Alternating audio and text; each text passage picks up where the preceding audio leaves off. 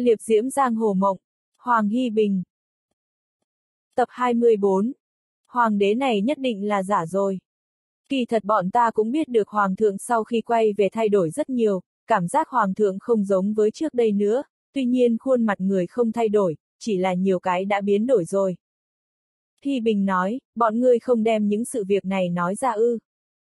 Bọn ta nghe ngươi rồi. Nàng nói, bố lỗ tư phát hiện ra ta đầu tiên phải không? Hắn có hay không có nhận ra ta? Đình thị nói, nhìn tình cảnh lúc đó, hắn đã nhận ra ngươi rồi. Bởi vì hắn muốn bảo hộ ngươi, hoàng hậu mới đuổi hắn đi. Tên bố lỗ tư ngược lại đối với ta cũng được đó. Ngươi cùng bố lỗ tư quen nhau sao?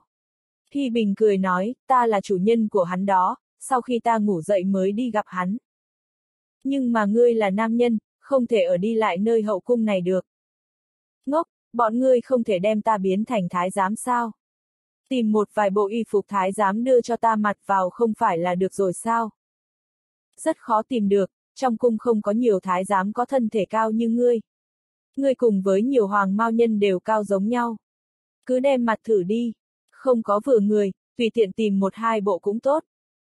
Ninh thị nói, bọn ta tìm đường tư công chúa giúp đỡ không? Không, trước khi gặp nàng ta, ta trước tiên phải gặp qua bố lỗ tư cùng với hai nữ nhân mà hoàng đế mang về đã, bọn nàng sau này có thể để ta an bài một lúc được không? Ta như quả muộn mệnh lệnh của hoàng hậu dùng, khả dĩ có thể được. Thi Bình nói, vậy được rồi, hiện ta trước hết ta ngủ một giấc đã, nàng bồi tiếp ta ngủ ha.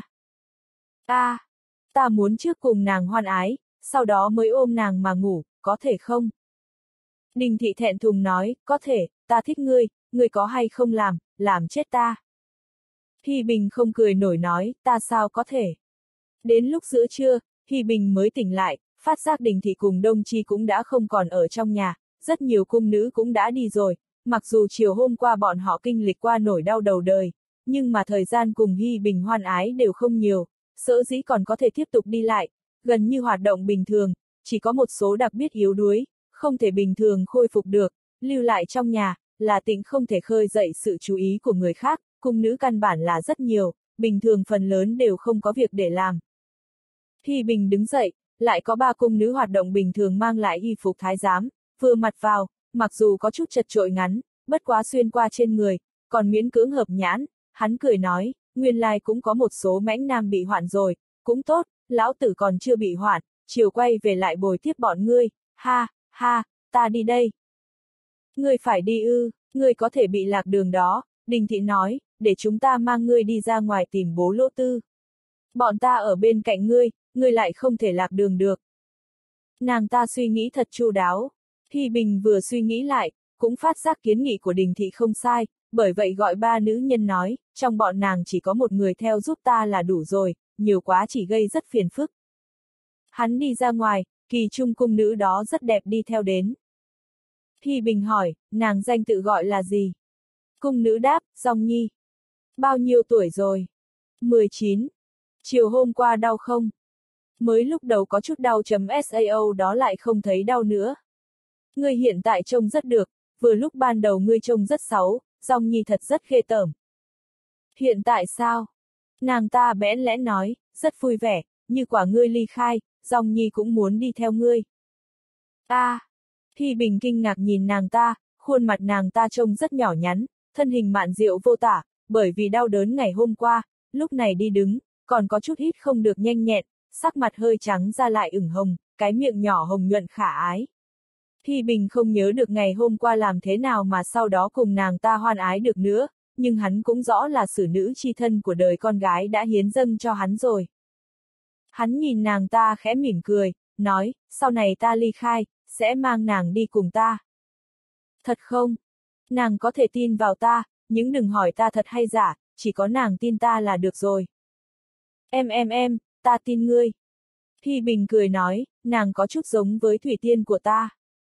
Thủy Tiên, là ai? Là một nữ nhân của ta, nàng ta so với nàng trẻ hơn, hình dáng giống như chỉ có 13 tuổi thôi. 13 tuổi, nữ nhân của ngươi, ngươi rất nhiều, nữ nhân sao? Rất nhiều. Có nhiều bằng hoàng thượng không?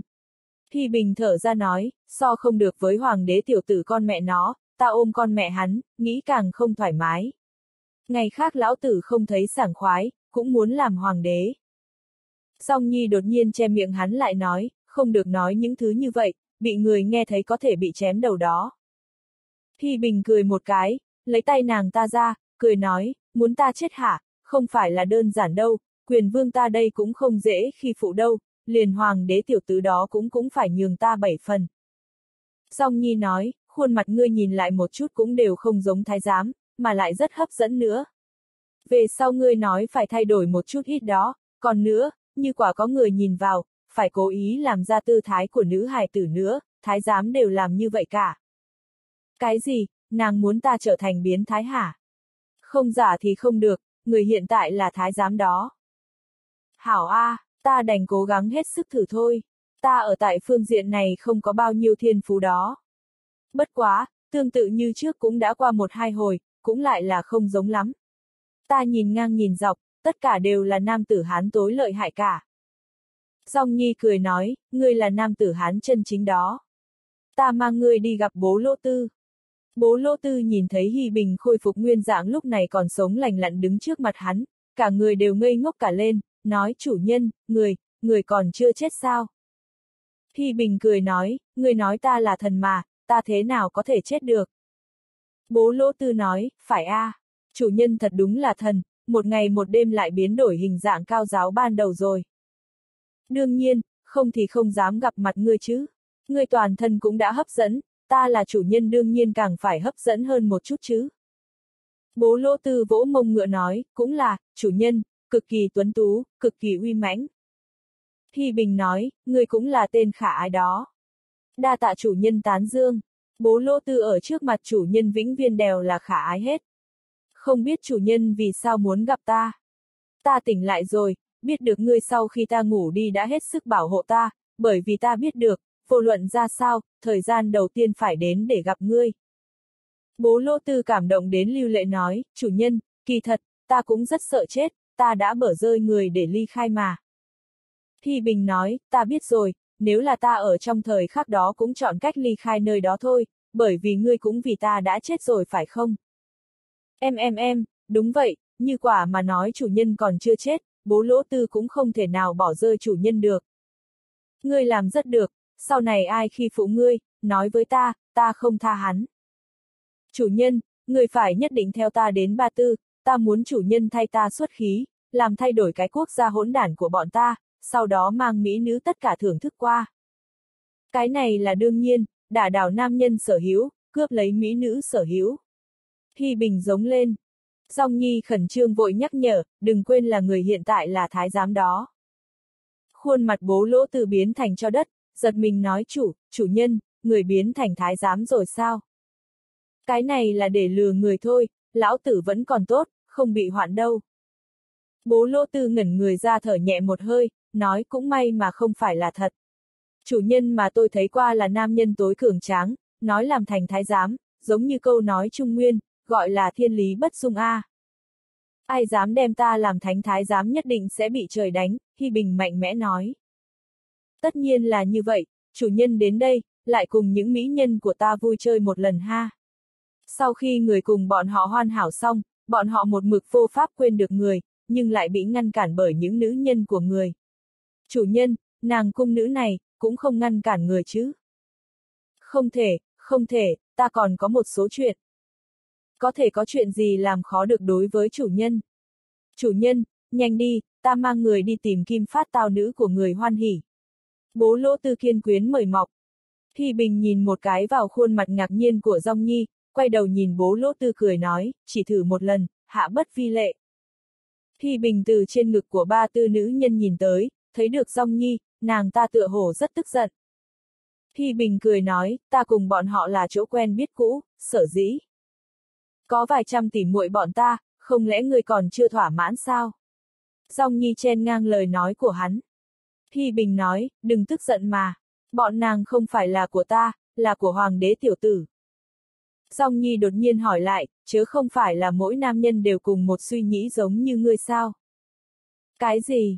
Lại không phải cùng vài trăm nữ nhân hoan ái xong rồi, lại còn lập tức đi tìm nữ nhân khác sao?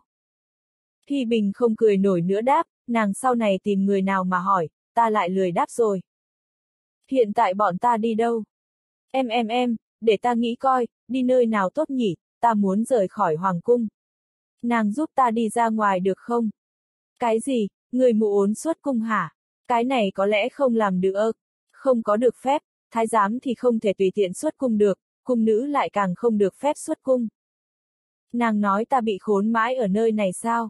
Ta khinh, bức bách quá ta sử dụng khinh công, hụ hụ, không nói nữa, không một thứ tác dụng được cả. Song nhi, sau này ta thế nào mới có thể ra ngoài? Ta thật rất gấp đó, bọn lão bà của ta đều đang đợi, hơn nữa ta phải đem một số người đem đi đâm giết. Lão bà ngươi đang đợi sao? Đường tư công chúa không phải ở trong cung sao? Còn có bọn ta, lão bà ngươi so với bọn ta có nhiều người hơn. Ngươi đi tìm lão bà ngươi, ngươi không nghĩ qua tìm muội bọn ta sao? Thi Bình đau đầu quá nói, đã nói là bọn ngươi là nữ nhân của hoàng đế rồi, ta chỉ có thể mang đi nàng thôi, là ta đáp ứng rồi. Những người khác ta không có đáp ứng, hơn nữa cứ tiếp tục như vậy, tựa hồ rất không phải với hoàng đế tiểu tử đó. Ngươi cũng đã có lỗi rồi, ngươi còn có đường lui sao? Mẹ nó, khó nói là ta tự mình làm chuyện có lỗi với hắn.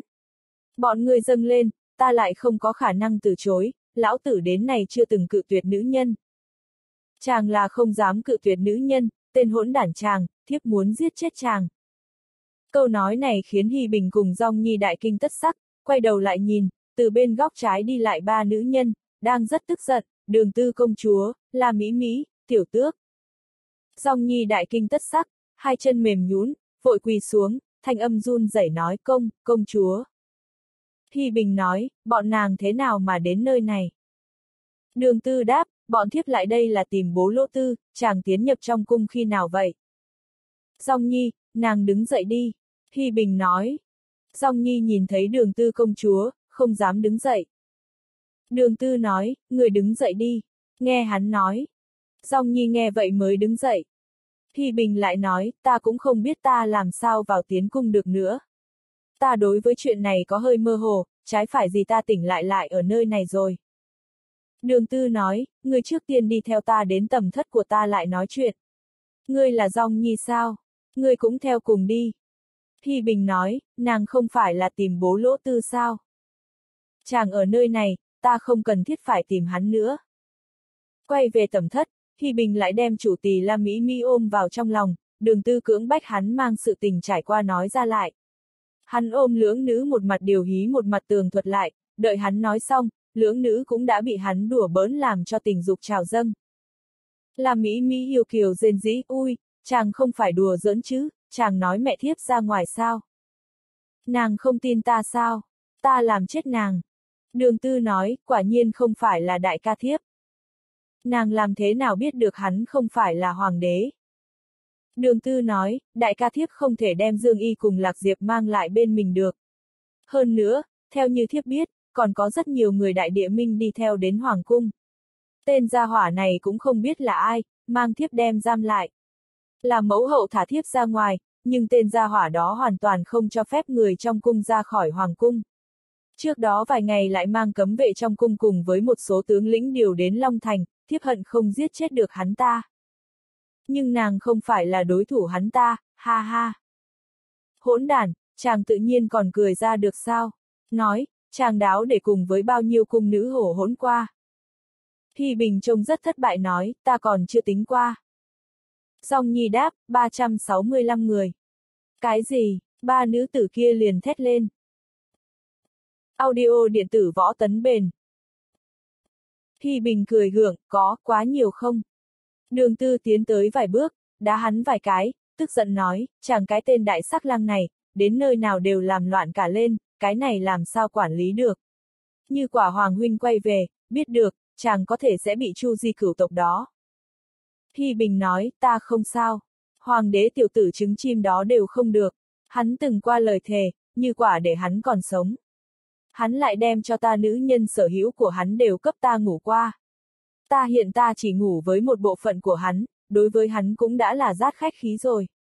Hắn ngược lại dám có ý kiến, qua về ta một quyền đập võ đầu hắn. Chàng muốn giết ca ca thiếp. Thi Bình ngượng nghịu nói, chỉ là nói như vậy thôi, tạm thời không thể giết hắn. Lại nói, như quả ta không cản trở, hắn quay về đây, cũng đã bị phục giết rồi. Tính mệnh hắn, hoàn toàn nằm trong tay ta.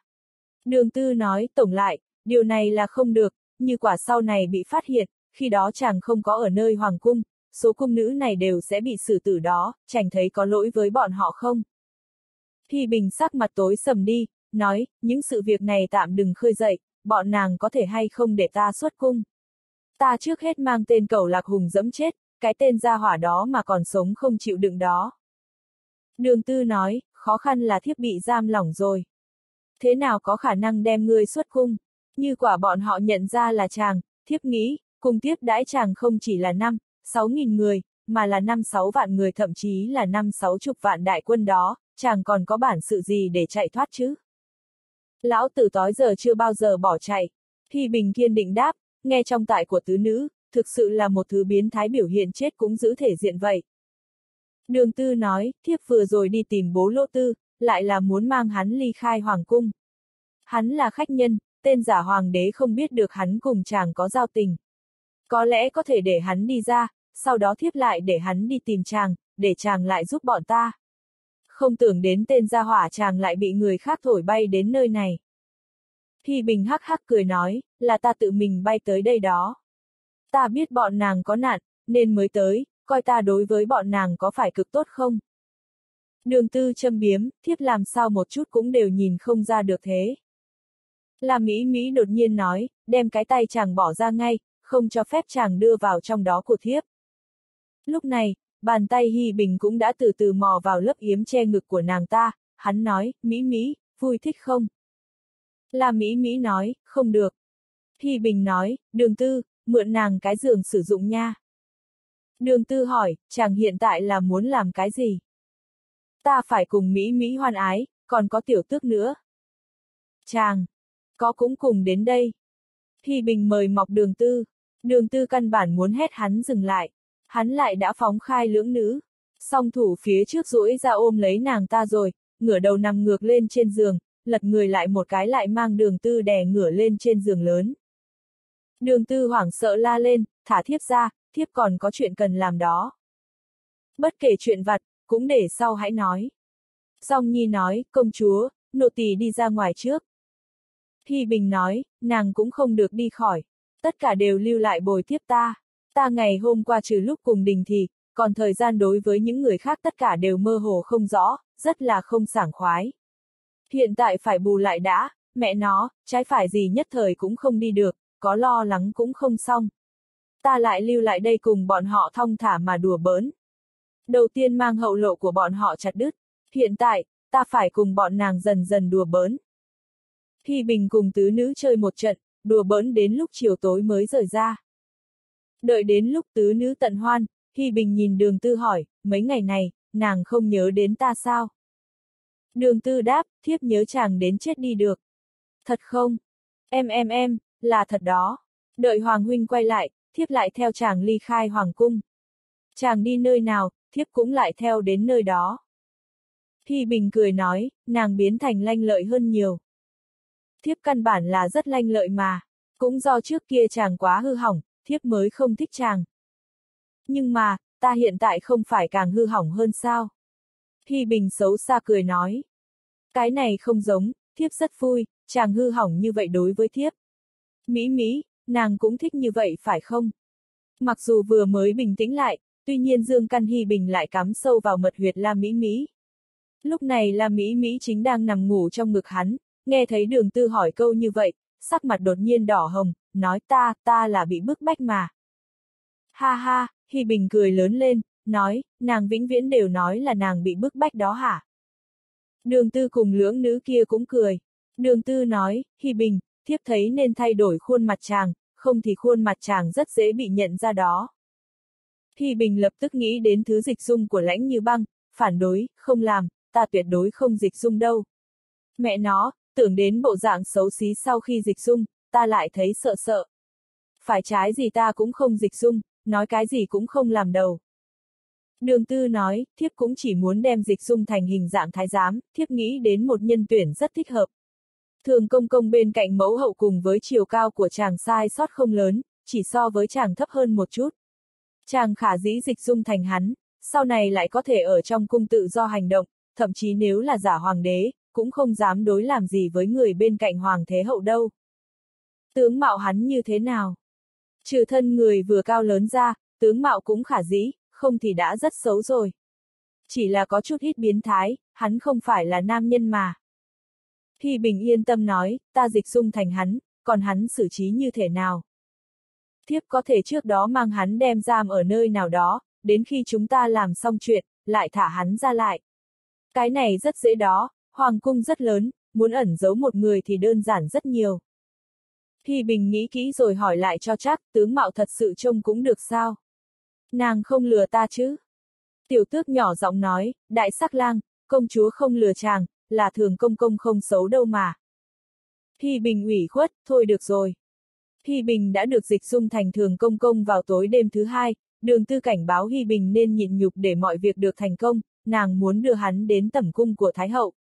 Hy Bình sợ rằng nhạc mẫu tương lai sẽ giận dữ, nhưng đường tư đã nói rằng Thái Hậu rất hiền, Hy Bình không tin điều đó, làm thế nào có thể biết được.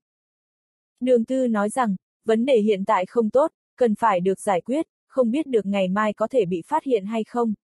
Nàng nhấn mạnh thường công công là đại hồng nhân bên cạnh Thái Hậu, đã ở bên cạnh Thái Hậu nhiều năm, sẽ có thể giải quyết được vấn đề, vì thế đưa Hy Bình đến diện kiến Thái Hậu. Có lẽ sẽ có kỳ tích xuất hiện, hy vọng điều này không thể được, trừ khi Thái Hậu yêu thích thường công công, hôm nay rồi sẽ ra sao. Hy Bình nhìn vào gương, thấy hình ảnh một công công độ tuổi trung niên vẻ ngoài dễ nhìn xuất hiện, tâm lý cũng có sự an ủi. Đường tư nói rằng hôm nay nàng sẽ xin Thái hậu ban thưởng công công cho nàng. Hy Bình đối mặt với Thái hậu, hắn nghĩ rằng khả năng này sẽ không lớn lắm. Tuy nhiên đã đi tới hoàn cảnh như thế này thì mọi việc đều phải cố gắng. Hoàng cung có rất nhiều thái giám, tại sao lại phải ở bên cạnh Thái hậu? Thật sự hắn thích ở bên cạnh Hoàng hậu, nhưng Hoàng hậu đã có Hồng Công Công lo liệu. Trong lúc Hy Bình đang suy nghĩ thì đường tư đã đưa hắn đến cung của Thái hậu. Thái hậu đang ngồi trên long sàng, đường tư và Hy Bình đến trước long sàng khấu kiến Thái hậu. Hy Bình được diện kiến dung nhan Thái hậu, trong lòng hết sức ngạc nhiên, không nghĩ Thái hậu trẻ như vậy, trông như một thiếu phụ khoảng chừng 30. Đường tư giống Thái hậu rất nhiều, nếu đứng cạnh nhau, dễ dàng làm cho người ta hiểu lầm là hai chị em. Đường tư thì thầm vào tai hắn, đừng chú ý vào mẫu hậu. Thái hậu nói, cả ngày hôm nay con với thường công công đi đâu, sao giờ này mới đưa hắn trở về. Đường tư, khải bẩm mẫu hậu, những ngày này con có nhiều việc cần thường công công giúp đỡ, vì vậy con sẽ mang thường công công theo. Chỉ đến tối con đưa hắn trở về để săn sóc mẫu hậu, xin mẫu hậu cho phép. Thái hậu nở nụ cười từ tốn điềm đạm nói, con thì có chuyện gì? Trước kia thì tranh cãi với Hoàng Huynh, giờ thì bận rộn với nhiều điều bí ẩn, con quá nghịch ngợm, không làm được việc gì có ý nghĩa cả. Tốt, hôm nay thường công công được con mang theo. Thường công công hôm nay ngươi có giúp được gì cho công chúa không? Thì bình nghĩ thầm, lão tử ta tận tâm phục vụ như thế, sao không thỏa mãn chứ? Hắn gật đầu, nhưng không nói ra, đường tư nhắn hắn tuyệt đối không thể sanh sự. Từ đường tư, Hy Bình biết rằng Thái Hậu cần thường công công hầu hạ vào ban đêm, chỉ sau khi người ngủ, thường công công mới ra ngoài. Trong thời gian dài hắn không được nói, không cần thiết thì không nên lên tiếng, chỉ có thể nói nhỏ mà thôi. Đường tư, mẫu hậu, con xin cáo lui. Được, Thái hậu lơ đáng đồng ý. Đường tư chuyển thân cáo lui. Vấn đề của công chúa ngươi không thấy khó khăn chứ, ngươi có gì lo lắng không? Thái hậu đội nhiên hỏi. Thi Bình không biết nên trả lời thế nào, vì vậy lắc đầu. Thái hậu nói, vì sao ngươi không nói? Nhưng ngươi phải nói trước khi. Đỡ ta dậy, ta muốn tắm. Thi Bình kinh ngạc, thật khó khăn khi Thái hậu thường bắt thường công công phục người tắm. Hắn không đủ thời gian suy nghĩ về điều đó, hắn đỡ lấy Thái hậu. Hắn phát giác Thái hậu quả nhiên cơ thể hoàn hảo, bất kể dung nhan hay thân thể, làn da đều trẻ trung như thiếu nữ 17-18, tuyệt vời hơn một thiếu nữ đã trưởng thành, thật diệu kỳ, cao quý vô cùng không có gì có thể so sánh được. Thái hậu nắm lấy tay hắn, thình lình nâng đầu quan sát kỹ hắn, nói, không hiểu sao, ta thấy ngươi hôm nay có phần khác với hôm qua. Cánh tay của người so với trước đây mạnh mẽ hơn, bắp thịt cũng săn chắc hơn, có lẽ là ảo tưởng của ta, trong ngươi như một nam nhân đích thực. Khi bình giật nảy mình muốn rút tay lại, tuy nhiên, lại nghe Thái hậu nói, đưa ta đến bồn tắm, có lẽ ngày hôm nay quá dài, một suy nghĩ thoáng qua, như là đam mê tưởng tượng. Có phải ngươi là nam nhân thực thụ? Ồ, nếu ngươi là nam nhân, chắc hẳn không thể xuất hiện ở Hoàng cung. Phòng tắm rất lớn, nơi đặc biệt trong tầm cung của Thái hậu, rộng khoảng 100 trượng, có hàng tá cái hồ nhỏ, sau hồ, có thể chứa được 45 người tắm, trên thành hồ được lót đá tương tự như ở thành đại lý, trong hồ đầy nước nóng, hơi nước bốc lên trắng xóa hòa lẫn vào không khí. Giúp ta cởi áo khoác, sao ngươi trông ngớ ngẩn vậy? Thái hậu đến gần giá treo quần áo, nhìn Hy Bình đứng chơi như phóng, không có một chút cao hứng nào. Hy Bình vội vàng đi đến phía sau Thái hậu, hắn không dám tin rằng trong cuộc đời này của hắn có thể giúp Thái hậu cởi áo khoác. Thái hậu đã cởi dây áo, song thủ đưa ra phía trước. Mặc dù thân phận cao quý của Thái hậu không thể sánh được, tuy nhiên, Hy Bình không thể nghĩ nhiều. Song thủ vươn ra, những ngón tay nắm lấy áo choàng và lấy nó ra khỏi cơ thể Thái hậu.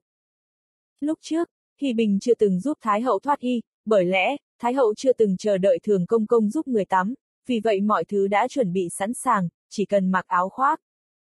Hắn đi đến gần Thái hậu, nhìn vào thân hình tuyệt vời hiện diện trước mặt hắn. Ta rất muốn ngâm mình trong nước ấm, sau đó ngươi tắm cho ta, nhưng dường như ngươi không thấy thoải mái lắm. Ta biết ngươi rất xấu hổ, ngươi không phải nam nhân, thật đau lòng, ngươi át hẳn đang không thoải mái nhất. Thật sự, ta rất muốn nhìn thân thể ngươi, ta không biết tại sao ta lại có ý tưởng điên rồ như vậy, có lẽ chỉ đêm nay. Ngươi đã ở bên cạnh ta từ lâu rồi, ta nghĩ ngươi rất mạnh mẽ, rắn chắc, cuối cùng ta thật sự, là một nữ nhân. Thái hậu thở dài. Thi Bình giúp Thái hậu cởi bỏ y phục ra và máng lên giá treo quần áo. Hắn quay lại nhìn thấy một thân hình phong mãn trắng như tuyết, đôi mông săn chắc đàn hồi, thời gian dường như không thể tàn phá trên tấm thân cao quý đặc biệt này. Hắn cảm thấy nơi hạ thể bắt đầu nhúc nhích. Đưa ta vào bồn tắm. Thi Bình nghe những lời đó lập tức con tim như bay bổng, nghĩ thầm, đường tư biến hắn thành thái giám phải chăng có chút sai lầm. Đối với hắn, đây thật sự là điều may mắn. Công chúa, thái hậu, mẹ và con, hắn không thể để tâm đến, tuy nhiên, với lời yêu cầu của người nữ nhân đẹp này, hắn không thể cự tuyệt. Thi Bình đặt tay vào thân thể của Thái Hậu, Thái Hậu mềm nhũn ra, hắn hơi siết chặt lấy tấm thân ngà ngọc, những hành động này của hắn làm cho Thái Hậu cảm thấy tâm hồn hơi xáo động, muốn mở miệng ngăn cản nhưng rồi lại không thể nói ra. Không thể phủ nhận, hành động này dường như là cử chỉ mãnh liệt của một nam nhân đích thực, lần đầu tiên Thái Hậu cảm nhận được như vậy, thậm chí là ngay cả nam nhân duy nhất của nàng tiên hoàng, cũng không thể đem lại cho nàng cảm giác đê mê như như thế này, cái ôm này dường như là của một nam nhân đích thực làm người rất ngạc nhiên. Nàng nhắm đôi mắt lại tận hưởng cảm giác đê mê đó, thở dài, mặc dù ngươi không phải là nam nhân, nhưng những hành động của ngươi lúc này, thực sự làm cho ta cảm thấy ngươi là nam nhân, một nam nhân đích thực. Tại sao trước giờ ngươi không làm vậy? Thi Bình không nén nổi phải cười thầm, lúc trước là thường công công, hiện tại là lão tử, lão tử ta đương nhiên là nam nhân chân tránh.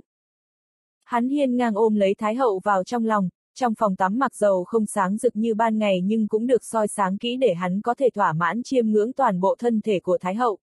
Song nhũ của Thái Hậu rất đầy đặn, bầu ngực có phần lớn hơn so với con gái, lông ở hạ thể rất dày, nguyên một tấm màn chắn đen như ôm trọn lấy vùng tam giác bí ẩn. Thì Bình nghĩ thầm, ngay cả có là Thái Hậu đi nữa thì cũng không khác gì các cô gái khác, thậm chí cả nữ tu cũng vậy, tất cả đều là nữ nhân. Hắn đưa Thái hậu đến bồn tắm, nàng cảm giác rất thoải mái, mắt khép hờ để tận hưởng cảm giác, thình lình mở mắt, thấy Hy Bình đang nhìn chăm chú vào thân thể của nàng, bất giác giận dữ quát, ngươi nhìn đủ chưa? Mau giúp ta kỳ cọ thân thể, ừm, trông ngươi hôm nay rất khác thường, so với lúc trước thì khác xa, theo ta thấy, ngươi trông như một nam nhân, có sự đam mê của nam nhân. Hy Bình đưa khăn cẩn thận trà sát lên thân thể của nàng, nước nóng đã làm ướt đẫm toàn thân, làm cho thân thể nàng dường như nóng hơn, làm tỏa ra một hương thơm, như đóa hoa bách hợp, thanh khiết, lan tỏa khắp khứu giác của hắn. Tại sao ngươi không nói? Thái hậu không kiềm nén nổi sự tò mò, Hy Bình đang kỳ cọ sau lưng của nàng, nàng đưa tay lên vuốt ve gò bồng đảo, đồng thời lúc này, bàn tay dường như giang rộng ra trên mặt nước nóng.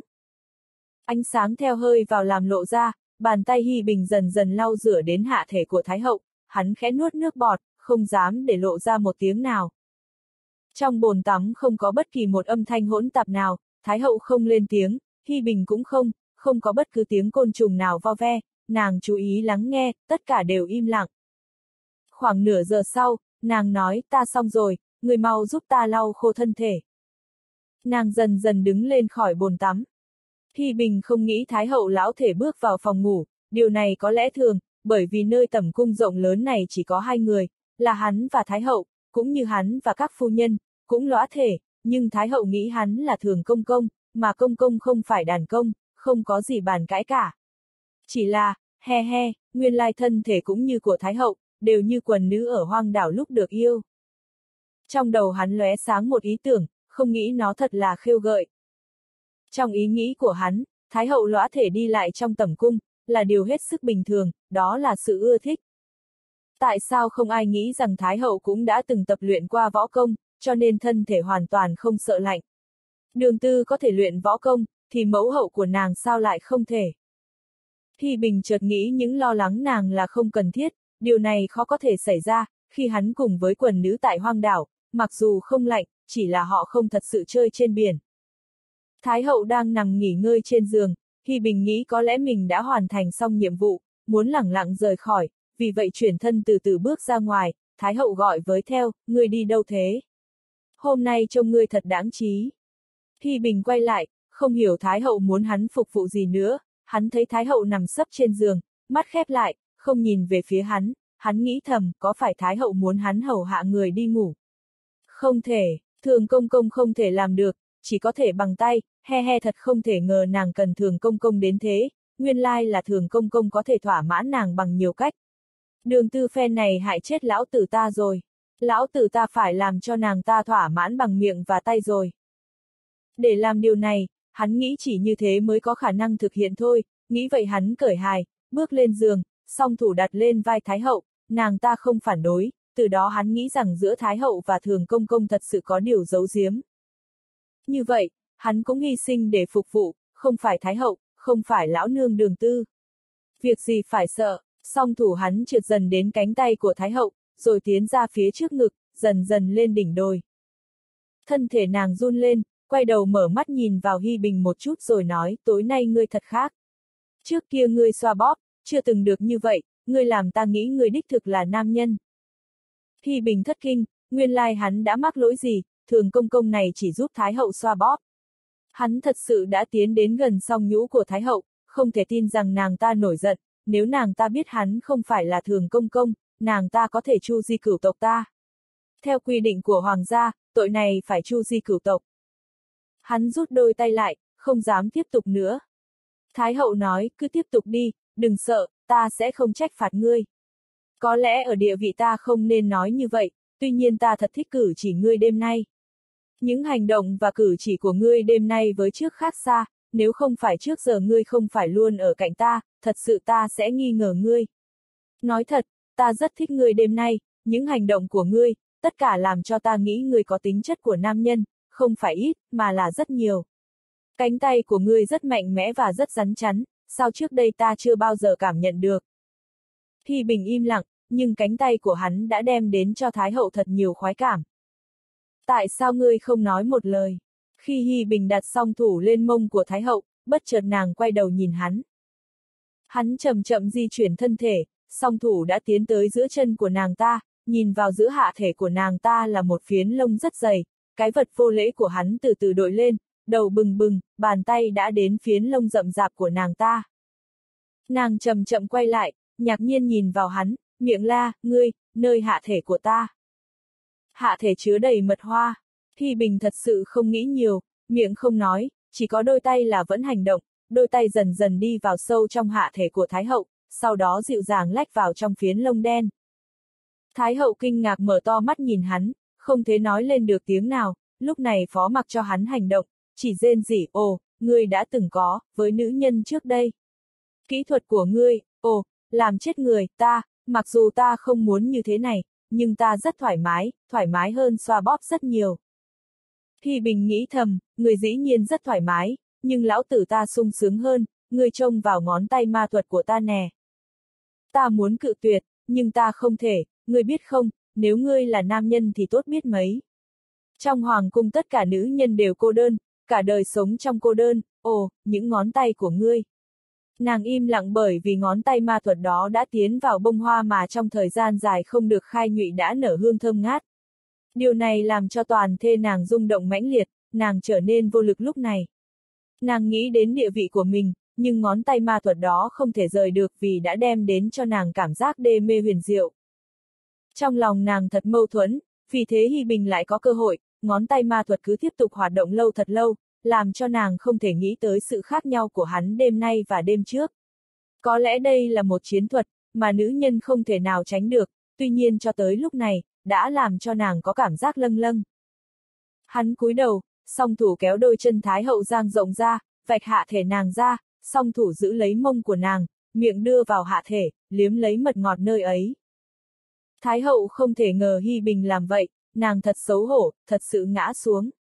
Nàng ta thật sự đã gục ngã trước sự liều lĩnh của tên hoạn quan này, nhưng bắt đầu rên rỉ, điều không thể có đối với địa vị của nàng. Ừm, tiến sâu vào, nữa đi, liếm nữa đi. Thái hậu quỳ sấp xuống trước mặt Hy Bình, sau một thời gian cô tịch, có lẽ người nữ nhân này đã náo loạn, quên cả địa vị, quên cả sự xấu hổ và phẩm giá, có lẽ nàng ta cũng đã quên khoảnh khắc với thường công công trước kia. Nàng nhắm mắt lại tận hưởng những khoái cảm do Hy Bình mang lại, miệng cứ rên rỉ ừm. Thái hậu cứ rên rỉ như vậy không nói được tiếng nào. Hy Bình nghĩ thầm, đó là yêu cầu của ngươi, trông ngươi thật giống con gái, sau khi xong việc muốn chu di cửu tộc ta, thói đòi là như vậy. Hắn cúi xuống mông của Thái hậu, giữ lấy cái giường, tháo giải quần, vì cái miệng thật sự không làm thoải mãn được cái lỗ nhỏ ấy, nên hắn tuột hẳn quần xuống, nhưng Thái hậu đang mê mệt, khi hắn xốc hạ thể tiến vào giữa chân nàng ta thì miệng nàng ta cứ rên rỉ, tiến vào đi, tiến vào. Hy Bình xông thẳng đến, hai tay nắm lấy hai chân, hắn quỳ xuống giữa hai chân nàng ta, ấn mạnh vào, không suy nghĩ gì nữa, đưa hạ thể tiến nhập thâm cung, tức khắc Thái hậu la lên một tiếng, nàng ta đang trong cơn đê mê bất chợt có một vật mạnh mẽ tiến sâu vào, nàng ta dùng tay giữ chặt lấy cái vật thô bỉ của Hy Bình, quay người nhìn chằm chằm vào hắn.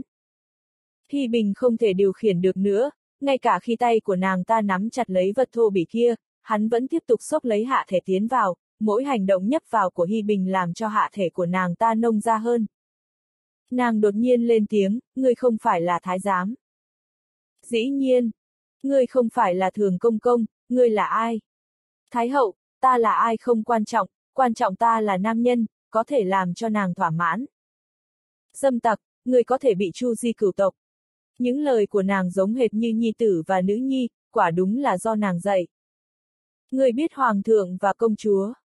Hoàng thượng là do ta cứu, không có ta, hắn đã bỏ mạng từ lâu, để trả công cho việc ta cứu con trai nàng, nàng nên tận hưởng cảm giác ta đã xoa bóp cho nàng. Tuy nhiên, những điều trước kia nàng yêu cầu, nếu ta không hứa với nàng, sẽ bị chu di cửu tộc, nên ta sẽ làm vài thứ để thỏa mãn cho nàng. Ngươi, Thái hậu trước sự xâm nhập mạnh mẽ của Hy Bình, không thể kiểm soát được thân thể. Nàng ta thậm chí không biết được Hy Bình là ai, chỉ biết đây là người nam nhân đã đem đến cho nàng nhiều đam mê khoái lạc, cảm giác này nàng chưa từng được nếm trải, mà người nam nhân này đích thực đã mang đến cho nàng. Thái hậu thức giấc, chỉ nhìn thấy công chúa đường tư mà không thấy Hy Bình đâu, vội hỏi. Người đó, thường công công đâu?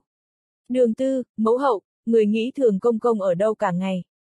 Con không thấy hắn, con đến lúc người ngủ, chuẩn bị đi tìm hắn ta thì người đã thức giấc.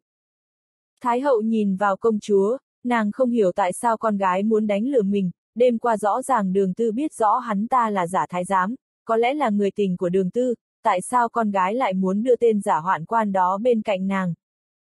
Con nói con không thấy hắn. Ừm, con muốn hỏi hắn xem có vấn đề gì, con đến phòng của hắn, không tìm thấy hắn, trước đó mẫu hậu có nhìn thấy hắn. Đường tư nói rất nghiêm túc, thái hậu từ ngữ điệu của nàng, biết nàng không nói dối. Nguyên lai like hôm nay hắn phải giúp đỡ xử lý công việc, mà giờ không biết hắn ở đâu, mẫu hậu, đêm qua hắn rời phòng người khi nào. Đường tư hỏi. Thái hậu thất kinh, nói lớn, sau một khắc. Thật ra nàng đã nói dối, đêm qua Hy Bình đã hầu hạ nàng ta trên giường, loan phụng đảo điên với nàng cho đến lúc nàng thiếp đi. Sau khi nàng thiếp đi, Hy Bình đã rời khỏi, nàng không biết lúc nào, tuy nhiên nàng cảm nhận được vòng tay ấm áp của hắn cho đến lúc bình minh. Tên tiểu quỷ, thật là ngốc nghếch cứ đi lung tung. Đường tư buông lời thoá mạ chàng, đột nhiên phát giác ra, miệng cười lúng túng nói, mẫu hậu, con nghĩ thường công công muốn giúp con làm việc, vì vậy đã chạy đi rồi, đừng nên trách phạt hắn, mẫu hậu không phiền lòng chứ. Thái hậu nói, mẫu hậu làm sao có thể khiển trách con. Cảm ơn mẫu hậu đã không trách mắng, con xin cáo lui để tìm thường công công. Thái hậu không dám nhỏ người dậy, vì thân dưới hoàn toàn lõa thể, nàng nói tìm hắn, sau đó đưa hắn về đây ngay. Đường tư nói lại, mẫu hậu, người đã hứa với con hôm nay hắn sẽ giúp con làm việc rồi mà. Được rồi, con hãy đưa hắn về khi trời tối. Thái hậu nhìn nữ nhi rời khỏi, nghĩ về sự lừa dối của công chúa, nhưng nàng không giận, vì trong sự lừa dối này đối với nàng thật là một cơ hội hiếm có để nàng có thể tận hưởng hương vị của người nam nhân đích thực. Nàng mỗi khi nghĩ về đêm qua, trong tâm trí lại hiện ra một nam nhân mạnh mẽ. Khi Bình rời khỏi phòng Thái Hậu lúc bình minh, hắn hơi e sợ lúc Thái Hậu tỉnh giấc sẽ tức giận, mặc dù đêm qua hắn và nàng ta yêu nhau rất hạnh phúc, tuy nhiên, ai biết khi nàng ta thức giấc có chu di cửu tộc hắn hay không. Hắn rất sợ, nên sau đó đã rời khỏi. Nguyên lai like hắn muốn hỏi bố lỗ tư đường đi nước bước, nhưng đã bị lạc mất bố lỗ tư, làm cho hắn phải đau đầu để tìm đường đi. Hắn liền nghĩ loạn, hắn cứ đi lang thang trong hoàng cung. Hắn cứ đi loanh quanh trong cung, nó cứ như là một mê cung. Hắn cứ đi mãi đi mãi, đầu óc quay cuồng mà vẫn không tìm thấy. Hắn nghĩ mình thật là tài năng với danh hiệu quyền vương và ca thần. Hắn nghĩ thành thật mà nói, hắn không thể thành thục trong việc tìm kiếm phương hướng. Đi một lát, hắn gặp những cung nữ và hắn cất tiếng chào, tất cả đều kính trọng cúi chào thường công công, hắn nghĩ thầm thường công công địa vị ở đây rất cao. Hắn đã ôm chầm lấy 12 cung nữ mà hôn, khiến họ không thể phản kháng lại được. Trong lòng hắn có suy nghĩ, những cung nữ nàng đều quan tâm đến hắn, hoàng cung thì có quá nhiều cung nữ, nhưng hắn chẳng thể nhận ra một ai. Mặc dù thế, giả làm thường công công cũng tốt, có địa vị cao, có thể hôn ai cũng được, không ai khám phá ra. Nghĩ lại, Thái Hậu cũng thích được như vậy. Nghĩ một hồi, hắn cảm thấy hơi chán. Tại sao phải đi ngược lại? Sau một hồi hôn các cung nữ, hắn dừng lại suy nghĩ đôi chút về điều đơn giản này. Thường công công thức an hảo. Đột nhiên có một nữ nhân rất đáng để hắn chào hỏi lại, hắn nghe thấy một âm thanh quyến rũ, âm thanh đó được truyền đến từ phía sau hắn. Hắn quay người lại, định thần, phát hiện một cung nữ khoảng 30, đẹp rực rỡ, dường như đó là Lạc Diệp. Tốt, hắn trả lời. Thường công công giọng nói của ngài hôm nay dường như rất mạnh mẽ như có hơi của nam nhân vậy. Mỹ phụ đó truy vấn. Thi Bình thất kinh, lo lắng nói, không phải đâu, nó khàn khàn như vịt đấy, hôm qua ta bị cảm nên hôm nay giọng khàn khàn trông giống như giọng nam nhân. Lạc Diệp chăm chú nhìn vào hắn, im lặng không nói gì. Dương Y nói, thường công công hôm nay khác thật, trông như một người nam nhân. Thái giám thật làm sao có hương vị của người nam nhân. Thi Bình hơi bực mình, nói, khi ta đi vòng quanh trong hoàng cung, không biết bao nhiêu cung nữ đã nhầm. Ừm, nô gia tin rằng đây là giọng đích thực của thường công công, không biết thường công công muốn đi đâu. Ta chỉ đi dạo thôi.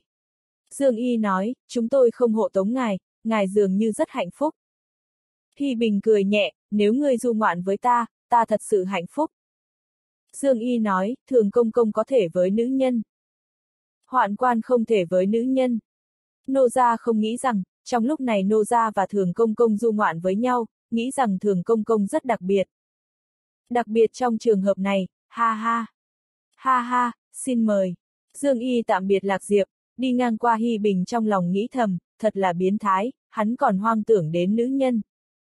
Dương tỷ, tỷ đi trước đi, muội ở lại hầu chuyện thường công công rồi sẽ theo sau. Dương Y hỏi, Diệp muội, không phải muội muốn đi với thường công công chứ?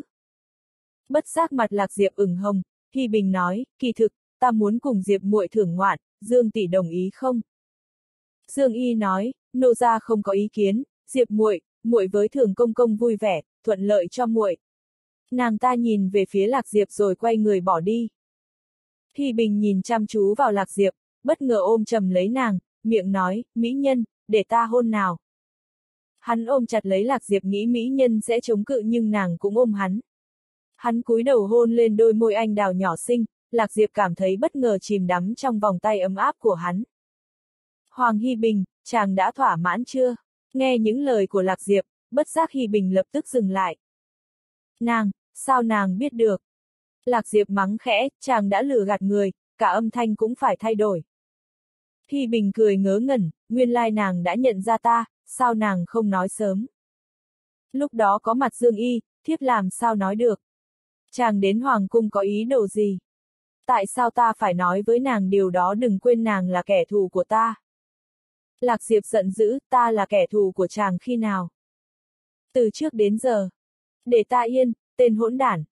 Thi Bình càng siết chặt thân thể nàng hơn, cười nói, coi kìa, cục cưng của ta. Lạc Diệp bình tĩnh trở lại, nhỏ nhẹ nói, chàng biết người ta không muốn tổn thương chàng mà. Ừm, ta biết nàng thích ta, hoàn toàn yêu ta, phải không? Ừm, đúng vậy. Không phải lạc thổ yêu nàng. Thiếp và hắn không có liên quan, thiếp có sự chọn lựa của mình. Lạc Diệp gật đầu. Hy Bình suy nghĩ một khắc rồi thở dài, nàng chọn ta, chọn sự phản bội đại địa minh. Nàng nên hiểu rằng, ta giờ đang là kẻ thù với đại địa minh, từ trước đến nay, tất cả đều kính trọng đại địa minh. Nhưng đến giờ, ta không thể để cho nàng làm vậy, nói cách khác, ta không muốn đánh hoàng đế, hoàng đế chỉ duy nhất hắn ta mới có thể làm. Lạc Diệp nói, hoàng thượng bị giam ở đại địa minh. Hy Bình cười nói, nàng không cần quan tâm đến điều này, nàng chỉ là một phần nhỏ của đại địa. Ta nói cho nàng hay, hoàng đế tiểu tử đã trốn thoát, sẽ sớm quay về thôi. Trốn thoát? Ừm, vài hôm nữa có lẽ nàng sẽ nhận được tin báo từ đại địa minh, hiện tại nàng muốn đi đâu? Lạc Diệp nói, bọn thiếp chuẩn bị đến diện kiến hoàng hậu, lại gặp chàng, không biết Dương Y đã đi rồi rồi. Hoàng hậu, ta cũng muốn, nàng hãy dẫn ta đi. Dương Y sẽ phát hiện ra, chàng nên đi thì tốt hơn. Ngớ ngẩn, ta cũng muốn đi, nhưng muốn nàng dẫn theo ta.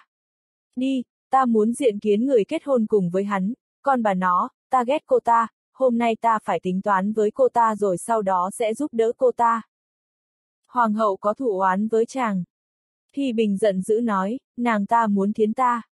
Lạc Diệp gật đầu, nhỏ nhẹ nói tốt, ta dẫn chàng theo, chàng cứ đi theo ta là sẽ tới. Nào, chàng vào đi, hoàng hậu không thích thiếp và Dương Y cùng đến. Thi Bình nói, không sao, ta sẽ không ép lão bà nương, điều này cần phải thảo luận, để cho nàng ta biết ta không lịch sự. Lạc Diệp nói, nàng ta không còn nhã nhặn như lúc trước nữa kể từ khi nàng ta trở thành hoàng hậu. Nữ nhân nào mà chọc giận ta, không có kết quả tốt đâu, nàng ta sẽ chết chắc. Hi Bình Dương Dương tự đắc.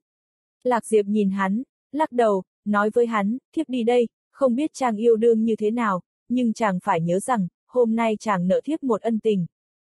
Nói xong nàng quay người rời khỏi, Hi Bình nhìn theo cái bóng yêu kiều của nàng nói với theo, ha ha, Lạc Diệp, khi nào ta mới trả được cho nàng. Rất sớm thôi. Nàng không nói thêm một lời nào nữa, nên Hy Bình không nhận được câu trả lời, thật không đơn giản để có câu trả lời cho hắn. Hy Bình không muốn nợ nàng ta thêm một lần nữa.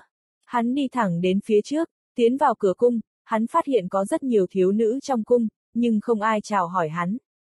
Trong suy nghĩ của hắn, hắn thật sự đã bước đến tầm cung của Hoàng hậu, Đông Chi và Đình Thị đứng trước cửa chặn hắn lại. Đình Thị hỏi, thường công công, ngài đến diện kiến Hoàng hậu vì việc gì? Là ta, Hy Bình trực tiếp đi thẳng vào. Lưỡng nữ chú ý giọng nói của Hy Bình, Đình Thị giật mình nói, người đến đây để làm gì? Để tâm sự với Hoàng hậu. Tâm sự, lưỡng nữ nghi vấn hỏi lại. Hắn cười nói, nàng ta bắt phải tính thân cho ta, ta gặp nàng ta để hỏi tại sao phải thiến ta. Đình Thị nói, việc đó đã qua rồi, ta không thể để ngươi vào. Nàng không ta lời ta. Đông Chi nói, chúng tôi chỉ nghe lời hoàng hậu, ngươi vào là chuyện tốt của ngươi, nhưng ta không thể để ngươi vào. He he, đừng xen vào chuyện người khác. Ninh thị, ai ở ngoài đó? Đường thi trả lời, khải bẩm hoàng hậu, là thường công công. Có chuyện gì? Bẩm hoàng hậu không có chuyện gì ạ, thường công công chỉ đến đây một lúc rồi đi ngay thôi. Nàng, Thi Bình tức giận muốn trách mắng nhưng không thể trách mắng được. Đông Chi nói, người đi đi, đêm nay có thể trở lại. Thình lình hoàng hậu từ trong phòng nói vọng ra, người đưa thường công công vào đây, ta muốn hỏi chuyện hắn, người không cần vào, hãy ở bên ngoài, để thường công công một mình vào là được rồi. Ha, ha, Thi Bình cười đắc ý, nhìn vào lưỡng nữ khiêu khích, nhẹ nhàng nói, hoàng hậu mời ta vào. Đông Chi nói khẽ, vào đi, không nên có ý nghĩ bậy bạ với hoàng hậu, càng không được làm bậy. Điều đó không thể không làm. Hi Bình nói vậy, rồi băng qua lưỡng nữ tiến vào. Băng qua vài gian phòng, Hi Bình đã đặt chân lên phòng ngủ xa hoa của Hoàng hậu, người mà chàng rất ghét, đã muốn tịnh thân chàng, xú bà nương. Hắn tiến vào phòng và nhận thấy Hoàng hậu đang xoay lưng về phía hắn. Nàng ta đang nhìn phong cảnh bên ngoài qua khung cửa sổ, tuy nhiên ngoài cửa sổ không có gì hấp dẫn cả. Bởi thế, hắn nhìn chằm chằm vào hoàng hậu trong đầu nghĩ thầm lẽ ra nàng ta nên lịch sự mới phải, thật ra chàng không hiểu, cũng không muốn quỳ xuống để vấn an. Hoàng hậu mở lời trước thường công công, Thái hậu gần đây vẫn khỏe chứ. Thi Bình không còn sự lựa chọn nào khác buộc phải trả lời, nên hạ giọng, cố gắng đè nén những âm trầm xuống biến giọng nói, tốt ạ. Hoàng hậu giật mình quay lại nhìn hắn nói, thường công công, hôm nay âm thanh của ngươi thật khác lạ. Thi Bình nói vội, gần đây nô tài mới bị cảm, cổ họng bị đau, Thái hậu vì việc này mà của trách nô tài, nói nô tài không cẩn thận giữ gìn sức khỏe, người nói trước đây giọng nô tài dễ nghe đúng không? Hoàng hậu nở nụ cười quyến rũ trên khoa ôn mặt dạng dỡ nói, thường công công nên giữ cho cổ họng được tốt. Không biết hoàng hậu muốn biết gì ở nô tài. Ta muốn biết gần đây thường công công có trông thấy hoàng thượng không? Bẩm hoàng hậu, có đôi lần.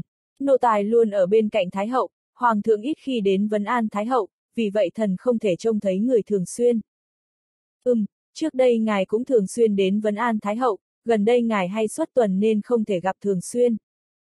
Hi Bình đột ngột hỏi, gần đây Hoàng thượng không đến với người à?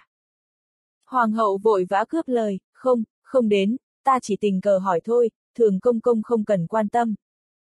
Hi Bình cười nhẹ nói, nô tài thật ngạc nhiên không hiểu vì sao Hoàng thượng lại không quan tâm đến người. Người đẹp lộng lẫy và hết sức quyến rũ, ngay cả nô tài là thái giám mà cũng không thể kìm nén được rung động.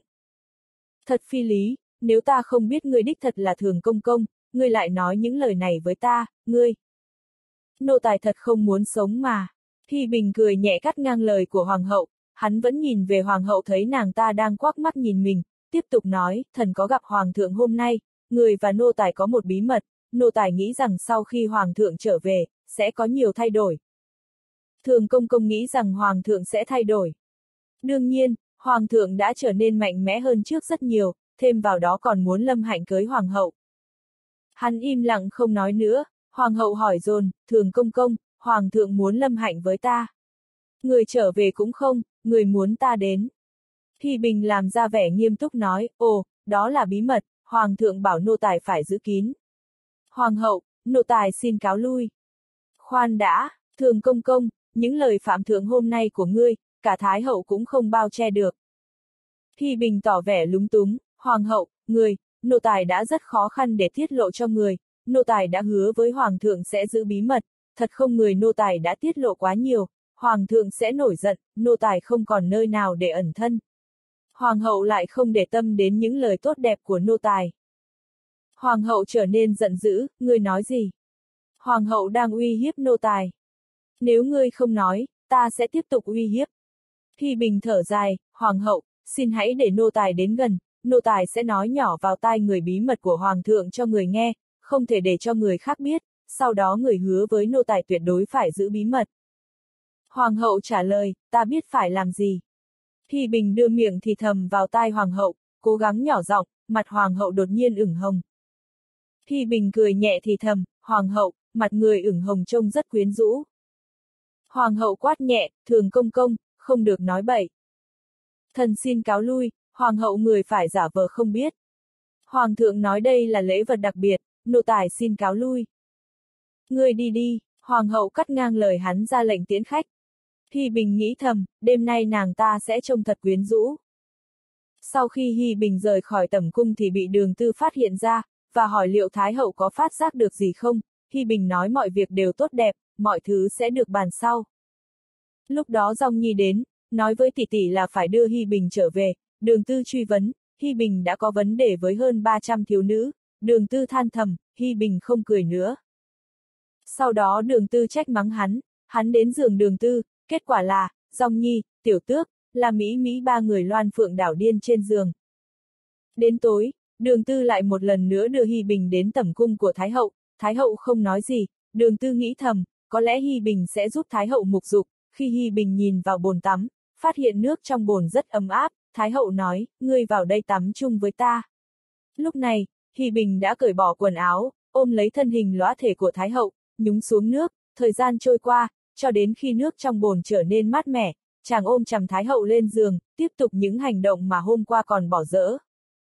Đến khuya, khi Thái hậu hoàn toàn đã ngủ say, Hy Bình mới nhớ đến còn một nơi bí mật khác cần đến. Hoàng hậu không thể ngủ được, những lời thì thầm hôm nay của Hy Bình làm cho nàng bối rối, mong thời khắc đó đến sớm, nên gọi là bất ngờ hay là hạnh phúc. Mỗi lần nàng nghĩ đến những lời của thường công công thì đôi ta nóng ran. Hoàng thượng đã nói sẽ đến tẩm cung của nàng để lâm hạnh vào lúc nửa đêm, sẽ lặng lẽ tiến đến long sàng của hoàng hậu, bước lên giường, đó là lời hoa ngôn xảo ngữ của Hy Bình nhưng nàng hoàn toàn tin tưởng. Tại sao không nghi ngờ, vì nàng luôn mong đợi điều này, nên không có thời gian để cân nhắc và suy nghĩ. Hoàng hậu không thể tin thường công công đùa giỡn, nàng không thể tin, bởi lẽ trước đây, nàng và hoàng đế cũng có lần chơi trốn tìm, trừ khi hoàng thượng bất ngờ muốn tái diễn lại. Nàng đuổi bọn cung cũ ra khỏi tầm cung, chỉ còn lại một mình nàng, không ai khám phá ra, không ai có thể quấy rầy những hứng thú của hoàng thượng, sẽ tiêu diệt những hạnh phúc sắp đến với nàng. Sự hạnh phúc của nàng, có tốt hay không, chỉ có người trong cuộc mới biết, người ngoài cuộc làm sao hiểu được chứ. Nàng là nhất quốc tri hậu, chỉ được hào quang và danh tiếng hư danh mà thôi, còn lại nàng đã được những gì? Cô đơn và chờ đợi. Nàng luôn luôn đợi chờ rồi lại thất vọng. Bản thân của hoàng đế của không thuộc về người, cũng không thuộc về nhiều, cũng không thuộc về riêng một nữ nhân nào cả. Người có quá nhiều nữ nhân, người không đủ thời gian để quan tâm riêng bất cứ một ai cả. Đối với những phi tần khác, nàng hoàn toàn hạnh phúc. Ở địa vị hoàng hậu, nàng có thể yêu cầu hoàng đế nhưng những phi tần khác thì không. Sủng phi có thể được hoàng thượng quan tâm nhiều hơn, nhưng mấy ai giữ được hoàng đế mãi mãi, rồi sau một thời gian cũng sẽ bị thất sủng. Khi trở về hoàng thượng cũng ít khi quan tâm và tiếp kiến nàng, làm cho nàng vô cùng tuyệt vọng, gần nửa tháng nay hoàng thượng cũng không đến nghỉ ngơi ở tầm cung của nàng, một lần cũng không. Chuyện này bát phương đều đã biết, lúc trước đã hỏi qua bố lô tư, trước kia hoàng thượng lâm hạnh qua xử nữ ba tư, long nhan đại nộ, hoàng thượng rất muốn đắc thủ hai xử nữ ba tư, bố lỗ tư đã mang đến hai người, nàng nghĩ hoàng thượng sẽ thích hai xử xử này, nhưng bố lỗ tư đã từ chối điều này. Thân thể của ta là nhất quốc tri quân, không muốn người khác có được nữ nhân. Hoàng thượng hí ngôn, nàng bắt đầu cảm thụ, thân thể của người là nhất quốc tri quân, có rất nhiều hậu cung mỹ nữ. Nhưng ngài lại mang về một nữ nhân, người phụ này có phải nữ nhân không? Khó có thể tin được, hoặc ngài đã thay đổi. Hoàng thượng đã thay đổi một cách lạ thường. Cọt kẹt, một âm thanh rất nhỏ len lõi vào tai nàng, nàng nghe thấy những bước chân nhẹ nhàng đi đến, trong lòng nàng nhen nhóm một niềm vui, Hoàng thượng đã đến, đích thực ngài đã đến tẩm cung của nàng. Trong Hoàng cung, chỉ có một mình Hoàng thượng là nam nhân, nàng e sợ như trước đây, nàng chỉ mặc nội y nằm đợi trên giường, liền khố sẽ cuốn lại. Thình thịch, đây là tiếng nhịp tim đập của nàng, tẩm cung quá tĩnh mịch, nàng có thể nghe thấy được tiếng chống ngực của chính mình. Sau đó, một âm thanh chen lẫn vào nhịp tim của nàng đang đến gần, tai nàng nghe thấy rất hỗn loạn, tiếng va chạm của người ấy vào ghê, tạo nên một thứ âm thanh ồn ã trong đêm vắng. Nàng không quan tâm đến nó, những điều đó không quan trọng, quan trọng hơn là Hoàng thượng đã đến, chờ cho đến nửa đêm mới đến tẩm cung của nàng. Nàng đoán được, nên giả vờ đã ngáy nhẹ trông như đang ngủ. Kỳ thật người đến chính là Hy Bình, chàng nhớ đã tiết lộ bí mật, chính thị Hoàng thượng, sau khi hắn đưa Thái hậu vào giấc ngủ, đã lẳng lặng rời khỏi. Theo sự tiên đoán của hắn, đêm nay tẩm cung của Hoàng hậu sẽ không có ai, hắn sẽ được tự do ra vào, không ai cản trở, nhưng đến đây, không có đèn sáng như ban ngày, hắn mò mẫm bước tới và va phải nhiều thứ. Lúc này, Hoàng hậu thở khụt khịt, nhằm báo phương hướng cho hắn. Hắn nghĩ thầm, Hoàng hậu đích thực cao quý nhưng cũng dùng phương thức cũ kỹ này. Hừm, thật là thiếu trang nhã. Hắn đã tiến tới giường của hoàng hậu, muốn chui vào trong chăn, vì vậy đã nắm tay lại, đưa tay ra phía trước dò tìm, nhưng có phải hoàng hậu không có trong trướng. Hắn nghĩ thầm, chờ lạnh, một nửa con muỗi cũng không có, muốn ở trong màn làm gì. Thật là trông như một con heo chết, hắn mắng thầm trong lòng, muốn đạt được mục đích, sau đó cởi bỏ hoàn toàn y phục đến trước giường. Hoàng hậu nghe âm thanh sột soạt của y phục, nàng trở nên lo lắng hơn, Mặc dù đây không phải là lần đầu tiên của nàng với Hoàng thượng, tuy nhiên, phải lén lút như thế này thì ít khi, hạnh phúc, hay bất bình, giận dữ, những suy nghĩ đó cứ lẩn quẩn trong đầu nàng, không thể lý giải được làm cho tim nàng bắt đầu gợn sóng, đột nhiên giữa chân nàng có một cảm giác làm cho những suy nghĩ ấy bị gián đoạn. Trong bóng đêm, Hy Bình toàn thân đã lõa thể hạ người xuống, mặc dù làm điều này thì quá bất kính với cả một đất nước, nhưng hắn và tên tiểu tử hoàng đế đó không phải là bạn, hầu hết là những người này gần đây, tên tiểu tử hoàng đế muốn hại hắn trước tiên, rồi đến vợ hắn muốn thiến chàng, nếu không trả thù hắn thì thật là có lỗi với bản thân. Nhiều năm nay, tên tiểu tử hoàng đế thể làm cho phi tần của hắn có thai. Trong hoàng cung có rất nhiều nữ nhân, không phải là không có nơi để sống. Có lẽ hắn ta rất yếu ớt, tối nay lão tử trả nợ cho hắn bằng cách chiếm chút tiện nghi của hắn. Nghĩ thêm một lần nữa, ta không thể làm hoàng đế, nhưng con của ta thì có khả năng, thật là một ý kiến tốt, he he. Nhất định tên tiểu hoàng đế đó sẽ phải cảm ơn ta, hắn mượn giống ở những cây khác, chắc gì thu được giống tốt như thế này. Hắn suy nghĩ quanh co, nghĩ rằng vấn đề này rất khả thi, hắn có cảm ghi ác đã ban đặc ân cho người khác. Từ đó đầu óc sáng tỏ, tự hứa với lòng muốn hoàng hậu sẽ mang thai đứa con hắn và nó sẽ là nhi tử của hoàng đế. Hắn nâng chân của hoàng hậu lên, song thủ nhẹ nhàng di chuyển lên thân thể của hoàng hậu, thân thể của hoàng hậu vì sự sờ mó của hắn ta đã trở nên nóng ran, tuy nhiên, nàng không dám thức dậy, vẫn tiếp tục thở khụt khịt. Thi Bình ngẫm nghĩ, liệu nàng ta có ngủ không nhỉ? Sau đó thông suốt a nàng ta nghĩ ta là hoàng đế, nên đã nghỉ ngơi, kế hoạch làm hoàng thượng của ta đã thành công. Nghĩ xong, không còn do dự gì nữa, đại triển thân thủ, nội y của nàng rất đơn giản, nàng ta thật sự vui sướng, trong giấc mơ những lần chờ đợi thất vọng, lần này đích thực hoàng thượng đã đến. Hắn ngồi trước giường, ôm lấy thân thể hoàng hậu, hắn không sợ nàng ta thức giấc, hắn biết nàng ta sẽ thức giấc sớm, chỉ là nàng ta chỉ còn lại nội y, không thể phá hỏng kế hoạch của hắn được. Hắn nghĩ rằng, khi hắn hành động, liệu nàng ta có la to không? Khi hắn tiến vào, có thể đánh bật được những âm thanh đó. Song thủ hắn vuốt ve trên gò bồng đảo của nàng ta, tuy là ban đêm nhưng hắn cũng có thể cảm nhận được nó lớn và mềm mại. Hoàng hậu bắt đầu cảm nhận được, nhưng nàng không dám rên gì, chỉ là hơi thở trở nên rồn rập hơn, tiếng thở khụt khịt cũng bắt đầu ngưng lại. Thi Bình không thể để nàng ta tiếp tục khụt khịt nữa, nàng ta không ngủ, nàng ta có thể chống cự lại, đó là điều bất lợi của Hy Bình, bởi lẽ hắn không phải là hoàng đế. Hoàng hậu cũng cố gắng kìm nén những cảm xúc của mình, song thủ Hy Bình đã hoàn toàn trên người nàng, nàng ảo tưởng rằng đấy là tay của hoàng đế, vì vậy lý trí đặt sang một bên, không thể phát ra âm thanh nào, vì nó làm nàng không cảm thấy thoải mái hơn khi bàn tay của hoàng đế trượt lên xuống trên thân thể nàng. Tay của Hy Bình đã dần dần tiến tới hạ thể của hoàng hậu, cố gắng len qua đám rừng ẩm ướt đế xâm nhập vào, phát hiện một dùng câu trái xum xuê đang chờ đợi hắn, hắn không còn do dự nữa, trườn lên giường, hắn không để cho hoàng hậu có một cơ hội nào để phản kháng, lần đầu tiên hắn chiếm lĩnh thành trì của hoàng hậu, nguyên ăn của hắn đã tiến vào âm động của hoàng hậu.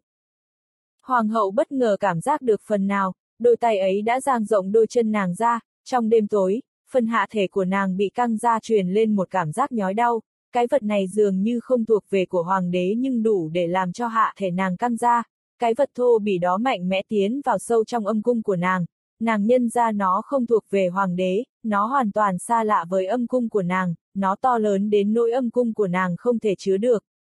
Nó đã phá vỡ sự cô đơn của nàng. Sau đó, nàng khám phá ra thân thể nàng cũng không thuộc về hoàng đế, thân thể này rất lớn, hoàng đế không thể có thân thể uy nghi như vậy. Thân thể to lớn của người này đã nhấp nhô trên thân hình nàng, những bắp thịt rắn chắc này không thể của hoàng đế. Ngọc thủ của nàng di chuyển xuống hạ thể, hạ thấp xuống nắm chặt lấy cái vật thô bỉ đó, thật không thể tưởng tượng được kích thước của nó, tuyệt nhiên hoàng đế không thể được như vậy. Ngươi là ai? Nàng thất kinh hô lớn. Nàng bắt đầu chống cự, lượng thủ đẩy Hy Bình ra, đôi chân bắt đầu vùng vẫy, Hy Bình ép bụng vào nàng, đôi tay mạnh mẽ giữ chặt lấy nàng, làm sao nàng có thể chống cự được với sức mạnh của Hy Bình. Cuối cùng mọi việc cũng không thể thay đổi. Hy Bình không thể lời nàng, cứ tiếp tục phi ngựa trên bụng của nàng ta, cái vật thô bỉ vô bỉ đó cứ nhấp nhô ra vào cũng nhụy hoa của nàng. Không hiểu sao, hắn nghĩ rằng cái nhụy hoa của nàng thật đặc biệt, nó cứ ôm trọn lấy nguyên căn của hắn làm cho hắn cảm thấy hứng khởi, muốn phát điên. Mau thả ta ra, dâm tặc, ngươi không phải là hoàng thượng, ngươi là ai? Ngươi sẽ bị chu di cửu tộc. Hoàng hậu muốn đùa à, đem chuyện này mà đi nói với người khác thật ngốc nghếch. Ha ha, Thi Bình cười nhạo, hắn nói không sai, chuyện này hoàng hậu không thể đem nói với người khác, nếu bị người khác phát hiện, hoàng hậu sẽ giết người để bịt miệng, hà huống gì nàng ta phải làm vậy. Ngay sau khi hoàng hậu nghe được những âm thanh này, liên tưởng lại dường như giống như âm thanh của thường công công lúc ban ngày, thình lình nàng không thể nhớ ra, trong tử cấm thành ngoại trừ hoàng đế, thì không thể có người nam nhân khác. Trừ phi đây là của người, đúng rồi âm thanh này của người đó. Ngày ấy, nàng bảo đình thị và đông chi đem hắn đi thiến, tại sao hắn lại có thể xuất hiện, còn đem cái vật thô bỉ vô bỉ làm như thế này với nàng. Khi đình thị và đông chi che giấu hắn, nàng cũng có biết. Chỉ là ngày đó hắn quá ốm, sao hôm nay lại đột nhiên thay đổi mạnh mẽ thế này. Bên cạnh đó, âm thanh đó tuyệt đối là của hắn, nàng ta cũng từng thấy nguyên căn của hắn, đích xác là, đột nhiên có có chiều dài khác thường và làm đau cả hạ thể của nàng. Thân thể hắn cứ nhịp nhàng đưa đẩy trên người nàng, càng lúc càng mạnh mẽ, hai điều này khiến nàng có thể khẳng định hắn có thể chính là người đó. Nàng nhớ tên hắn dường như là Hoàng Hy Bình, nàng hỏi, ngươi là Hoàng Hy Bình. Ha, làm cách nào nàng biết? Hy Bình thất kinh, nhưng hạ thể hắn vẫn tiếp tục nhịp nhàng trong âm cung của nàng. Hoàng hậu đã ngừng chống cự, bắt đầu rên rỉ, thực tế sau khi biết người đó là ai, mặc dù trong lòng vẫn còn ghê tởm nhưng những suy nghĩ đã trở nên ổn định. Nàng nói, nếu ngươi không muốn chu di cửu tộc, tốt nhất nên dừng tại đây. Ta sợ cái chu di cửu tộc của nàng quá. Nàng muốn chu di ta, muốn tịnh thân ta, lão tử đêm nay giữ được nàng, thật có lỗi với bản thân. Hoàng hậu, nàng quá căng thẳng rồi, nàng không cảm giác là quan hệ với ta thì rất hạnh phúc sao?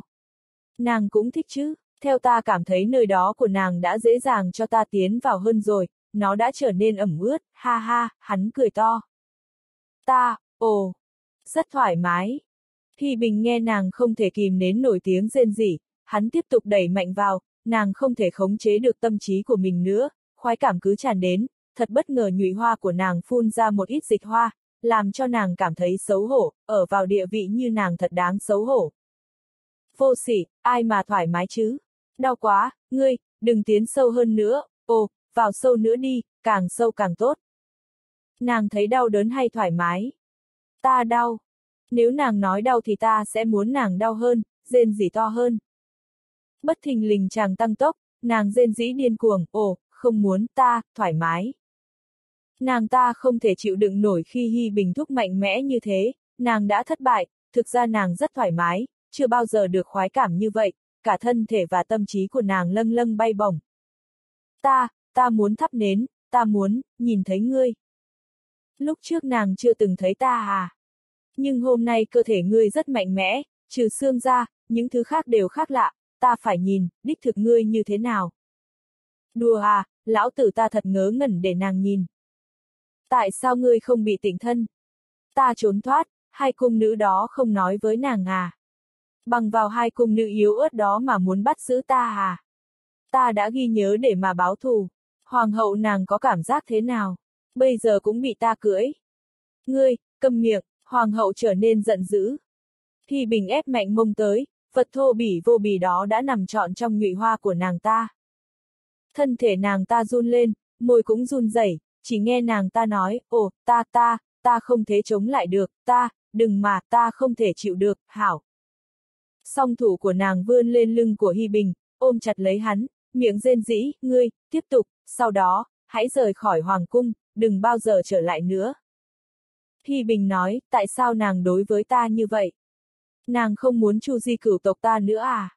Ta. Hy Bình nói, hoàng đế đã từ lâu không còn quan tâm đến nàng nữa phải không? Trước đây khi nàng cùng hoàng đế, nàng có vui vẻ giống như thế nàng không? Nàng suy nghĩ một thoáng, khi Hy Bình tiến vào, cái vật thô bỉ vô bỉ đó đem đến cho nàng điều thú vị và khoái cảm, nàng trả lời, Hoàng thượng chưa bao giờ cho ta cảm giác thú vị như lúc này. Hoàng đế không cho nàng được một đứa con. Ha ha! Ngươi nói gì? Ta nghĩ rằng hoàng đế mãi mãi không thể cho nàng một đứa con. Hắn có nhiều nữ nhân, nhưng không ai có thể, hắn ta căn bản không có năng lực của nam nhân, không có khí phách, nàng có nhận thức được không? Ngươi không được phép nói hoàng thượng như thế. Lão tử không nói hắn, hắn cũng chẳng tốt lành. Quay lại vấn đề chính, nếu hoàng đế thật sự bất lực, việc này sẽ bị đem ra chế giễu bởi toàn dân thiên hạ, địa vị nhất quốc tri hậu của nàng mà không có long thai cũng sẽ bị toàn dân chê trách. Thi Bình nói xong rồi im lặng, tiếp tục nhịp nhàng đôi mông của mình tiến sâu vào bên trong hơn, con đường đại lộ đang mở cửa đón chào hắn. Hoàng hậu bắt đầu rên rỉ, cất tiếng hỏi, người có kế hoạch gì? Nghe nè, lão tử luôn có kế hoạch, nữ nhân nào quan hệ với ta, tất cả đều có thai, không thể nhầm được. Hoàng hậu thình lình kinh ngạc, cất giọng nói, người nghĩ ngơi đêm nay, cho ta một hài tử. Ta sẽ không bắt tội ngươi, ngày mai sẽ hộ tống ngươi xuất sung, ngươi quyết định cho ta một hài tử. Nàng muốn. Hoàng hậu trả lời, đích thực như ngươi nói, có lẽ hoàng đế bị vô sinh, thân là nhất quốc tri quân, mà không thể có con cháu, vì vậy. Nàng muốn mượn giống của ta. Ta không thể không làm vậy, khả dĩ, từ khi chàng xâm chiếm ta, từ thân thể của ngươi cũng làm cho ta, cho vào trong ta đi. Thi Bình đột ngột cúi đầu, hôn lên môi anh đào nhỏ xinh của nàng, rồi cắn nhẹ vào tai nàng, nói, còn sớm, muốn ta phóng tinh vào nàng, tối thiểu cũng phải đến bình minh. Hoàng hậu, trừ khi nàng muốn ta rời khỏi, bằng không thì chúng ta cứ như thế này, hạnh phúc cho đến lúc bình minh. Chấm, ngươi thật dũng mãnh phi thường. Nàng nhớ đấy, nàng cứ tiếp tục làm hoàng hậu của nàng, nhưng nàng cũng phải là người tình của ta, nàng có sẵn lòng làm như thế không? Ta muốn, là người tình của ngươi suốt đời, ngươi đã cho ta sự hạnh phúc mà thiếp chưa bao giờ nhận được, Hi, Hi Bình. Lo lắng nhiều điều nhưng thật sự là lực bất tòng tâm. Hi Bình nhẹ nhàng vuốt ve đường tư an ủi rằng họ muốn hành thích Hoàng thượng, nhưng sẽ không có cơ hội. Thời gian gần đây Hoàng thượng không ở trong cung, và họ cũng không dễ dàng xuất nhập cung, hậu cung như bị bao phủ, ngay cả Hoàng hậu là nhất quốc chi hậu cũng không thể tùy tiện xuất cung. Ngoại cung được bảo vệ bởi 10.000 cấm vệ quân, Hoàng thượng đã ban hành lệnh ấm xuất nhập, ngài thường xuyên đem quân đội đi viễn trinh. Lại một lần nữa, đường tư nghĩ rằng, nếu hiện tại giết được hoàng đế, vương triều sẽ hỗn loạn là điều không thể tránh khỏi, hậu quả không thể tưởng tượng được, ngay cả nếu tiếp cận thành công, muốn giết được hoàng đế là điều rất khó khăn, hoàng đế là chân mạng thiên tử, ngay cả ở phạm vi ngoài đại địa cũng có tinh anh bảo vệ, không thể nói muốn giết là giết.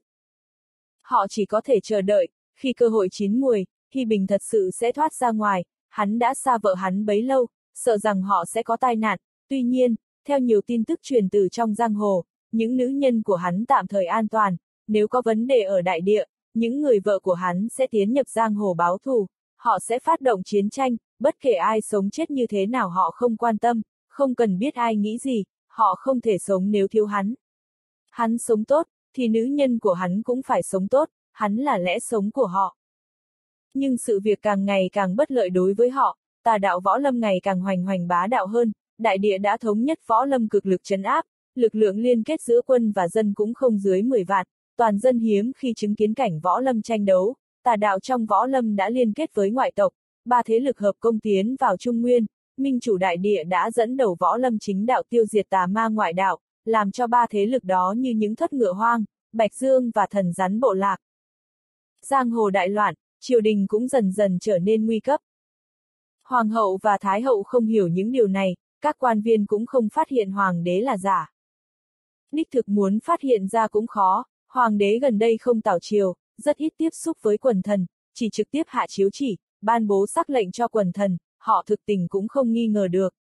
Trong nhiều năm, triều đình hoàn toàn không can thiệp vào chuyện của võ lâm, thình linh, hoàng thượng đột nhiên phát minh tương trợ đại địa, giúp võ lâm tiêu diệt ma đạo, nhưng thế lực ma đạo rất mạnh, huy động tổng lực lượng 70 đến 80 vạn quân tiến vào Trung Nguyên, vì vậy Trung Nguyên lần đầu chứng kiến một thế lực hết sức bá đạo mạnh mẽ, chưa bao giờ được thấy trước đây. Trong hoàng cung lúc này Hy Bình luôn bận rộn bôn ba giữa các nữ nhân quyền quý, đến tối thì gần như phải phân thân đến nhiều nơi, phục thị Thái Hậu, sau đó đến tẩm cung Hoàng Hậu, rồi quay về tầm thất của đường tư, cùng với đường tư, là Mỹ Mỹ, tiểu tước quây quần loan phụng đảo điên. Nhưng ba nơi ngày hoàn toàn không biết một chút gì về việc hoạt động hết sức cật lực của hắn, Thái hậu mỗi đêm đều chờ đợi Hy Bình, Hoàng hậu cũng đều cùng cảnh ngộ. Nhưng gần sáng hắn lại chạy đến cung của đường tư, đường tư đã an bày cho hắn một phòng, nhưng hắn nói hắn nghĩ đến họ nhiều nên đã đến sớm. Trung gian hắn cũng bị những cung nữ như thèm thịt lâu ngày quấn lấy hắn nhằm thỏa mãn, may mắn thay cái vật thô bỉ của hắn lại vô địch thủ, bẩm sinh như một con quái vật, không ai có thể lý giải được, vì vậy, trong các cuộc ân ái, nó cứ bị sử dụng quá độ. Lạc Diệp nhìn chăm chú hắn, dĩ nhiên từ lâu nàng đã tiếp xúc hắn, vì vậy hiển nhiên nhận ra được Hy Bình, Hy Bình đã tha thứ cho những việc làm không phải trước kia của nàng, sau đó hắn sử dụng mọi phương tiện để an ủi nàng ta. Lạc Diệp sau khi cùng Hy Bình hoan ái, bằng một giọng cực kỳ hứng thú thỏa mãn nói, Lạc Thổ làm sao so sánh được với chàng, chàng cực kỳ mạnh mẽ gấp một vạn lần hắn, hắn cực kỳ cường tráng, cực kỳ quyến rũ. Hắn không nghe Lạc Diệp nói ba chữ này, trước khi nàng nghe nàng nói ba chữ này, trong đầu Hy Bình đã bừng bừng, sau đó ngày càng mờ nhạt đi, vì vậy hắn cũng không ý thức được rằng mình sở hữu đa thổ, trông như một gã thột. Kỳ thực, đó là Lạc Diệp nói thực ra ý nghĩ từ chân tâm. Hy Bình đặt môi tiếp xúc lên môi của nàng, giả hoàng đế kỳ thực là đại địa hộ pháp ám long, ám long không phải đích thực là con người, vì vậy hắn kiếm tiền rất nhiều từ hoàng cung, hoàn thành nhiệm vụ chính được giao cho bởi Lạc Hùng. Hắn cũng nghĩ về Lạc Hùng, một người luôn muốn mình đứng trên thiên hạ, nhưng không thể suy nghĩ nhiều, Lạc Hùng ngay lập tức cũng có thể sai người giết hắn, những người thân cận của hắn đều ở đại địa, hắn bị bắt buộc phải trung thành với hắn. Ám Long không phải là người có nhiều tham vọng, nếu không phải phụ tử Lạc Hùng chống lưng, có cho hắn 10 lần can đảm nữa cũng không dám giả mạo hoàng đế, và cũng không thể có điều kiện làm vậy. Hắn ta có thể làm giả hoàng đế, 99% là phụ tử Lạc Hùng ban cho. Hắn cũng không có dã tâm, chỉ muốn an phận tận hưởng vinh hoa phú quý. Mặc dù ám long không cùng bất kính với bất kỳ nữ nhân nào, tuy nhiên Dương Y và bố Lỗ Tư đã sớm quấn quýt với nhau, Dương Y vốn là dâm nữ, thấy bố Lỗ Tư là dị quốc chi nhân, đã ra sức quyến rũ, rồi hạnh phúc trong vòng tay của hắn, từ đó dễ dàng khuất phục trước bố Lỗ Tư. Nhắc đến bố Lỗ Tư, dạo gần đây Hy Bình không có thời gian gặp hắn, ngày nay vô sự, thoát khỏi đám cung nữ thiếu thịt lâu ngày, nghĩ đến hắn, trong lòng nóng lên, đã tìm hắn, chỉ là khi gặp mặt bố lỗ tư không nhận ra hắn, hắn kề tai nói nhỏ, bố lỗ tư dần hiểu ra. Hy Bình không muốn lừa dối bố lỗ tư, cũng không có cách nào lừa dối hắn, bố lỗ tư không giống như. Người Trung Nguyên xảo quyệt luôn tìm cách ám hại lẫn nhau, trong tâm tưởng của hắn, bố lỗ tư thì vô tội, sẽ không hại hắn. Thi Bình tin tưởng hắn. Sau đó, hắn đem chuyện giả hoàng đế nói với bố lỗ tư, hắn kinh ngạc, không thể tin được trước đây Hoàng thượng luôn bảo tôi mang cung nữ đến, nhưng khi đến thì không hề để tâm gì đến những thiếu nữ xinh đẹp ấy cả, báo hại tôi không thể làm ăn được, giờ tôi phải làm gì đây? Chủ nhân, ngài nói đi, khi nào Hoàng thượng thật mới trở về? Hi Bình nói, trông vào vận may của hắn, hắn không thể trở về, ta thay hắn làm hoàng đế, rất nhiều việc ta đã làm thay cho hắn. Nếu ta là hoàng đế, sẽ gọi toàn thể hậu cung nghe ta hát, tình huống này thực sự hạnh phúc đến chết người. Chủ nhân, ngài phải hát, bố lô tư lộ vẻ sợ hãi rất nhiều. Ừm, thế nào, có phải ngươi muốn ta đánh không, thái độ của ngươi như thế à? Bố lô tư thất kinh, chủ, chủ nhân, ngài tốt hơn không nên hát. Hắn và Hy Bình cùng đồng hành nhau đến Trung Nguyên một thời gian, hắn hoàn toàn hiểu rõ khả năng ca hát của Hy Bình. Hắn nghĩ Hy Bình mọi mặt đều tốt, chỉ có tài ca hát là không ai chấp nhận được. Hy Bình vươn cự thủ nắm lấy mũi của hắn, uy hiếp, đã nhìn thấy à? Điều này là gì? Chủ nhân muốn đánh. Người muốn ăn quyền của ta à? Chủ nhân, tôi đã lãnh giáo rồi, giờ không muốn nhận nữa. Giờ tôi sẽ đưa ngài trở về Ba Tư, ngài hãy giúp tôi chống lại kẻ thù, cái quyền này của ngài, hoàn toàn sẽ khuất phục. Thi Bình cười nói, xem ngươi kìa, ta nhận lời ngươi sẽ giúp ngươi đánh lại bọn chúng, ta không muốn đánh ngươi. Bố Lô Tư nghe nè, thời gian tới ta ca hát, ngươi phải vỗ tay khen ngợi, nếu không thì sẽ đánh cho ngươi sưng mặt, ngươi sinh ra không thể nào gạt được nữ nhân. Bố lô tư cam chịu, chủ nhân, tôi ra ngoài đây, mặt ngoài rất quan trọng, cảm ơn chủ nhân đã tha thứ cho tôi. Hy Bình đột nhiên nói, người nghĩ ta mặc quần áo thái giám trông như thế nào? Không hấp dẫn. Người Hy Bình đưa chừng song nhãn về phía hắn. Bố Lỗ Tư nhanh chóng nói, đích thực chủ nhân là người tài năng nhất trên thế giới này. Thi Bình sung sướng lắc vai hắn, lời nói này của ngươi, chắc chắn là sự thật. Bố Lỗ Tư nhận được lời tán dương, cũng rất hạnh phúc, hỏi chủ nhân, người nói lúc trước hoàng đế có khả năng không thể trở về. Thi Bình trầm tư suy nghĩ về lời nói vuốt mông ngựa của bố Lỗ Tư, nhất thời không nghe rõ ràng, nghĩ rằng bố Lỗ Tư tiếp tục tán dương mình, vô tư nói, đương nhiên. Thật không, Bố lỗ tư nhất thời thất kinh. Mẹ nó, người thật không đáng tin, người đã không nói những lời thế này. Thi Bình nghĩ bố lỗ tư không đủ can cảm để nói những lời không thanh nhã này, he he. Sau đó bố lỗ tư ngạc nhiên nói, thời gian sau tôi không cần đến Nam Trung Nguyên một cách vô ích nữa. Thi Bình trở nên giận dữ, cái gì mà không đến, Ngươi không biết ta là vô địch quyền vương ở đây à? Bố Lô tư nhanh chóng gật đầu, nói, đó là chủ nhân ngài đã làm một cuộc thu hoạch lớn, nhưng tôi nghĩ thật không công bằng. Không công bằng, người bị oan uổng gì à? Bố Lô tư nói, tôi vất vả mang đến hai xử nữ, họ không được thu nhận, không ai muốn họ, ngài nói xem tôi uổng công không? Thi Bình lắc nhẹ vai của hắn nói, oan uổng, không ai muốn họ thì ta muốn. Chủ, chủ nhân, ngài muốn họ. Đích thị, muốn hỏi gì? Chủ nhân, ngài và tôi trao đổi. Bố lỗ tư không quên giao dịch.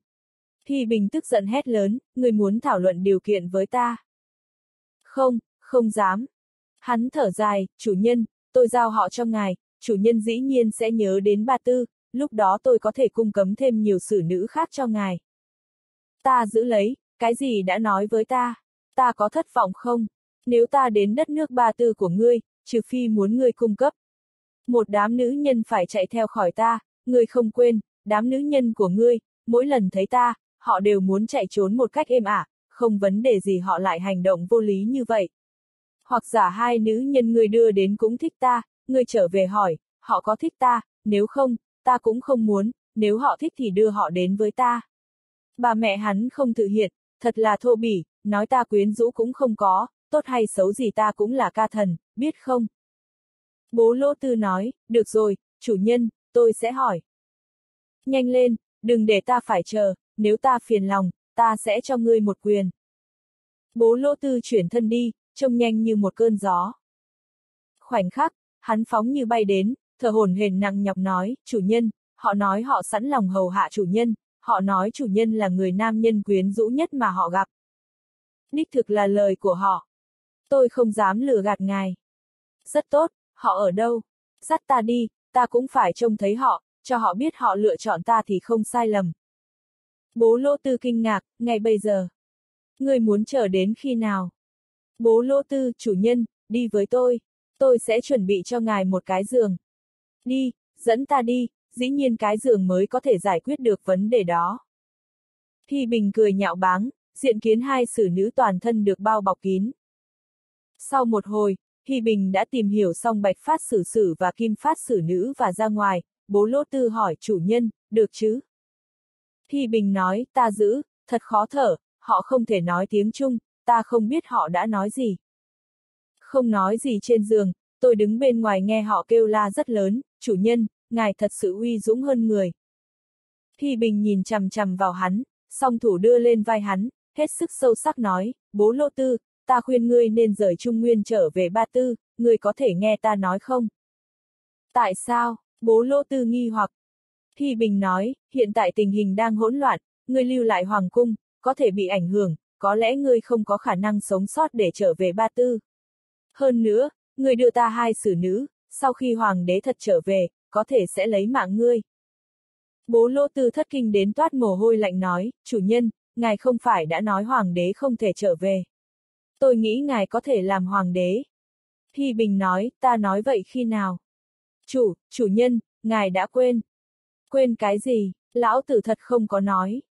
Khi nãy tôi hỏi hoàng đế có thể trở về không, ngài nói không thể.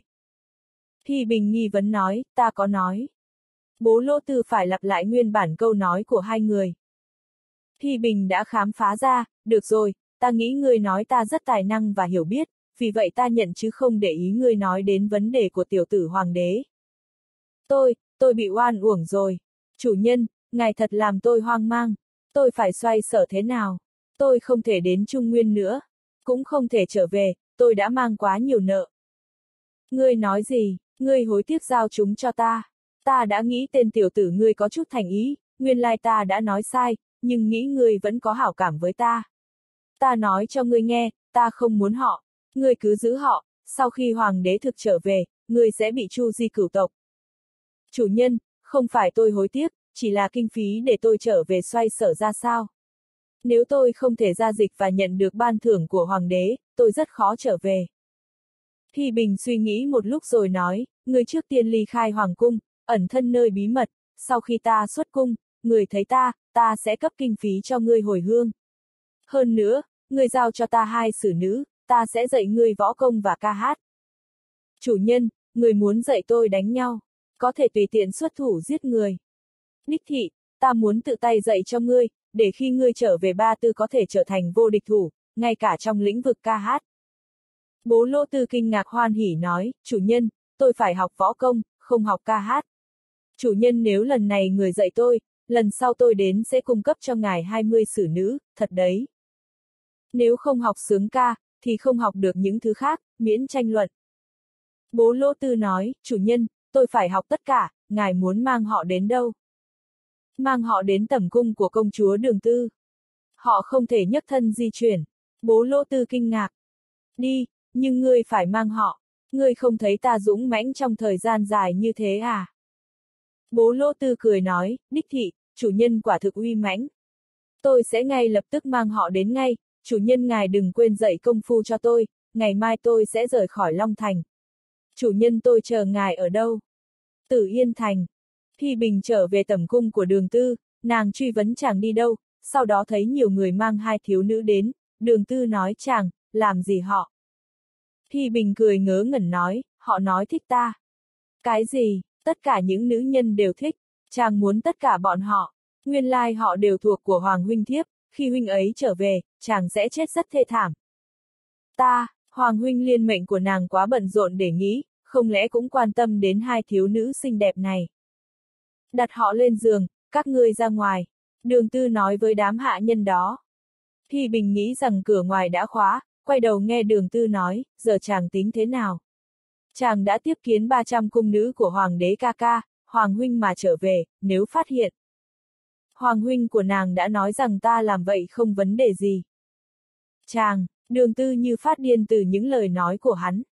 La Mỹ Mỹ nói, ngay cả nếu Hoàng đế ca ca ban cho chàng 300 thiếu nữ, bọn muội cũng không đồng ý chàng có nhiều nữ nhân đến vậy, thêm vào 300 nữ nhân nữa, liệu chàng xoay sở ra sao? Hi Bình im lặng. Đường Tư nói, bọn cung nữ trong cung từ khi chàng đến và làm chuyện ngu xuẩn với họ, thiếp không quản, nhưng liệu khi chàng rời khỏi có thể mang họ theo không? Để ở ở lại trong cung, nếu Hoàng Huynh phát hiện họ chỉ có cầm chắc cái chết, chàng đã hại họ, chàng có biết không? Thi Bình cúi đầu ngập ngừng nói ta, ta không quản được mọi việc lúc đó, sau khi ta bình tĩnh trở lại, mọi việc đã rồi. Có lẽ họ thích chàng, nếu chàng rời khỏi hoàng cung, họ vẫn biết ơn chàng, yên mến chàng, ngay cả nếu vì thế mà mất mạng, họ cũng không hối hận, nhưng chàng phải cho họ một niềm tin.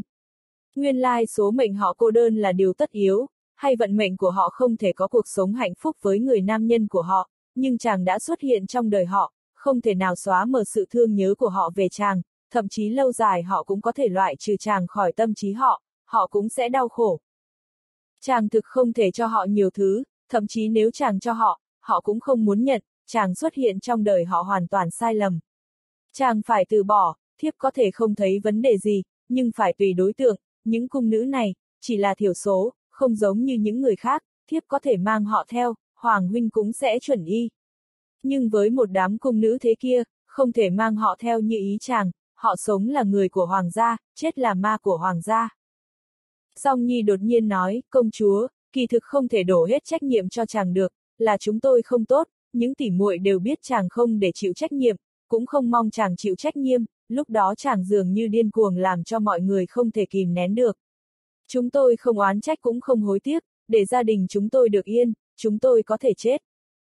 Nàng nói xong nước mắt tuôn rơi như mưa, Hy Bình đỡ lời nàng, khi ta đi sẽ mang theo nàng, ta chỉ có thể hứa với nàng những điều này, những người khác. Mở cửa, cho ta vào. Bên ngoài đột nhiên có thanh âm của Thái Hậu. Mọi người trong phòng đều kinh ngạc, đường tư thất kinh hỏi, mẫu hậu. Tư nhi, mở cửa cho mẫu hậu vào. Hi Bình nói, để bà ấy vào. Cái gì, mẫu hậu phải đến đó là quyết định của chàng. Chức vị thường công công của chàng tốt nhỉ, hừm. Đường tư khôi phục bổn tính, đưa xong nhãn chừng Hy Bình, bước ra cửa. Hi Bình nói với theo, là do lão tử ta quyết định. Cửa mở, Thái hậu bước vào, nhìn vào mọi người trong phòng, không nói gì, bước đến giường ngồi xuống. Đường tư, mẫu hậu. Con đang bàn luận chuyện gì, cứ tiếp tục đi. Mẫu hậu đã nghe hết cả. Ừm, ta đã. Đường tư biến sắc, việc này, mẫu hậu, chúng con. Thái hậu nói, tư nhi, con hãy khôi phục thân phận của hắn cho ta xem. Cái gì? Đường tư kinh ngạc nói, mẫu hậu, người đã biết chàng không phải thường công công. Tất nhiên biết, Hy Bình thì thầm. Thái hậu điềm đạm nở nụ cười, tư nhi, mẫu hậu không trách con, con phục hồi đích dung mạo của hắn, ta một lần nữa muốn hắn phục hồi nhưng hắn không hiểu, con làm đi. Đường tư lúng túng cười nói, mẫu hậu, con sẽ giải thích cho người sau. Cũng không cần giải thích nhiều. Thái hậu đang nói, thấy đường tư lấy dược thủy, bôi lên mặt của Hy Bình, khoảnh khắc, khôi phục lại diên mục nhanh chóng. Nhãn tình Thái hậu hơi sao động, thì thầm lên tiếng nói, nguyên lai, hắn rất anh tuấn. Mẫu hậu, kỳ thật, hắn là nam nhân của thần nhi, là Hoàng Hy Bình. Đường tư hoan hỉ nói. Ừm, Thái hậu nhẹ nhàng đáp lời. Đường tư, mẫu hậu chuyện trước đây người xử lý như thế nào, chuyện của chàng, người biết không? Biết. Mẫu hậu, xử lý thế nào? Ta chỉ cần ít ý kiến, có thể giải quyết được vấn đề. Nhưng ta muốn nghe ý kiến của con, bởi vì ta cần ý kiến. Đường tư tưởng như mình nghe nhầm hỏi lại, mẫu hậu, người muốn nghe ý kiến của thần nhi. Thì Bình ngắt lời, mẹ và con gái thảo luận, không liên quan đến ta. Im cái miệng chàng cho thiếp, thiếp và mẫu hậu thảo luận, chàng không có tư cách xen vào. Đường tư mắng hắn. thì Bình bĩu môi, nàng nói, những việc này không cần ta nói. Thái hậu trầm ngâm nói, tư nhi, ta muốn con biết ta cũng là nữ nhân của hắn. A à, trong phòng quần nữ thất kinh hô, tất cả song nhãn đều hướng về phía Thái hậu. Đường tư, mẫu hậu, điều này là sao? Mẫu hậu, con không hiểu. Con không nên hắn đến bên cạnh ta. Thái hậu nhìn Hy Bình rồi tiếp tục, con nói đi, việc này ta không nói thêm vào. Hy Bình vươn đầu nhìn trời nói, mỗi lần ta ở trong vòng tay mẫu hậu nàng rất ngọt ngào. Hỗn đản, sắc ma. Đường ta mắng hắn rồi chạy đến đấm vào ngực hắn, khóc dâm tặc, cả mẹ thiếp ngươi cũng xâm phạm, thiếp đánh chết chàng. Hy Bình, điều đã làm thì cũng đã làm rồi, nàng có chu di cửu tộc ta cũng uổng công, nghĩ đến bốn người các nàng, ai cũng muốn chu di cửu tộc ta, hiện giờ nghĩ lại ta là cha của hoàng đế, tên tiểu tử đó. Chàng đang tự mãn à, có muốn thiếp chết trước mặt ngươi không? Đi đi, nàng dễ dàng chết à, nàng trông sợ cái chết lắm mà. Chàng, Thái hậu, Tư Nhi, đừng tranh cãi nữa, nghe ta nói, mẫu hậu thích hắn rất nhiều, con đưa hắn đến cho mẫu hậu, con cũng nên phải lưu tâm đến mối quan hệ không bình thường của hắn và mẫu hậu. Đường tư bất ngờ không thể hồi đáp, song thủ đã ngừng lại không còn hung hăng trên ngực Hy Bình nữa, còn không ý kiến, dâm tặc, chàng nói đi. Ta. Hy Bình đột nhiên nhìn ra cửa, vì thình lình có âm thanh của tiếng gõ cửa. Đã khuya rồi, còn ai đến nữa? Hoàng hậu khoan thai dạo bước vào phòng, những đêm gần đây, nàng thường cùng nam nhân đó hoan ái, chính người này đã đem đến cho chàng niềm vui bất tận, mà nàng chưa bao giờ nếm trải trước đó, trong về tình, co tim dường như cũng đã hòa cùng nhịp đập với nhau. Tuy nhiên, tại sao đã trễ rồi mà người ấy vẫn chưa đến, chàng tiến nhập tẩm cung thế nào? Nàng không hiểu những điều này, tuy nhiên nàng đã ra lệnh cho bọn hạ nhân rời khỏi tẩm cung, để hắn có thể đến và đi dễ dàng, chỉ là hắn cung vô cùng rộng lớn, hắn đã đi đâu? Vào đêm khuya hắn đã thẳng tiến vào phòng nàng, lên giường nàng và thậm chí nằm cả lên người nàng, nàng thường xuyên nghĩ đến hắn, chỉ là hắn không thể thường xuyên ở bên cạnh nàng, thiết nghĩ, tại sao hắn không thể xuất hiện vào ban ngày. Người này nên có cái vật thô bỉ đó nhỏ không sai, nhưng nàng đã xác định được rằng, khi xâm nhập vào thân thể của nàng thì hắn anh dũng vô song. Làm thế nào mà nó có thể trở nên to lớn như vậy? Vẻ ngoài của hắn thế nào? Ngoại trừ đêm khuya chàng đã đến với nàng, còn thời gian khác hắn ẩn thân nơi đâu. Nàng nhớ đến Đông Chi và Đình Thị lưỡng nữ, nàng nghĩ rằng họ biết, nhìn họ gần đây, phơi phới như hoa xuân, đích thị là có vấn đề. Nàng cho gọi lưỡng nữ đến hỏi, lần trước ta sai người đưa Hoàng Hy Bình đi tịnh thân, giờ hắn có thể đi lại được chưa, mang hắn đến đây cho ta. Lưỡng nữ trở nên khẩn trương, Đình Thị nói, Hoàng hậu, ngay bây giờ. Phải, giờ không thể triệu thái giám đến à. Đông Chi nói, việc này, Hoàng hậu, ngày mai được không? Không được, ngay bây giờ. Đông Chi thành thật, Hoàng hậu, hắn đang ở cung Thái hậu, nô tỳ không thể gọi bây giờ. Cái gì, Thái hậu? Ừm, hắn đã là thái giám đặc biệt bên cạnh Thái hậu. Đông Chi giải bày minh bạch. Hoàng hậu chế nhạo, không thể tin được Thái hậu của ưa thích hắn. Hai người, đã lừa dối ta, chịu tội gì? Hoàng, Hoàng hậu, chúng tôi lừa dối người khi nào? Các ngươi không tỉnh thân cho hắn, sao lại nói hắn là công công? Hoàng hậu, người đã biết cả. Lưỡng nữ bắt đầu run sợ. Hoàng hậu nói, ngươi nên thành thật với ta, không được che giấu bất cứ điều gì. Hai người đưa mắt nhìn nhau cuối cùng đình thị nói, nô tỳ. Nàng bắt đầu tường thuật lại vấn đề từ đầu đến cuối, hoàng hậu bình tĩnh lắng nghe. Đích thực họ không biết Hy Bình và Thái hậu có quan hệ, chỉ biết đường tư đã dịch dung Hy Bình thành thường công công để đi lại trong cung, tuy nhiên hoàng hậu lắng nghe, trong lòng nghĩ thầm chắc chắn Hy Bình có quan hệ bất tránh với Thái hậu, nghĩ đến đây thì nàng không dám hình dung nữa, Hy Bình đích thị là nam nhân của đường tư công chúa, nhưng 300 cung nữ đã bị Hy Bình hưởng dụng trong một đêm, nàng không thể tưởng tượng. Hoàng hậu hoàn toàn im lặng lắng nghe. Đông Chi nói, Hoàng hậu, chúng nô tỳ vào lúc đó chỉ là một phút nhất thời, người, người không giết chúng nô tỳ. Hoàng đưa nhìn vào hai cung nữ đang lo lắng và sợ hãi, trên mặt hơi bừng sáng, nói, hắn giờ đang ở cung Thái Hậu. Đông Chi có lẽ, đêm nào hắn cũng phải phục thị Thái Hậu. Người đi với ta, ta phải thương lượng với Thái Hậu. Thương lượng điều gì, lưỡng nữ thất kinh. Nàng đi đầu tiên, hai cung nữ mang lồng đèn theo sau, đến cung Thái Hậu thì được biết Thái Hậu giờ đang ở cung của đường tư công chúa. Họ liền di chuyển đến tầm cung của đường tư, khi vừa đến trước cổng, nghe thấy có tiếng ồn ào, trong phòng ắt hẳn hiện diện rất nhiều người. Hoàng hậu lắng nghe loáng thoáng câu chuyện, nghĩ trong đầu, sau đó đưa tay gõ cửa. Đường tư bước ra cửa nhìn thấy hoàng hậu thì kinh ngạc. Hoàng hậu, đường tư, ta muốn nhìn nam nhân của muội. Đường tư thình lình kinh ngạc. Hoàng hậu cùng lưỡng nữ tiến vào, đường tư theo sau, trong lòng đầy nghi vấn. Mục thu nói, Thái hậu, Hoàng hậu đều không cho phép nô tỳ thông chi, nên. Đường tư không đợi nàng ta nói hết cũng đã bình tĩnh trở lại, sau đó nhìn trong phòng mọi người không nói gì, nàng nói với Hy Bình, ngươi ra ngoài. Hoàng hậu ngưng thị nơi Hy Bình, nghe đường tư nói liền đáp lời, đường tư, hắn không thể ra ngoài, nơi đây phải có hắn, hơn nữa không ai còn nơi khác mà đến nữa. Đường tư, muội không hiểu. Hoàng hậu cười cười, muội không hiểu. Ta có thể nói cho muội biết, đứa con mang trong bụng là của hắn, muội hiểu chưa? Những lời của nàng còn làm mọi người kinh ngạc hơn lời của Thái hậu, mọi người ngơ ngác nhìn Hy Bình đang gậm móng tay, lý do không ai có thể cười nổi. Chàng, cười cái gì? Đường tư bất chợt muốn nói cũng không thể nói, nhìn cái vẻ đáng ghét của Hy Bình đang cười mỉm, nàng tiếp tục nghĩ, tên hỗn đản này không những quan hệ với mẫu hậu của nàng, mà còn tạo nên cái bụng của hoàng tẩu nàng. Thái hậu nhìn hoàng hậu nói, con xác định. Hoàng hậu chỉ về Hy Bình, hắn nói. Chúng nữ nhìn về hướng Hy Bình, hắn có vẻ tự mãn nói, ta đã hứa với Hoàng thượng, sẽ cho hắn mượn thứ tốt, vì vậy. Trong bụng của Hoàng hậu, là con của ta, nghĩ đến con của ta sẽ trở thành Hoàng đế, ha ha. Nói bậy, dòng máu cao quý của Hoàng tộc làm sao có thể thay thế bằng dòng máu của ngươi được. Thái hậu quát hắn.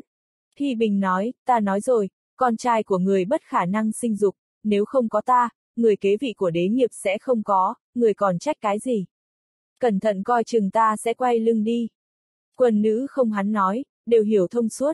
Quả thực, nhiều năm nay hoàng thượng không thể làm cho nữ nhân làm hạ sinh giống rồng, họ không thể không thừa nhận đích thực hoàng đế bị vô sinh. Hơn nữa, nếu ta bỏ đi hoàng đế cũng không thể nào trở về ngôi vị hoàng đế của hắn. Hoàng hậu nói, người thật nói rằng, hoàng thượng sớm đã trở về. Audio điện tử võ tấn bền. Đường tư, Hoàng huynh, là giả mạo. Thái hậu nói, làm sao người biết Hoàng đế là giả? Hoàng hậu, ta hỏi nàng một vấn đề, sau khi Hoàng đế trở về, có hoàn ái với nàng. Thi Bình mỉm cười. Hoàng hậu đỏ mặt, không, chỉ ngươi. Thi Bình cười nói, nếu là Hoàng đế, trở về tại sao lại không cùng Hoàng hậu hoan ái? Bởi vì giả Hoàng đế này là ám long, mà ám long thì không thể sinh hoạt được như con người. Đại địa minh muốn đưa hắn lên làm hoàng đế, có lẽ vì hắn vô năng, không thể phân biệt được đúng sai, cũng không thể nảy sinh quan hệ với phi tần của hoàng đế, thật là người thay thế hoàn hảo. Đường tư nói, khi con trở về, đã nói với mẫu hậu hoàng huynh là giả, nhưng mẫu hậu không tin, con có nói cũng vô ích. Thái hậu nói, không thể tin, sau khi hoàng đế trở về, cũng ít khi vấn an ta. Ngươi nói ngươi đã giải cứu hoàng thượng, làm cách nào? Hoàng hậu ngưng thị nơi Hy Bình đợi chờ câu trả lời. Ngay sau đó Hy Bình kể lại hắn và hoàng đế ở trong tù lao của đại địa minh, hắn nói, ta cùng hoàng đế ra ngoài, nhưng ngày thứ hai ta tỉnh giấc, đã ở trong hoàng cung, hoàng thượng dĩ nhiên không thể đến đây cùng với ta. Ta là chúa trời ban cho các nàng, ha ha, sau đó bởi vì chúa trời không muốn dòng gióng hoàng thượng tuyệt hậu, tùy tiện ban cho ta những nữ nhân mỹ lệ oán phụ này. Thái hậu cầm cái gối ném vô người hắn, quát, sàm ngôn. Hoàng hậu nói, điều này có lẽ là số mệnh. Đường tư nói, nhưng trong thời gian dài như vậy, theo sự tính toán, hoàng đế ca ca nên hồi chiều mới phải. Điều này ta không biết, hoặc giả giữa đường hắn bị người của đại địa minh bắt giữ, không thể biết được. Thái hậu khẩn trương nói, đám người ở Đông Dương của ngươi có đáng tin cậy không? Hy Bình nói, gia hỏa bại dưới chức quyền vương của ta, ngoài trừ phong cách hành sự của hắn tàn nhẫn, các mặt còn lại đều tốt. Quyết đấu với ta, hắn muốn tiễn ta đi, tuy nhiên không có ta, hắn đã chết ở đại địa minh, bất quá, hắn nên ở bên cạnh ta. Sợ rằng, không có ta, hắn đã đâm vào người ở đại địa minh, hắn khéo léo di chuyển, cũng có hiệu quả. Tuy nhiên, bất khả dĩ, vì người ở đại địa minh không biết hắn, ta đã hiểm hộ hắn lúc đó, đánh bạt hết tất cả chướng ngại vật, phá vỡ đá làm bầu trời đen tối, không ai nhận biết được. Thái hậu ôm ngực nói, tốt lắm, chỉ cần tính mạng Hoàng Nhi ta không sao, mọi thứ khác đều không quan trọng. Hy bình, rất quan trọng, Hoàng Nhi của người không có năng lực sinh dục, hắn không có người kế nghiệp, không chỉ bị người ta cười nhạo, hơn nữa triều đại này của người sẽ không có người thừa tự, vì người không có cháu nội, ha ha. Thái hậu nói, ngươi, đến. Cái gì? Thái hậu lập tức kéo chàng vào lòng thì thầm vào tai, nghe nè, ta có cháu nội, trong bụng hoàng hậu là cháu trai của ta. Thi Bình cười, ha, người nhầm rồi, đó là con của ta. Nhi tử này không thuộc về ngươi, nó được sinh ra để gánh nhiệm trọng trách, nó là người của hoàng tộc, phải sống trong hoàng cung. Nó có bản mệnh cao quý, nó là người kế nghiệp duy nhất của triều đại, nó chỉ có thể là nhi tử của hoàng đế. Nếu là nữ nhi, Thi Bình nói. Thái hậu dường như không muốn nghĩ đến điều này, trả lời, ta sẽ cho phép hoàng hậu sinh đệ nhị thai.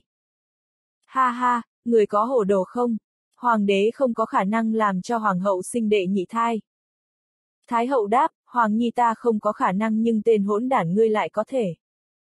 Thi bình kinh ngạc, người nói ta, tiếp tục. Thái hậu nói, hoàng nhi ta là nhất quốc tri quân, nữ nhân hiện diện khắp nơi, khi muốn nữ nhân đều được, kỳ thực như người nói, muốn có long trùng rất khó. Vì vậy, việc ngươi với hoàng hậu, ta không tra xét, hơn nữa vì sự nghiệp vĩ đại của hoàng tộc, ta nên cảm ơn ngươi. Hoàng hậu cười nói, mẫu hậu không tra xét con, con cũng không tìm hiểu mối quan hệ giữa người với hắn. Thái hậu chợt trùng xuống, thở dài, ồ, trong hoàng cung, tất cả đều hỗn loạn. Việc này, ai cũng biết, bên ngoài bàn tán. Tư nhi, cuối cùng hắn là nam nhân, con nói gì đi. Mẫu hậu chấm con không biết nói gì. Con người của hắn có vô số nữ nhân bên ngoài, con cũng đã biết. Chỉ là không thể hình dung mẫu hậu với hoàng hậu cũng, như. Hoàng hậu nói, mẫu hậu, người định an bày những cung nữ này thế nào?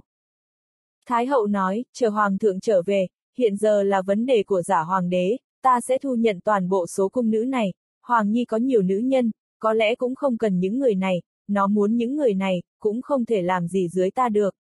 Nếu một ngày bị phát hiện, cũng có thể tránh, có thể nói nhiều nguyên do, như không cẩn thận bị mất, kỳ thật hoàng cung nhiều nữ nhân, thỉnh thoảng có hai nữ nhân tự thỏa mãn cho nhau, hoặc giả tên ám long làm điều đó, hoàng đế cũng minh bạch, chắc hẳn không trách cứ. Chúng nữ lắng nghe, tất cả đều trầm tư suy nghĩ. Thái hậu cười nói, mặc dù nó là hoàng đế nhưng ta là mẹ hắn, lời yêu cầu nhỏ nhặt của ta, hắn dám không đồng ý. Hoàng hậu gật đầu, hoàng thượng đích thực rất hiếu thuận. Đông Chi và Đình Thị đưa mắt nhìn hắn. Thái hậu nói, ngươi không nên đắc ý quá sớm, ta cũng có yêu cầu, một năm ngươi phải vào hoàng cung thăm chúng ta. Cái gì? Hy Bình và Đường Tư bất ngờ hỏi. Hoàng hậu bất ngờ cũng nói, sao lại không tốt, nếu không ta cũng muốn xuất cung. Đường Tư, Hoàng hậu, ý người là gì? Ta có con với hắn, Hắn không thể mỗi năm vào cung thăm con trai và mẹ của con trai hắn. Ta mất hắn, đó là sự mất mát lớn lao, ta phải xuất cung cùng với hắn. Đường tư nản chí quay đầu nhìn Hy Bình nói, làm tổng tư lệnh tốt nhất. Sau khi ra cổng ta sẽ dịch dung chàng thành ra hỏa. Hy Bình bừng sáng, ta yêu cầu nàng để mọi thứ bên ngoài. Điều này được học từ hoa lôi. Thái hậu nói, kỳ thực hắn tiếp tục làm tổng tư lệnh, hắn đích thực rất cường hãn vô song. Mẫu hậu, người, làm cách nào người nói thế? Mẫu hậu cũng chỉ là một nữ nhân yếu đuối trong vòng tay cường hãn của nam nhân mà thôi. La Mỹ Mỹ đột nhiên nói, tôi mệt rồi, tôi muốn ngủ. Hoàng hậu đưa mắt lên giường nhìn La Mỹ Mỹ, trách mắng, Mỹ Mỹ, người không nghe chúng ta nói. Đường tư đột nhiên nói, nàng ta lớn hơn chúng ta. Ta là hoàng hậu, tại sao nàng ta lớn hơn ta? Nàng ta không quan tâm đến ta à? Đường tư nói, ta đã nghe Mỹ Mỹ trong trường hợp này, hoàng hậu không nghe sau, bất quá tỷ la mắng Mỹ Mỹ sẽ làm nhiều người tức giận. Thình lình Hy Bình ôm choàng lấy hoàng hậu, kề tai nàng nói, ta làm Mỹ Mỹ rất nhiều, hiểu chưa? Hoàng hậu chuyển thân lách ra khỏi Hy Bình leo lên giường, ôm lấy Mỹ Mỹ nói, Mỹ Mỹ đêm nay ta và người không ngủ ngon được rồi. Là Mỹ Mỹ nói, ừm, bên ngoài rất nhiều tỉ muội đang chờ chàng, đang câu xé để giành giật hắn, nếu không chờ hoàng đế ca ca trở về để giúp huynh ấy chấn chỉnh triều cương, chúng ta đã bỏ đi rồi. Chúng ta tận hưởng hạnh phúc nơi đây, các tỷ muội khác như điên, Mỹ Mỹ thật xin lỗi họ. Ta hy vọng Hoàng Huynh trở về nhanh chóng, ta sẽ đi với chàng, nếu Hoàng Huynh nhiều ngày nữa mà không sớm trở về, ta cũng không thể chờ được nữa. Nàng nói nhẹ nhàng nhưng quần nữ đều biết nàng rất quyết tâm, có lòng tin rất nhiều vì Hy Bình không cản lời nàng ta. Thái hậu nói, mọi chuyện bàn sau, giờ phải hồi cung nghỉ ngơi. Tại sao phải đi, sao không nghỉ tại đây? Hy Bình kiến nghị. Quần nữ đều nhìn hắn, Hy Bình bình tĩnh nói, nàng đưa họ vào, hôm nay ta muốn cuồng hoan, nếu ai không thích có thể ra ngoài. Thái hậu nói, cứ như thế. Trong cung, hiện tại cũng không có người khác, nghỉ ngơi tại phòng của đường tư cũng tốt, không có vấn đề gì khác thường, gọi họ vào. Hy Bình hoan hô, gọi vào, gọi bọn họ vào tất cả. Ngay sau đó, Hy Bình bắt đầu điên cuồng hành động. Ngày mới chưa kịp bắt đầu, trời chưa sáng, đã nghe tiếng của Lạc Diệp, công chúa, mở cửa, là nô tỳ Lạc Diệp đây. Hoàng thượng đã đến thành môn, bị chặn bởi ám long, e rằng không đủ thời gian.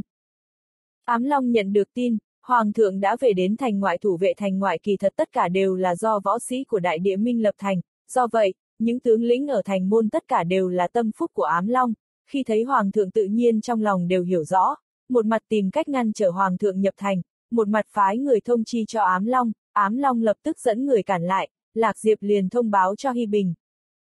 Các binh sĩ thủ thành thì không nhận ra Hoàng thượng, thực ra điều này cũng rất bình thường, bởi vì bách tính thường dân thì làm sao mà nhận ra được Hoàng thượng, với thân phận Hoàng thượng, lúc nào cũng phải được bảo mật kỹ càng, nếu không phải là người có thân phận nhất định, thì không có cách nào nhận ra được ai là Hoàng thượng.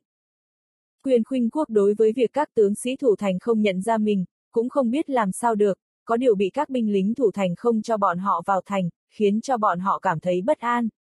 Bởi vì tình huống này rất ít khi xuất hiện, trừ khi trong thành đang có chuyện gì đó đặc biệt phát sinh, còn không chắc chắn là không thể tùy tiện ngăn cản người vào thành, càng kỳ quái hơn là ngoài bọn họ ra thì những người khác đều được vào thành. Nhìn về hướng thành ngoại, từng nhóm quân đang đi tuần ngày càng nhiều. Lương Lệ Quỳnh nói nhỏ, liệu có vấn đề gì hay không? Quyền Khuynh Quốc nói, ta cũng không biết, Lạc Hùng nếu muốn bắt ta về đại địa minh thì vụ chi thành đã không yên tĩnh như vậy, nhưng ta cũng không biết được hắn có thể làm những gì. Chỉ thương nói, giờ phải làm sao? Chúng ta, có vào thành không? Đông Dương Vương Tử nói, bọn chúng đâu có nói là không cho chúng ta vào thành, chỉ nói chúng ta hãy đợi. Nói xong, hắn quay đầu nhìn quyền khuynh quốc, tiếp ta đã đưa được ngươi đến đây rồi, như vậy thì ước định của ta với Hoàng Hy Bình cũng đã hoàn thành, giờ ta cũng nên đi, để quay về tìm Hoàng Hy Bình tính sổ. Mỹ Hạnh Tử nói ca, chậm thêm hai ngày đã. Đã đến đô thành Trung Nguyên, muội nghĩ chúng ta nên đi du ngoạn vài ngày đã, được không? Chúng ta đã tới Trung Nguyên được một thời gian rồi, đã giải quyết xong mọi ân oán, cũng nên quay về thôi. Mỹ Hạnh Tử nói, nhưng, đã đến đây rồi, chúng ta hãy vào xem đã, nha. Hạnh Tử, muội bây giờ hình như không còn giận vì cái chết của Sơn Bổn thì phải. Mỹ hạnh tử cúi đầu, nói ca, huynh đừng lại nhắc lại chuyện này được không?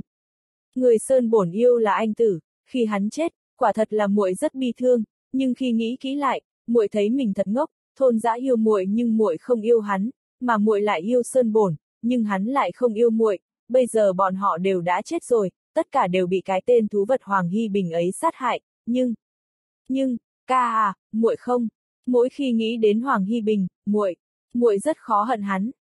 Chỉ thương kinh ngạc nói công, công chúa, người không phải là đã yêu hắn rồi đấy chứ. Những lời bọn họ nói đều dùng ngôn ngữ Đông Dương khiến cho quyền khuynh quốc cùng Lương Lệ Quỳnh nghe không hiểu, chỉ thấy Mỹ hạnh tử, hai má ửng đỏ, nghe thấy nàng lẩm bẩm gì đó, kỳ thực lúc này trong lòng nàng đang nói, ta có thể yêu một tên dã thú sao? Thật ra cũng có một truyền thuyết, trong đó có nói về dã thú và mỹ nữ, nghe nói là rất đẹp và thê lương. Mỹ hạnh tử trừng mắt nhìn ca ca của nàng, không hiểu vì sao tự dưng hắn lại đề cập đến dã thú và mỹ nữ. Nó thì có liên quan gì đến muội chứ? Thì muội là mỹ nữ mà. Ca, huynh đang chọc muội đấy à? Quyền khuynh quốc nói, này, mấy người, mấy người làm ơn nói tiếng Trung Nguyên đi, ta chẳng hiểu mấy người đang nói gì cả. Lúc này, đột nhiên tướng lĩnh thủ thành tiến tới phía bọn họ, hướng vào bọn họ mà nói, bây giờ các vị đã có thể vào thành, xin lỗi nha, đã khiến các vị phải đợi lâu. Quyền khuynh quốc nói, ngươi tên là gì? Ta nghĩ ngươi không định làm quen với ta đấy chứ? Ha ha, viên tướng cười lớn, rồi xoay người đi vào trong thành môn.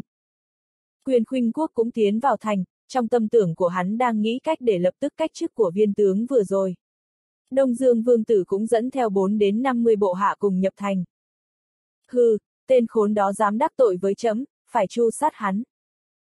Hiện tại, đám người quyền khuynh quốc đã tiến vào bên trong thành, bọn họ nhìn khu thành môn đang bị ba, 400 cấm quân vây chặt, nhưng đám cấm quân này toàn bộ đều là do đại địa minh võ sĩ lập thành, khi các thành môn cùng lúc đóng lại, quyền khuynh quốc đột nhiên tỉnh ngộ, bọn họ đã lọt vào cấm địa của đại địa minh. Thật bất ngờ, đứng trước mặt quyền khuynh quốc là một người có vẻ ngoài rất giống với hắn phải chăng là Lạc Hùng đã cho người giả dạng hắn, muốn đoạt Giang Sơn của hắn. người hãy đợi đấy, ta là hoàng đế, ai dám động vào ta. Đột nhiên, ám long hạ lệnh, sát. Không cho quyền khuynh quốc có cơ hội nào để giải thích, ba bốn trăm đại địa vũ sĩ đã nhằm vào bọn họ mà bắt đầu chém giết. Đông Dương Vương Tử dùng tiếng Trung Nguyên nói, giờ ta chẳng dám tin ai mới hoàng đế nữa, nhưng ta tin Hoàng Hy Bình. Bây giờ giải thích gì cũng đã vô dụng rồi, ta không muốn nghe thêm lời giải thích nào nữa, chỉ có dùng vũ lực mới có thể giải quyết được vấn đề. Chúng ta phải kiên cường chiến đấu. Hoàng đế Trung Nguyên, các võ sĩ đại hòa, lấy máu mở đường đi. Quyền khuynh quốc đột nhiên nói nhỏ vào tai lương Lệ Quỳnh, Lệ Quỳnh, nếu ta bất hạnh chết đi, ngươi hãy nhờ Hoàng Hy Bình giúp ta phục cừu, hắn là phò mã, hắn phải có nghĩa vụ vì đại cửu tử của hắn báo thù. Không cần biết hắn có ghét ta thế nào, thì đấy cũng là việc hắn phải làm. Giang Sơn này có lẽ hết thật rồi. Lương Lệ Quỳnh đáp, Hoàng thượng, xin người đừng nói như vậy, chúng thần sẽ tận lực bảo vệ người quay về Hoàng cung.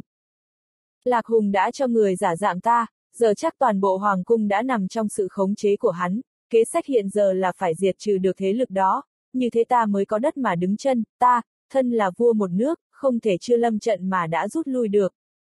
Trong lúc này, đại địa minh vũ sĩ vừa đông vừa mạnh, đông dương võ sĩ cũng không hề sợ chết mạnh mẽ vung đao trùng sát, nhất thời thành môn đại loạn. Ám Long cùng Dương Y hợp lực công kích quyền khuynh quốc, bị Đông Dương Vương Tử ngăn lại, cục diện giao đấu giữa ba người liền cân bằng.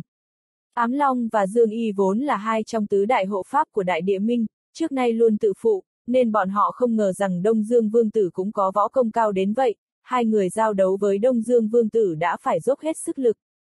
Ngoài Đông Dương Vương Tử và vài người khác ra, còn Đông Dương võ sĩ không địch lại nổi võ sĩ Đại Địa Minh, tuy nói rằng Đông Dương võ sĩ không ai sợ chết, hoàn toàn có thể đối đầu với mỗi võ sĩ Đại Địa Minh, đã được tuyển chọn, đều là những tinh anh trong Đại Địa Minh. Nhưng với nhân số hơn hẳn, Đại Địa Minh hoàn toàn áp đảo, 4, năm chục võ sĩ Đông Dương thì làm sao có thể địch lại ba bốn trăm tinh anh Đại Địa Minh. Không lâu, cục diện đã rõ ràng, Đông Dương võ sĩ tử thương quá nửa, Đông Dương Vương Tử cũng bị ám long và Dương Y vây hãm. Lương Lệ Quỳnh, Quyền Khuynh Quốc, Chỉ Thương, Mỹ hạnh tử mấy người có võ công cao đều bị các vũ sĩ đại địa minh vây công, căn bản không có cách nào thoát ra được, mọi người trong lòng hiểu rõ, chỉ có khả năng là đổ máu nơi thành môn. Chỉ thương nói, điện hạ, chúng ta đúng là không nên tới Trung Nguyên, nếu trước đây biết đại ca chết thế nào. Tôi đã không tới đất Trung Nguyên này làm gì. Chết tại Trung Nguyên, tôi không phục. Tôi muốn được chết trên đất của chúng ta, linh hồn võ sĩ phải được tận trung với quốc thổ. Ải tử, không phải ngươi sai vì đã đến Trung Nguyên, mà ngươi sai là ngươi lại dám đối địch với Đại Địa Minh. Hiểu rõ chưa, hôm nay, bọn ngươi tuyệt không còn có cơ hội nào sống sót nữa. Đừng nghĩ chỉ dựa vào mấy người bọn ngươi lại có thể đối địch với chúng ta, lúc trước chỉ có mỗi Hoàng Hy Bình đã có thể hạ gục bọn ngươi, chúng ta tuy không có cái thứ năng lực ngu ngốc ấy của Hoàng Hy Bình, nhưng luận về số người, thì chúng ta mạnh hơn. Cho dù các ngươi có mạnh đến đâu, ta cứ dùng 10 cái đầu để đổi lấy một cái đầu của các ngươi, các ngươi sẽ không thoát được, cáp cáp. Ngươi là vương tử hả? Nói thật nhé, kiếp này ta sống không uổng, hoàng đế cũng đã làm qua, giờ giết thêm một tên vương tử, điều này mà nói ra thì ám long ta quả thực là nhất thế anh hùng. Quyền khuynh quốc chửi, ám long, ngươi đừng quá đắc ý, nếu hôm nay mà ta còn sống, ta sẽ chu di thập tộc nhà ngươi. Sao, không phải là cửu tộc à? Ta còn có thêm một tộc nữa sao? Lão tử ta, phụ mẫu mất sớm, lại không huynh không đệ, không con không cái, chỉ còn mỗi cái mạng này của ta thôi, ngươi chu di cửu tộc ta được sao? Xem ra ngươi làm hoàng đế lâu quá nên đã biến thành ngu ngốc rồi. Cho dù có kỳ tích xuất hiện để ngươi có thể chu di ta, thì ngươi cũng chỉ có thể chu di được mỗi mình ta mà thôi. Còn cửu tộc ư, lão tử ta mà có cửu tộc, thì đã chẳng sông pha giang hồ làm gì. Ngươi tỉnh lại đi, đến lúc xuống địa ngục, người chỉ là một tên tiểu quỷ thôi, đừng nghĩ đến chuyện làm hoàng đế nữa, ta bây giờ đã là hoàng đế. Dương y mắng, ám long, người nói phí lời là gì? Mau giết hắn sớm đi, hiểm thật, hắn vừa gầy vừa cao, lại còn tàn nhẫn, nhìn hắn thật không thuận nhãn, nhất định dương vật của hắn vừa nhỏ vừa ngắn. Dương y, còn bà ngươi, ngươi không có việc gì hay sao mà lại nói cái gì dương vật? Có biết là ta rất đau lòng không? Xin lỗi nha, ta quên mất là ngươi là tên bất lực. Nhớ đấy, con bà nó, đợi chuyện này xong, ta sẽ tìm vài cái đầu cho ngươi. Quyền khuynh quốc kinh ngạc nói, ám long, người bất lực sao?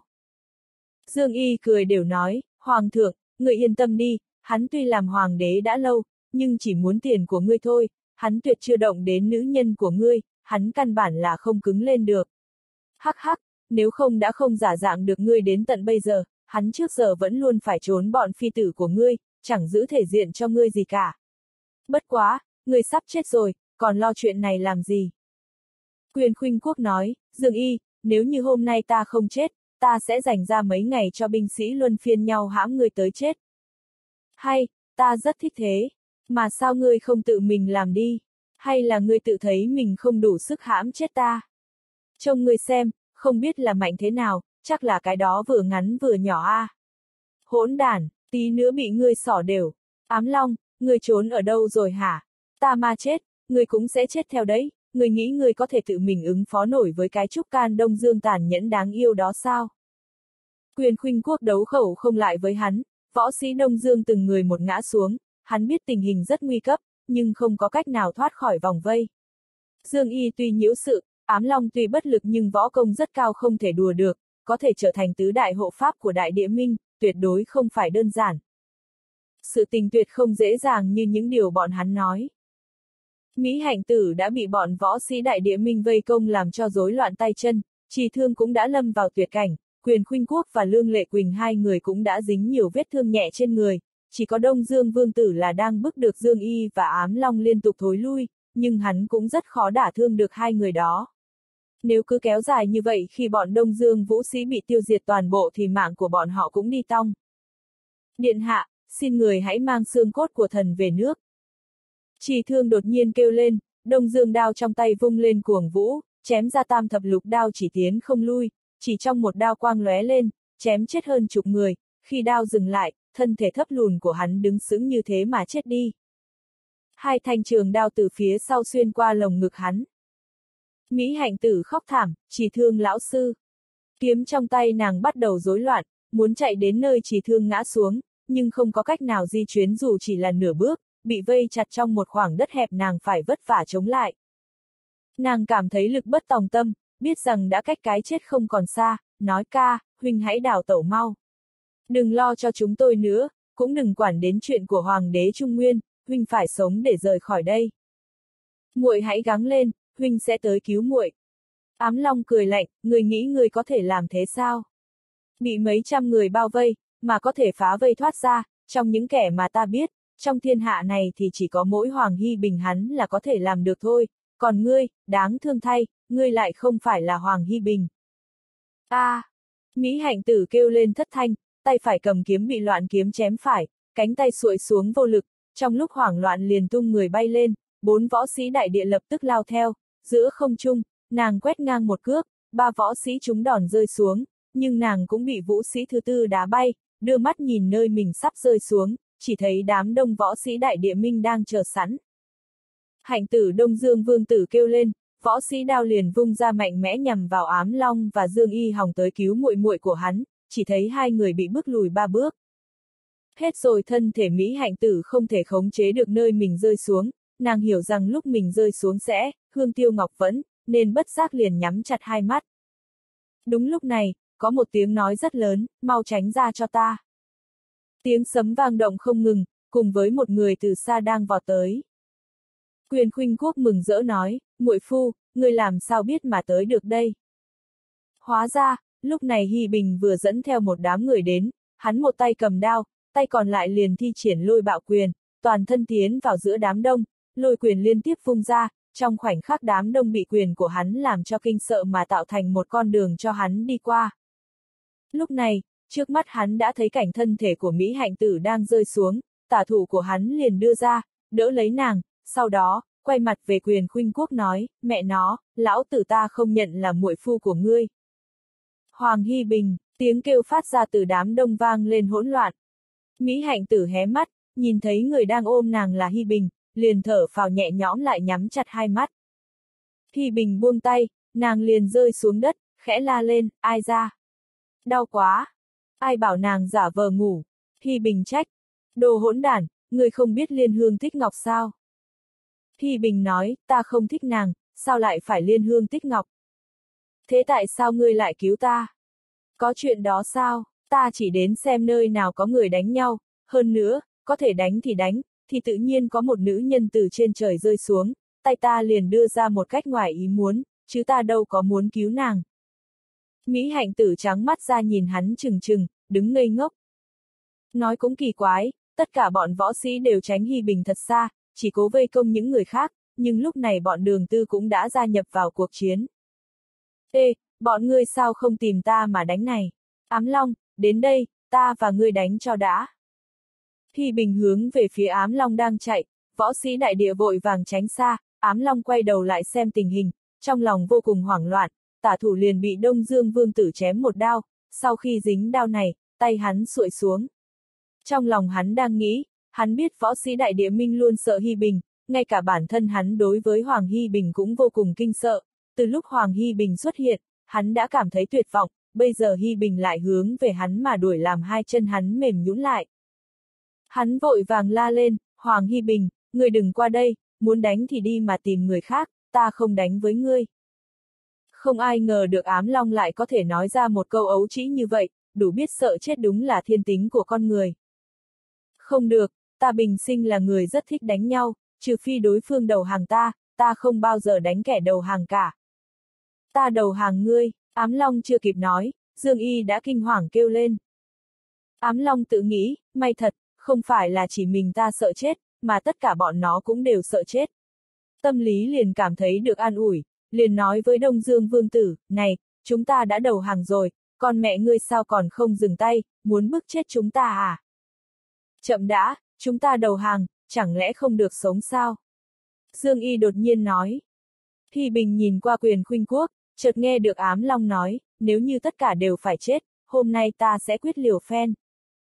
Quyền khuynh quốc nhìn chung quanh, đại địa minh còn gần 300 người, nếu quả bọn họ liều chết tử đấu, đối với hắn sẽ cực kỳ bất lợi. Hắn liền nói, nếu các ngươi có thể giúp ta diệt trừ đại địa minh, ta sẽ tha cho các ngươi.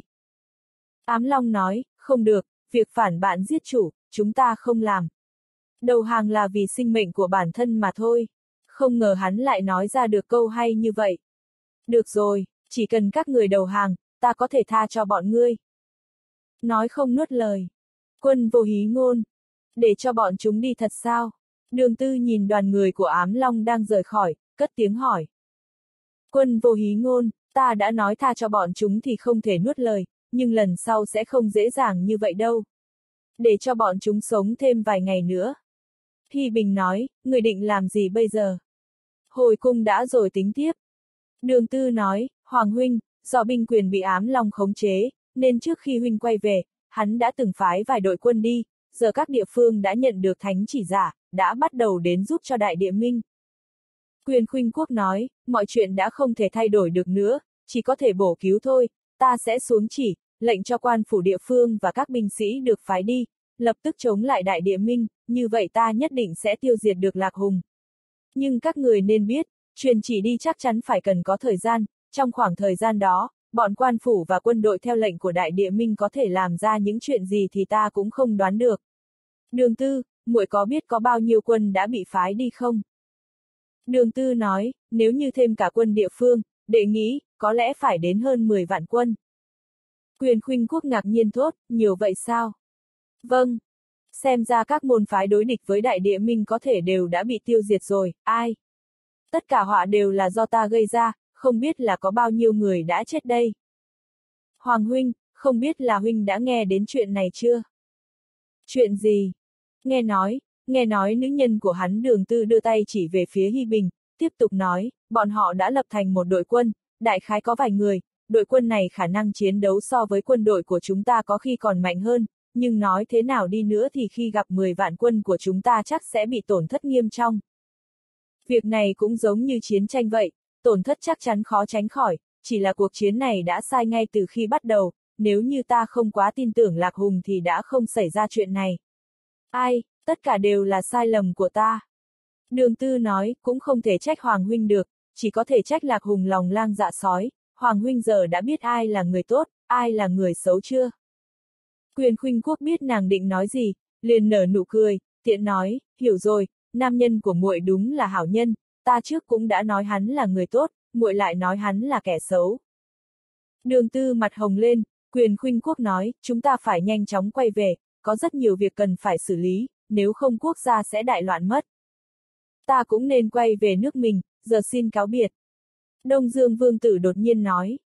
Giờ ngươi định về ngay sao? Quyền khuynh quốc nhìn Đông Dương Vương Tử, ta còn chưa cảm tạ ngươi. Không cần phải thế, hắn nhìn chung quanh, trước đây hắn đã từng dẫn dắt hơn 100 người, giờ chỉ còn lại có hơn 20 người, bất giác khẽ thở dài. Ca, không phải là huynh đã nói muốn cùng Hoàng Hy Bình quyết đấu sao? Mỹ hạnh tử nói. Không quan trọng nữa, ta không phải là đối thủ của hắn, kết quả thì chỉ có một thôi, nếu lúc trước ta biết hắn là người như thế thì ta không đã không chọc vào hắn làm gì, cũng căn bản không đến đất Trung Nguyên. Ta nghĩ ta đã sai khi đến đây, lúc quay về, không biết phải đối diện với thiên hoàng thế nào đây, ai? Mỹ hạnh tử nói ca, muội muốn ở lại đây thêm vài ngày. Quyền khuynh quốc nói, đúng đấy. Võ sĩ của các người cũng nên được trị thương, đợi khi bọn họ chữa thương xong, ta sẽ tiến các người về nước. Đông Dương Vương Tử suy nghĩ, nói cũng được. Ngươi không tìm ta đánh nhau nữa sao? Hy Bình ngạc nhiên nói. Đông Dương Vương Tử cười thảm, nói, đánh không lại ngươi, hà tất phải đánh. Thi Bình vỗ nhẹ vai hắn, cười nói, thật ra, ta cũng có thể giả bộ thua ngươi. Quyền khuynh quốc về đến Hoàng Cung, liền bắt đầu xử lý quốc sự. Thi Bình về đến Hoàng Cung, lập tức bảo bố lỗ tư nhân lúc Hoàng thượng không có ở đấy mà rời thành. Bố lỗ tư không cáo biệt Hoàng đế, chỉ sai người truyền đạt, lần sau hắn sẽ lại mang xử nữ đến, giờ có việc gấp nên phải về ba tư trước. Sau khi ra khỏi thành, hắn nhằm thẳng hướng tử yên thành, đợi ở đấy, chờ Hy Bình quay về dạy hắn cách đánh nhau. Vì có quá nhiều chuyện, quyền khuynh quốc không thể lo lắng cho các nàng xử nữ ba tư của bố lỗ tư được, hắn cũng chẳng còn tâm tình gì, Hoàng Triều cơ hồ đã bị hủy trong tay của Lạc Hùng, trong đầu hắn luôn nghĩ tới ngày Lạc Hùng sẽ nổi dậy, chuyện này thì Hy Bình làm sao hiểu được, gã ngoài việc đánh nhau và sướng ca còn có hứng thú hoặc có thể gọi là có thiên phú, còn đối với các chuyện khác, thì hắn tuyệt không có hứng thú cũng chẳng có thiên phận. Đương nhiên, háo sắc là thiên phận của hắn, cũng là hứng thú của hắn đây là một ngoại lệ. Hoàng hậu và Thái hậu biết hoàng đế đã quay về, liền tới diện kiến, lúc hoàng đế dẫn hoàng hậu vào tẩm cung, hoàng hậu trừng mắt oán hận nhìn vào hoàng Hy Bình, Hy Bình trong lòng nghĩ trừng mắt nhìn ta làm gì. Đấy là lão công của nàng mà. Việc Hy Bình vì sao lại xuất hiện tại hoàng cung, đường tư vội giải thích cho hoàng đế là do Hy Bình về nhanh hơn so với bọn họ một ngày. Hoàng đế đối với bọn Hy Bình mấy người an bài rất tốt, ở ngoại cung, cấp cho bọn họ một tòa trang viện, đối với bọn Đông Dương võ sĩ, cũng được sắp xếp trong một trang viện ở ngoài cung để dưỡng thương, vì hoàng đế đã biết quan hệ giữa cửu nữ và Hy Bình, nên cấp bọn họ cho Hy Bình, chuyện này đối với bọn cửu nữ mà nói như bỏ được một hòn đá to trong lòng bọn họ vậy. Buổi chiều, vài cung nữ tới lệnh cho Hy Bình tới chỗ của Thái Hậu, Hy Bình đến chỗ Thái Hậu đã thấy có Hoàng hậu ở đấy, hắn nói, hai người không sợ Hoàng đế phát hiện sao. Hoàng hậu nói, Hoàng thượng tạm thời không lý gì đến chúng ta, hắn còn có nhiều việc phải làm. Thái hậu nói, ngươi chuẩn bị bao giờ thì đi. Ngày mai. Hoàng hậu nói, ngươi có còn nhớ đến ước định của chúng ta. Ngươi nói mỗi năm lại để ta đến thâu hương. Ngươi nhớ tốt lắm. Thi Bình cười nói, nhưng, không biết ta có thể mỗi năm, năm nào cũng đến vụ chi thành hay sao? Thái hậu, người định làm gì? Làm gì? Thi Bình không hiểu. Ta muốn hỏi người định làm gì sau này? Ta, ngoài việc đánh nhau và ca hát ra, cái gì cũng không biết, nếu quả muốn ta thi triển bản lĩnh khác, ta nghĩ, ta có thể tạm coi là y nhân, ta đã từng thay cha ta hành y ở trong thôn. Thái hậu nói, được rồi, vậy ngươi hãy mở dược điếm trong toàn quốc, còn tổng điếm thì đặt trong thành này. Qua, nàng không hỏi xem ta liệu có đồng ý không hả?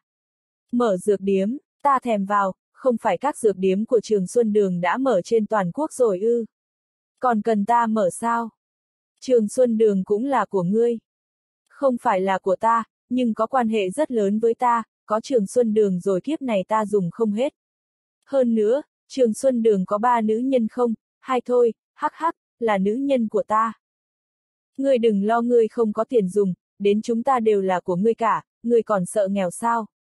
Bọn ta chỉ muốn biết khi nào thì ngươi mới có thể quay lại. Thái hậu không kiềm chế được nói. Hoàng hậu nói, năm sau, nhi tử của ngươi ra đời, ngươi phải tới thăm nó đấy. Oa, cũng có thể là nữ oa mà. Thái hậu nói, kể cả là nữ oa, ngươi cũng phải đến. Thi Bình sợ đáp, vậy thì chắc là nhi tử rồi. Có phải là ngươi không muốn đến? Thái hậu và hoàng hậu cùng kêu lên. Thi Bình gãi đầu, nói có điều. Ta không thích hoàng cung, các người. Không thể đến tìm ta sao? Ngươi đang mơ đấy à, bọn ta có thể tìm ngươi được sao? Ngươi nên biết bọn ta có thân phận gì chứ? Ta nhớ, nói đến thân phận trước mặt ta, thì các ngươi chỉ là nữ nhân thôi, còn thân phận gì khác chứ? Đúng là ngốc. Hai người than thở, đối với tên nam nhân ngốc này, nói gì cũng không thông, Thái hậu nói, bọn ta không ép ngươi, mà chỉ mong ngươi nghĩ đến chúng ta, nếu có thời gian thì hãy đến thăm chúng ta. Ngươi không thích hoàng cung, thật ra chúng ta cũng không thích nó, ở đây tịch mịch quá. Lẽ nào ngươi nỡ nhẫn tâm để chúng ta ở nơi tịch mịch thế này cho đến chết? Thi Bình không nói gì, Hoàng hậu nói, ngày mai lúc ngươi đi, Hoàng thượng nhất định sẽ tiễn ngươi, đến lúc đấy ta sẽ mang theo Đông Chi, Đình Thi và Dòng Nhi. Khi đấy ngươi nói ba người bọn họ rất xinh đẹp, ngươi muốn ba người bọn họ, Hoàng thượng chắc sẽ đáp ứng ngươi, nữ nhân của hắn rất nhiều, mất đi ba người thì có đáng gì, hơn nữa ngươi lại là ân nhân cứu mạng của hắn. Cả triều đình này có thể tồn tại được tính ra cũng là nhờ có ngươi, bởi vậy ngươi xin hắn vài nữ nhân cũng không có gì là quá đáng, hơn nữa trước đây hắn cũng đã nói, nữ nhân của hắn ngươi đều có thể muốn cơ mà. Nói thì nói vậy, nhưng không nhất định phải tuyệt tình với hắn như vậy. Thái hậu nói, thật ra 30 năm nữa, triều đình này có lẽ cũng là của ngươi, vì lúc đó nó sẽ thuộc về nhi tử của ngươi. Thi Bình liền cười lớn, Hoàng hậu nói, bây giờ ngươi bồi tiếp chúng ta một lần nhé. Cái gì? Thi Bình đang cười lớn đột nhiên ngừng lại, chỉ thấy hai người đã bắt đầu cởi áo ngoài ra. Đêm đã khuya, Thi Bình mới rời khỏi tầm cung của Thái Hậu, sau khi về đến biệt viện, liền gặp phải Mỹ hạnh tử, hắn chỉ ngó qua nàng rồi bước vội, thì nghe được tiếng của nàng từ phía sau có thể bồi tiếp ta một lần không? Hắn xoay người nói, muốn ta bồi tiếp nàng thế nào? Bồi tiếp ta đi mà, được không? Thi Bình nói, nơi này nhỏ quá, đến chỗ khác được không? Mỹ hạnh tử nói, chỗ này còn rộng hơn một bước chân của ta đấy. Nghe ta nói này, ta với nàng một là không có giao tình, hai là không có cảm giác, vì sao lại chọn ta? Mấy lão bà của ta còn đang đợi ta quay về. Vì sao ngươi không thích ta? Bởi vì, cái này cũng giống như thích ai đó, cũng chẳng có lý do. Mỹ hạnh tử ai oán nhìn hắn, dưới ánh đèn mờ ảo, nàng ngước nhìn lên khuôn mặt lỗ nhỗ đầy tà dị của hắn. Lúc này trông hắn thật oai nghiêm. Nàng nói, có lẽ ta cũng không có lý do gì, chỉ là lần đầu gặp chàng, ta cảm thấy có một cảm tình đặc biệt, ta nghĩ đó là sự thù hận, nhưng sau này ta biết đó tuyệt không phải là hận. Ta đã từng yêu Sơn Bổn, chàng đã giết Sơn Bổn, đáng lẽ ta phải hận chàng, chỉ là ta và Sơn Bổn chẳng còn quan hệ gì, hắn cũng không yêu ta, chỉ là do ta tình nguyện. Ta đã sai, một sai lầm rất lớn, đáng ra ta phải vì cái chết của Sơn Bổn mà hận chàng, nhưng càng về sau, ta lúc nào cũng nhớ tới chàng, chàng như một con dã thú, vừa đặc biệt vừa có khuôn mặt tà dị, tuấn tú, cơ hồ đã làm trái tim ta tan nát không có chàng, tim ta không thể liền lại. Hy Bình trầm mặc, thứ tình cảm đột ngột này, hoàn toàn nằm ngoài sự tưởng tượng của hắn. Phòng của ta ở phía trước, có thể cùng đến đấy với ta không? Nàng đi về phía trước, Hy Bình theo sau, hắn cũng không biết vì sao hắn lại đi theo nàng, sau đó lại vào trong khuê phòng của nàng. Hắn tự nhủ, có lẽ đó chỉ là vô ý. Thật không ngờ, Mỹ hạnh tử đến trước giường, bắt đầu cởi áo, rất nhanh, cơ thể lõa lộ tuyệt đẹp hiện ra dưới ánh đèn, tất nhiên cũng lọt vào tầm mắt của hắn. Ta chỉ muốn yêu chàng một đêm thôi, có được không? Ta biết ngày mai chàng sẽ đi, còn ta, cũng sẽ phải về tổ quốc của mình, đêm nay, hãy cho ta có được những hồi ức đẹp nhất. Một đêm đủ được sao? Vâng, thế là quá đủ rồi. Ký ức trong một đêm cũng đủ để ta có thể ôn lại trong suốt một đời. Chàng là một nam nhân thần kỳ, ta nghĩ đời này ta không thể nào tìm được một nam nhân nào khác như chàng. Hy Bình nhìn nàng, nói, nàng hãy nghe kỹ lời ta nói ta không hy vọng trong ký ức của nàng có ta. Mỹ hạnh tử tiêu tan hy vọng, cúi mặt hỏi, tại sao vậy? Lẽ nào chàng nghĩ rằng ta không còn trong sạch, ta có thể nói cho chàng biết, ta tuy từng yêu Sơn Bổn, nhưng thân thể ta chưa hề đụng chạm với một nam nhân nào, ta vẫn còn thân xử nữ thuần khiết. Từ miệng Hy Bình liền xuất ra một chàng cười lớn, nói ta cũng có thể nói với nàng, ta là một tay háo sắc, đối với nữ nhân nào cũng thích, nhưng không thích nữ nhân Đông Dương. Mỹ hạnh tử đau đớn nhìn hắn, nói tại sao? Chẳng có lý do gì, ta chỉ không thích. Không, người hãy cho ta một lý do. Thì Bình thương hại nhìn nàng, nói ta phải đi đây, ta còn phải về bồi tiếp nữ nhân mà ta yêu thích, nàng hãy giữ lại những mộng tưởng của mình. À, đúng rồi, từ nay về sau chúng ta cô lên gặp nhau nữa. Hắn rời khỏi phòng của Mỹ Hạnh Tử, để lại Mỹ Hạnh Tử lõa lồ, một mình dưới ánh đèn. Khi Hy Bình quay về, là Mỹ Mỹ và Lương Lệ Quỳnh không ở đấy. Hoàng thượng đã an bài cho Lương Lệ Quỳnh một căn phòng khác, đường tư nói, là Mỹ Mỹ đã đi đến gặp mẹ nàng rồi, còn bảo nếu như hắn về tới thì bảo hắn qua đấy một chuyến, hắn hôn đường tư, rồi rời khỏi. Đến trước cửa phòng Lương Lệ Quỳnh, nghe thấy trong phòng có tiếng khóc, hắn liền đẩy nhẹ cửa, phát giác cửa không khóa, liền tiến vào trong. Hai mẹ con đang ôm nhau khóc. Chắc đang nói đến chuyện của La Niên. Thi Bình không định làm phiền hai mẹ con liền nhanh bước đi ra ngoài. Lương Lệ Quỳnh lườm hắn, nói, người đến à? Ừ, La Mỹ Mỹ quay đầu nói, chàng tới đây. Thi Bình bước tới, đứng ở trước giường, nói, hai người tìm ta có chuyện gì? Chàng tính sao đối với mẹ ta? La Mỹ Mỹ nói câu này khiến cho Hy Bình tắt tiếng, Lương Lệ Quỳnh khuôn mặt diễm lệ thành thục, đột nhiên ửng đỏ, cúi đầu. Hi Bình luống cuống nói, cái này, cái này. La Mỹ Mỹ nói, thiếp nghe Hoàng đế ca ca nói, chàng lúc ở trong địa lao của Đại Địa Minh đã cùng mẹ thiếp thế nên hắn mới ban thưởng mẹ thiếp cho ngươi, có phải thế không? Thì Bình liền vội vàng giải thích, ồ, Mỹ Mỹ, không phải như thế, nàng không nên hiểu lầm. Lúc đó mẹ nàng quả thực rất cần sự thương yêu, chăm sóc. Ta chỉ thể hiện quan tâm hơi quá một chút, dù sao ta cũng là nữ tế của bà ấy mà. Hắc hắc trong lòng hắn đang nghĩ, tên tiểu tử hoàng đế này, định hại chết ta đây mà, hiểm quá. Chàng nói như vậy có phải là chàng không muốn mẹ thiếp? Thi Bình thấy rất khó xử, nếu nói không muốn, thì trái với lương tâm của hắn, Lương Lệ Quỳnh là người sinh ra La Mỹ Mỹ, đương nhiên nhan sắc không thua kém gì La Mỹ Mỹ, còn nếu nói muốn, thì có thể sẽ bị La Mỹ Mỹ chửi cho một trận, nếu nói không muốn sẽ làm tổn thương đến lòng tự tôn của Lương Lệ Quỳnh tuy nói Lương Lệ Quỳnh chưa chắc đã thích hắn, nhưng nếu hắn trực tiếp cự tuyệt, phàm là nữ nhân, ai nấy trong lòng đương nhiên sẽ không vui. Ta, hừ, chuyện này, cái đó, hừ hừ. Hắn chỉ có thể làm thế, còn có thể làm khác được sao? La Mỹ Mỹ nói, không phải ngươi đã nói rằng, chàng muốn có vạn diệu sư đồ sao? Không phải mẹ con Đỗ Tư Tư đều đã mang hài tử của chàng sao? Không phải chàng đã cùng hoàng hậu, thái hậu còn có cả công chúa đều đã ngủ trên một giường sao? Không phải là Nguyên chân, Nguyên Na đều là tình nhân của chàng sao? Không phải là lãnh tình oánh đã từng dụ dỗ chàng lên giường sao? Không phải còn có sư đồ A Mật Y sao? Không phải có cô cháu Vưu Túy và Thi Nhu Vân sao? Còn có Lạc U Nhi, Mộng Cơ. Có chấm SAO mà nhiều vậy. Thi Bình toát mồ hôi lạnh. La Mỹ Mỹ tức giận nói, thiếp vẫn còn chưa tính hết đấy. Sao chàng chưa gì đã khẩn trương vậy? Chàng còn chuyện gì mà chưa từng làm? Thiếp nhớ người từng nghĩ tới việc ra tay với mẹ thiếp. Thi Bình một mực phủ nhận nói không có chuyện đó đâu, ta làm sao có thể hạ thủ đối với nhạc mẫu. Nói xong, hắn không ngừng lau mồ hôi lạnh trên trán. Lương Lệ Quỳnh vẫn cúi đầu, là Mỹ Mỹ nói tiếp, mẹ thiếp đã không còn cha thiếp, sau này chẳng ai chiếu cố cả. Thi Bình nói, là nữ tế, ta đương nhiên sẽ chiếu cố cho nhạc mẫu, cái này nàng không nên lo lắng.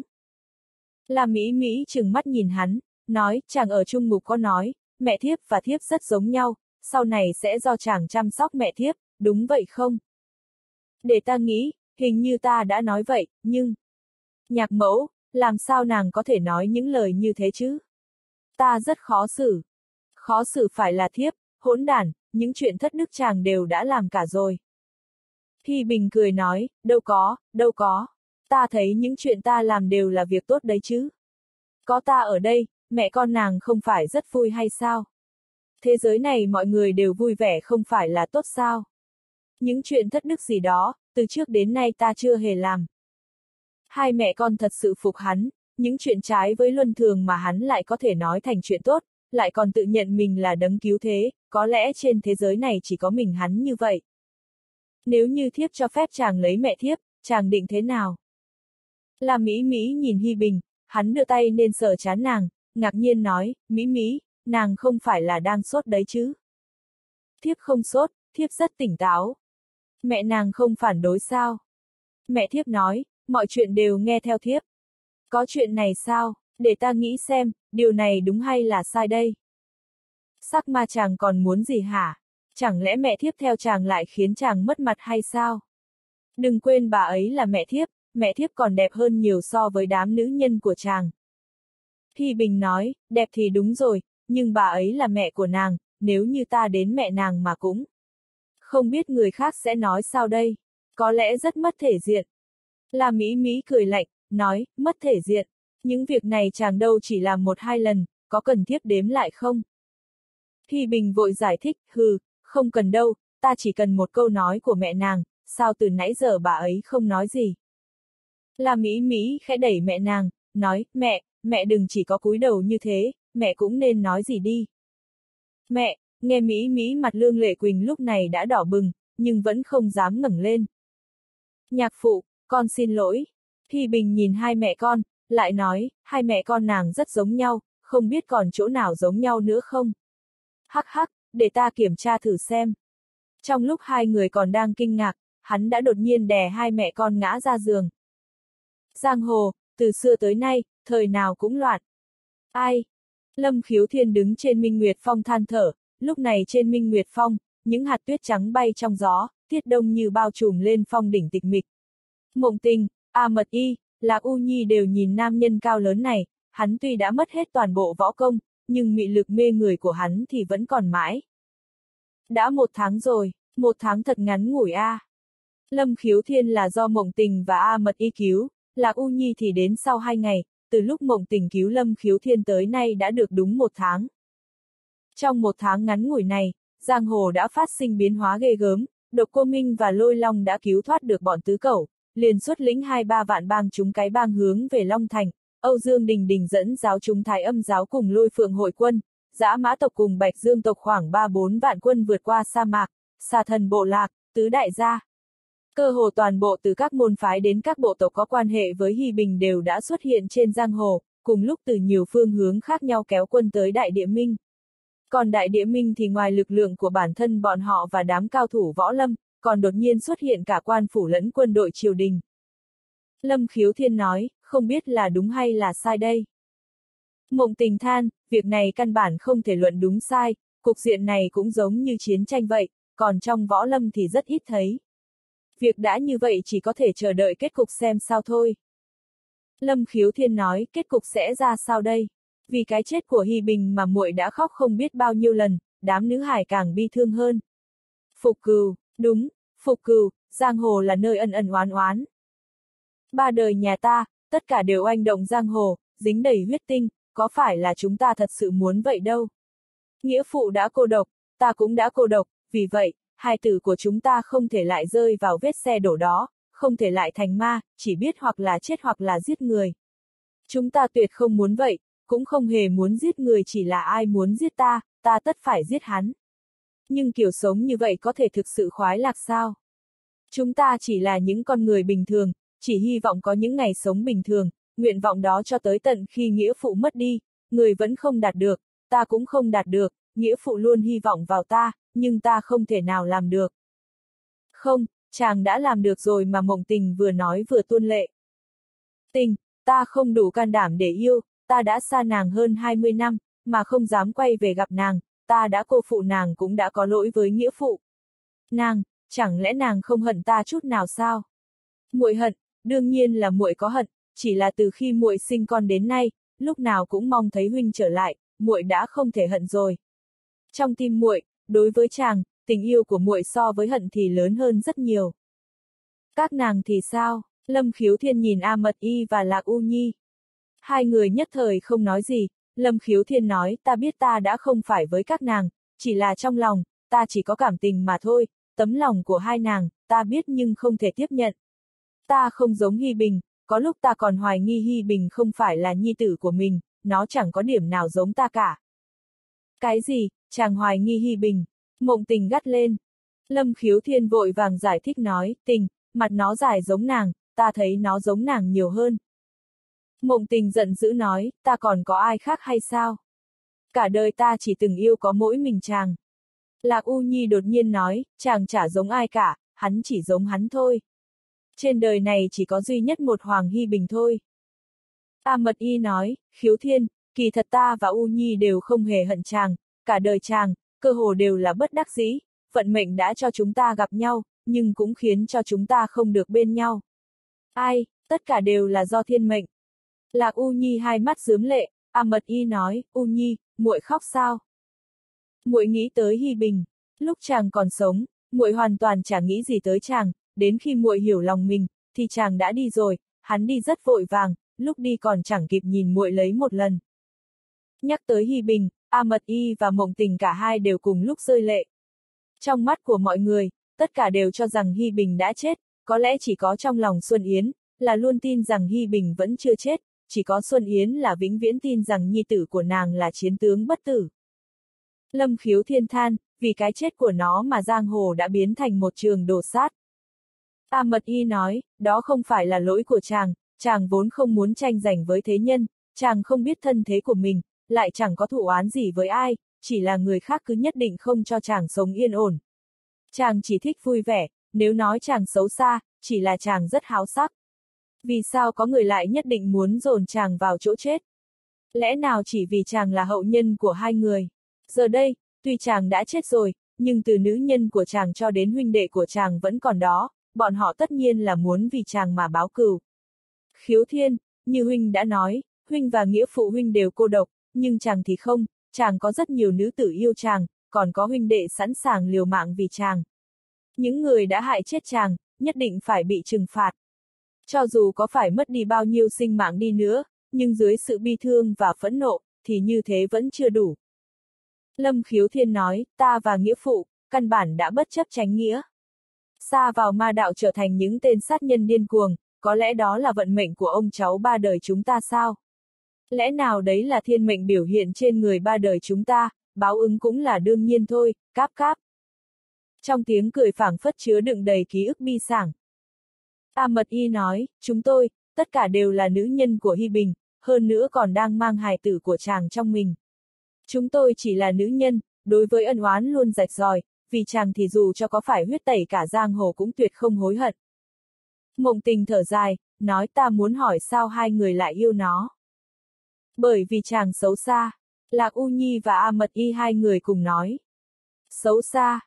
Vâng, chàng xấu xa vào đến tận cả cốt tủy của chúng tôi, làm cho chúng tôi thời khắc nào cũng nhớ đến cái xấu xa của chàng, chàng cực kỳ xấu xa khiến chúng tôi mãi mãi không có cách nào quên được chàng. Chúng tôi bất tránh lắm phải không? Mộng tình nói, có lẽ nhìn từ một góc độ nào đấy thì tất cả nữ nhân tốt đều bị hấp dẫn bởi nam nhân xấu xa. Nói xong, nàng không biết là hữu ý hay là vô tình mà nhìn Lâm Khiếu Thiên, bị hắn phát giác được, hắn nói, may mà ta chỉ xấu xa với mỗi mình nàng thôi. Mộng tình giận dữ nói, nói nhảm. Lâm Khiếu Thiên nói, hai người sau này thế nào, định gọi ta là đại ca hay gọi là cha đây?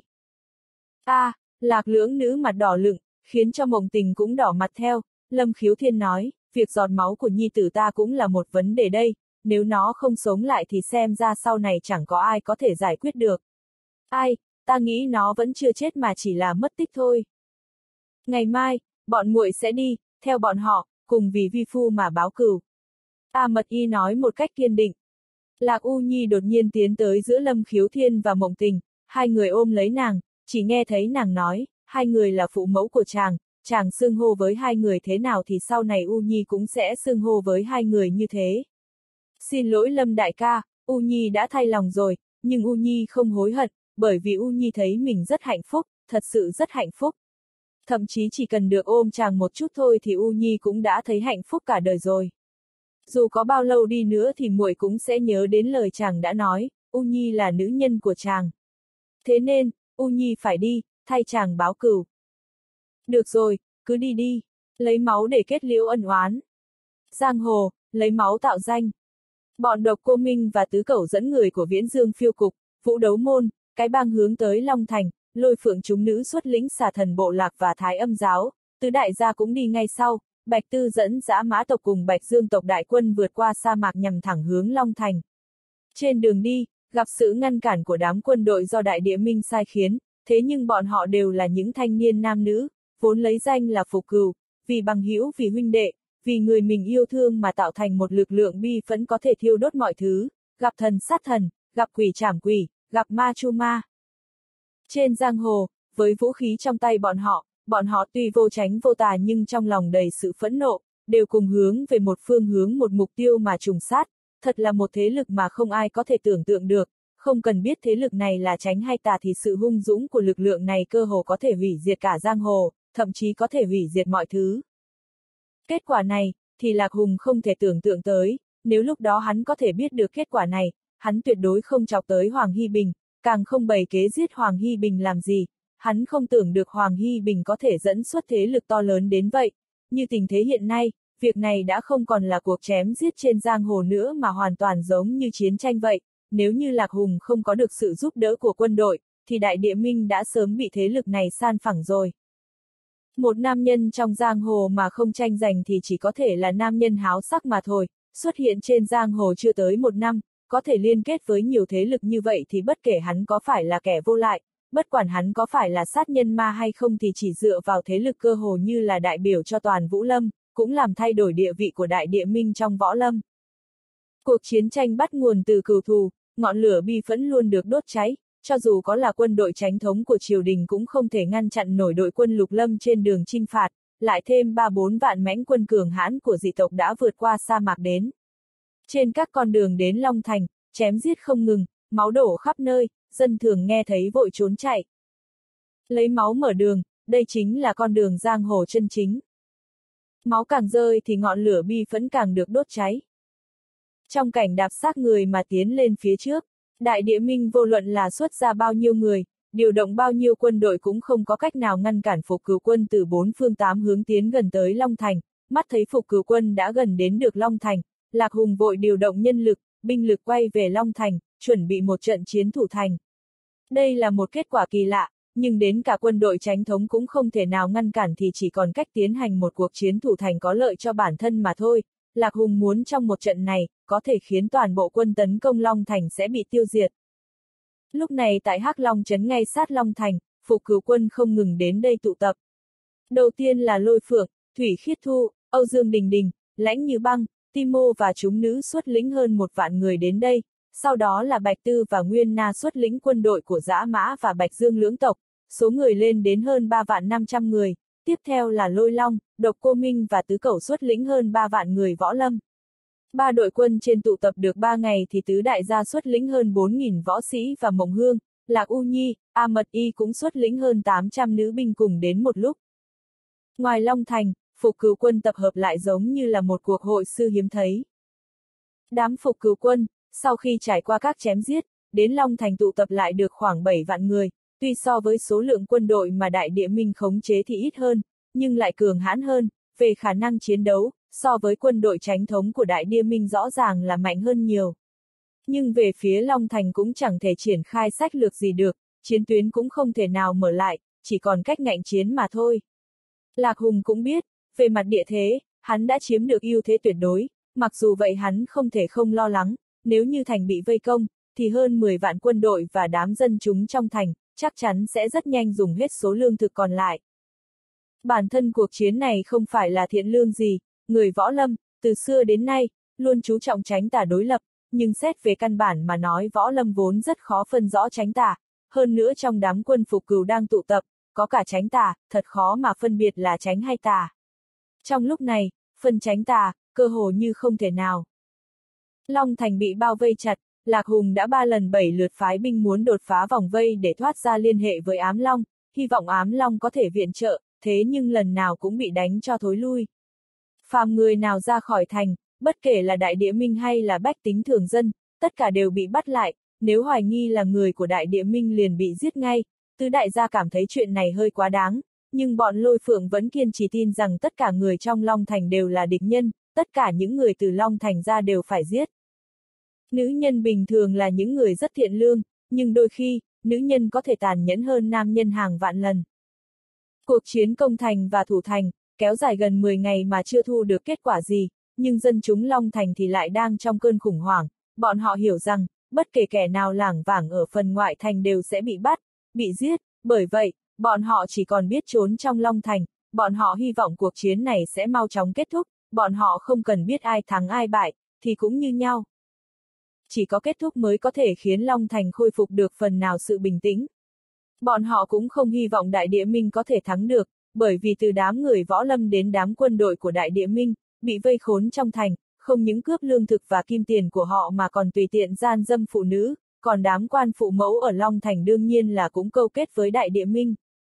Tình hình này, đối với dân chúng Long Thành mà nói thảm cảnh giống như đang trong thời chiến loạn vậy. Lúc mặt trời đã lặn về ngọn núi phía tây, một ngày khẩn trương đối phó nhưng chưa thu được kết quả, ở phía ngoài Long Thành tiến hành lần thương nghị sau cùng đây đã là lần thứ 12 kể từ khi cuộc chiến bắt đầu. Trong doanh trại chính, tụ tập các thủ lĩnh trọng yếu của phục cửu quân đương nhiên là các nữ nhân của Hy Bình và các bằng hữu thân thiết của hắn. Ngày mai, quyết một trận tử chiến. Chúng ta phải đánh nát đầu cha con Lạc Hùng. Lôi Phượng nói. Không còn nghi ngờ gì, trong những người ở đây thì Lôi Phượng là thủ lĩnh, tuy còn có cả võ lâm tứ đại gia và Minh Nguyệt Phong Mộng Hương ở đó, nhưng lần này là vì Hy Bình mà phục cừu, đương nhiên là phải do đệ nhất phu nhân của hắn làm chủ, mà danh vị đệ nhất phu nhân ngoài lôi phượng ra thì còn ai nữa, do vậy Mộng Hương cũng đành nghe theo thôi. Triệu Kiệt Anh nói, nếu như vẫn tiếp tục ngạnh công thành, chúng ta nhất định không có cửa thắng. Binh lực của Lạc Hùng nhiều gấp rưỡi so với chúng ta, nếu như là ở vùng Bình Nguyên hai bên giao chiến, thì chúng ta còn hy vọng thắng được, đằng này bọn chúng lại kiên thủ trong Long Thành không chịu ra, chúng ta dù cho toàn lực cường công cũng không thể thắng nổi. Hơn nữa còn bách tính trong thành. Bạch Liên cướp lời, đừng ghép chúng ta và bách tính trong thành, Bạch Liên ta chỉ tin rằng, kẻ mạnh tất có thể tự cứu mình. Nếu như không phải bọn họ ở trong thành của Lạc Hùng, kẻ đã giết chồng ta thì cũng đã không có kiếp nạn như hôm nay. Nếu trách chỉ có thể trách bọn họ đã nuôi dưỡng đại địa minh, lấy đại địa minh là niềm vinh dự, lại nói, bọn họ và Bạch Liên ta thì có quan hệ gì chứ? Chồng ta chết rồi, ta nhất định phải báo cừu, các người nếu như thấy không đành lòng với bọn họ, tốt nhất là sớm ly khai đi. Ai bảo cha của chồng chúng ta đã giết cha của các người, hanh, không có các người, Bạch Liên ta vẫn có thể vì chồng mà báo cừu. Đại ca, nhị ca các người đã chuẩn bị xong chưa? Bạch Hùng, Bạch Ngân cùng nói, tiểu muội, đừng lo. Chúng ta đã chuẩn bị xong rồi, nửa ngày đánh, nửa ngày không đánh, khiến cho ai nấy đều rất không thống khoái, nếu đánh, phải đánh đến cùng mới thôi. Bạch Tư nói, cựu tất phải báo, máu tất phải rơi, bất luận là máu của ai. Chúng ta thủ lâu dài, cũng không phải là một biện pháp, tuy nói có thể thủ cho đến khi bọn chúng hết lương. Nhưng sau đấy thì sao, có lẽ bọn họ sẽ phản bại thành thắng bởi vì nếu bọn họ đều sắp chết đói, bọn họ còn sợ gì. Bởi vậy, tôi cũng cảm thấy phải phát động tổng tấn công khi bọn chúng còn chưa lâm vào tuyệt cảnh, đối với chúng ta thì có lợi hơn, vì khi trong lòng đã biết là phải chết, thì thật vô cùng đáng sợ. Bạch Liên nhìn Bạch Tư, cười nói, Tư tỷ, trước đây muội đã trách sai cho tỷ rồi.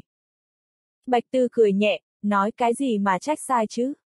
Thật ra trước đây ta cũng thật sự đã làm sai, nhưng ta cũng không nhớ là sai ở điểm nào. Những chuyện không liên quan đến Hy Bình ta đều không nhớ, ta chỉ nhớ hắn, hắn là tình yêu duy nhất của ta, cũng là phụ thân của hài tử trong bụng ta, dù hắn chết rồi, nhưng toàn bộ ta vĩnh viễn đều là của hắn. Đỗ Thanh Phong nói, Kiệt Anh nói cũng không phải là không có lý, nếu như ngạnh công, chúng ta không thể thắng được, nếu như từ chính giữa thành môn mà đột phá thật nhanh có lẽ có thể thắng được, nhưng không phải ai cũng đều có khả năng giống như người trong võ lâm bọn ta, có thể trong thời gian ngắn dùng khinh công mà vào trong thành, mà cho dù người võ lâm mà có vào được thành thì cũng sẽ bị binh lính trong thành loạn đao chém chết, Đại Phong, việc ngươi huấn luyện 5.000 cung tiễn thủ tiến triển đến đâu rồi? Đại Phong nói, tiền bối, tôi cũng đang muốn bẩm báo, trải qua một tháng huấn luyện, đã có thể chiến đấu được rồi. Tứ cẩu vỗ vai Đại Phong, cười nói, quả nhiên xứng đáng là trưởng thôn anh minh của Hoàn Sơn thôn chúng ta, thật lợi hại. Ngươi còn lợi hại hơn, đến độ bị một lão đầu lừa, còn khiến cho lão bà bị nhốt trong một chỗ bé tẹo, nếu không phải chúng ta đến cứu ngươi ra thì chắc là ngươi vẫn còn ở chỗ đấy mà đại tiểu tiện rồi. Tứ cẩu cười mắng, đại phong, ta và ngươi là bạn với nhau từ lúc nhỏ cho đến lúc lớn, ngươi sao lại xỏ ta vậy? Cẩn thận nếu không ta quay về cũng đem ngươi và lão bà của ngươi nhốt lại giờ. Hắc hắc, bất quá, mẹ kiếp đúng là bực mình, tứ cầu ta từ trước đến này chưa từng chịu thiệt, thế nên sau khi ta đi, cũng đã đem lão đầu đó nhốt lại ở một chỗ còn nhỏ hơn, để cho hắn tự sát bằng mấy thứ mà hắn thải ra, hắc hắc. Lôi phượng mắng, tứ cẩu có cái gì đáng cười chứ? Nếu không phải là tại ngươi làm việc không ra gì thì Hy Bình đã không xảy ra chuyện. Tứ cẩu nhớ đến cái chết của Hy Bình, mặt không cười nổi, cúi đầu nói, hắn ban đầu bảo ta cố ý đến cái bang, đợi đến lúc đại địa minh lộ nguyên hình, thì mới quay lại. Ai, tất cả là vì ta đã quá tin lão đầu đấy. Độc cô Minh nói, thật ra cũng không thể trách người được, ai mà ngờ được tiếu diện cái lại là phó môn chủ tập ảnh của đại địa minh chứ, đến cả phong bang chủ còn không biết huống chi là ngươi, vốn là cậu. Độc cô Minh, ngươi không phải là muốn khiêu chiến với ta chứ? Hoa tiểu ba nói, tứ cậu sư phụ, người hiện giờ không phải là đối thủ của độc cô lão đại đâu, độc cô lão đại giờ là truyền nhân cuối cùng của huyết ma, cây thương của người không đủ đâu. Ngươi nói cây thương nào? Cái này hả? Tứ cẩu lấy tay chỉ vào giữa khố, đột nhiên thấy đầu đau nhói, đã bị Lan Hoa đứng sau lưng cốc mạnh vào đầu hắn. Chỉ thấy Lan Hoa nói, giờ là lúc nào rồi mà ngươi còn cười đùa, mọi người ai nấy đều đang đau lòng. Tứ cẩu quay đầu lại, nhìn thấy nước mắt trong mắt Lan Hoa. Hắn đột nhiên cảm thấy không phải với Hy Bình, nếu như lúc đấy, hắn không nghe theo lời Hy Bình nếu hắn và cái bang có ở Long Thành thì đã không để Hy Bình phải đơn độc chiến đấu. Thi Bình, lúc nào cũng háo cường, chỉ dùng sức lực của bản thân mà ứng phó vô luận đối phương có bao nhiêu người, hắn đột nhiên nhớ đến những chuyện từ nhỏ đến lớn. Nguyên Na nói, muốn đánh thành môn, có thể vẫn còn một cách. Nói xem, nữ nhi của ta còn ở trong thành. Bạch Liên nói, bà nói đến nguyên chân bọn họ sao? Ta chẳng hy vọng gì vào bọn họ, bà cũng thấy rồi đấy, nữ nhi của bà đang xuất lĩnh quân đội của Lạc Hùng giết bao người của chúng ta. Tin cô ta ư, hanh, cô ta đã hoàn toàn bị Lạc Thiên mê hoặc rồi. Nguyên Na nói, không thể có chuyện đó, thật ra trong lòng chân nhi chỉ yêu có mình Hy Bình. Hơn nữa, Lạc Thiên có thể đem đến cái gì cho nó. Ngoài Hy Bình ra, nam nhân trên thế giới này không ai có thể đem cho nó cái gì. Thủy Khiết Thu nói, cô ấy yêu Hy Bình sao? Cô ấy yêu Hy Bình, thì sao lúc Hy Bình bị đại địa minh quần công, cô ấy lại tự thủ bàng quan? Nguyên Na nói, cái này.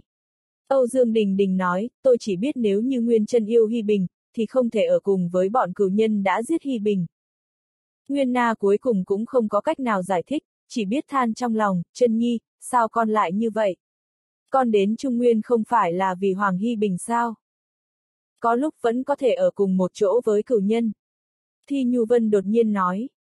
Câu nói của nữ hài khiến mọi người tại trường đều chấn kinh, cũng khiến bọn họ khó hiểu, có một vài người còn nghĩ, có lẽ cô ấy đang tự nói về mình, vì bản thân cô ấy cũng ở cùng với đại cửu nhân của mình a. À. Âu Dương Đình Đình trầm mặc suy nghĩ về chỗ độc đáo trong lời của Tiểu Nhu Vân, cô không nói gì thêm, chỉ nói một câu thì làm sao mà mọi người hiểu được. Từ phiêu nhiên đặc biệt không thể chịu nổi Thi Nhu Vân, chỉ vì mỗi lần nhìn thấy Thi Nhu Vân, ông lại nhớ đến Nhi Tử đã chết của mình, tuy nói Nhi Tử không phải là do Nhu Vân giết, hơn nữa hiện giờ đối với cái chết của Nhi Tử, ông đã nguôi ngoai, nhưng ông vẫn bất mãn với câu nói của Thi Nhu Vân, ông nói, đứa đàn bà ngu ngốc như ngươi nói gì vậy? Ai lại có thể ở cùng cừu nhân của mình chứ? Thi Nhu Vân dường như rất sợ từ phiêu nhiên, nghe thấy ông hét lên, liền ngậm miệng lại. Vưu túy thấy ngứa mắt, nói từ phiêu nhiên, sao ông lại lớn tiếng với Nhu Vân của chúng tôi? Ai động chạm gì tới ông chứ? Ai bảo nó nói câu ngu ngốc như vậy? Từ phiêu nhiên thật ra cũng sợ vưu túy, bởi vì ông tự biết mình không phải là đối thủ của vưu túy.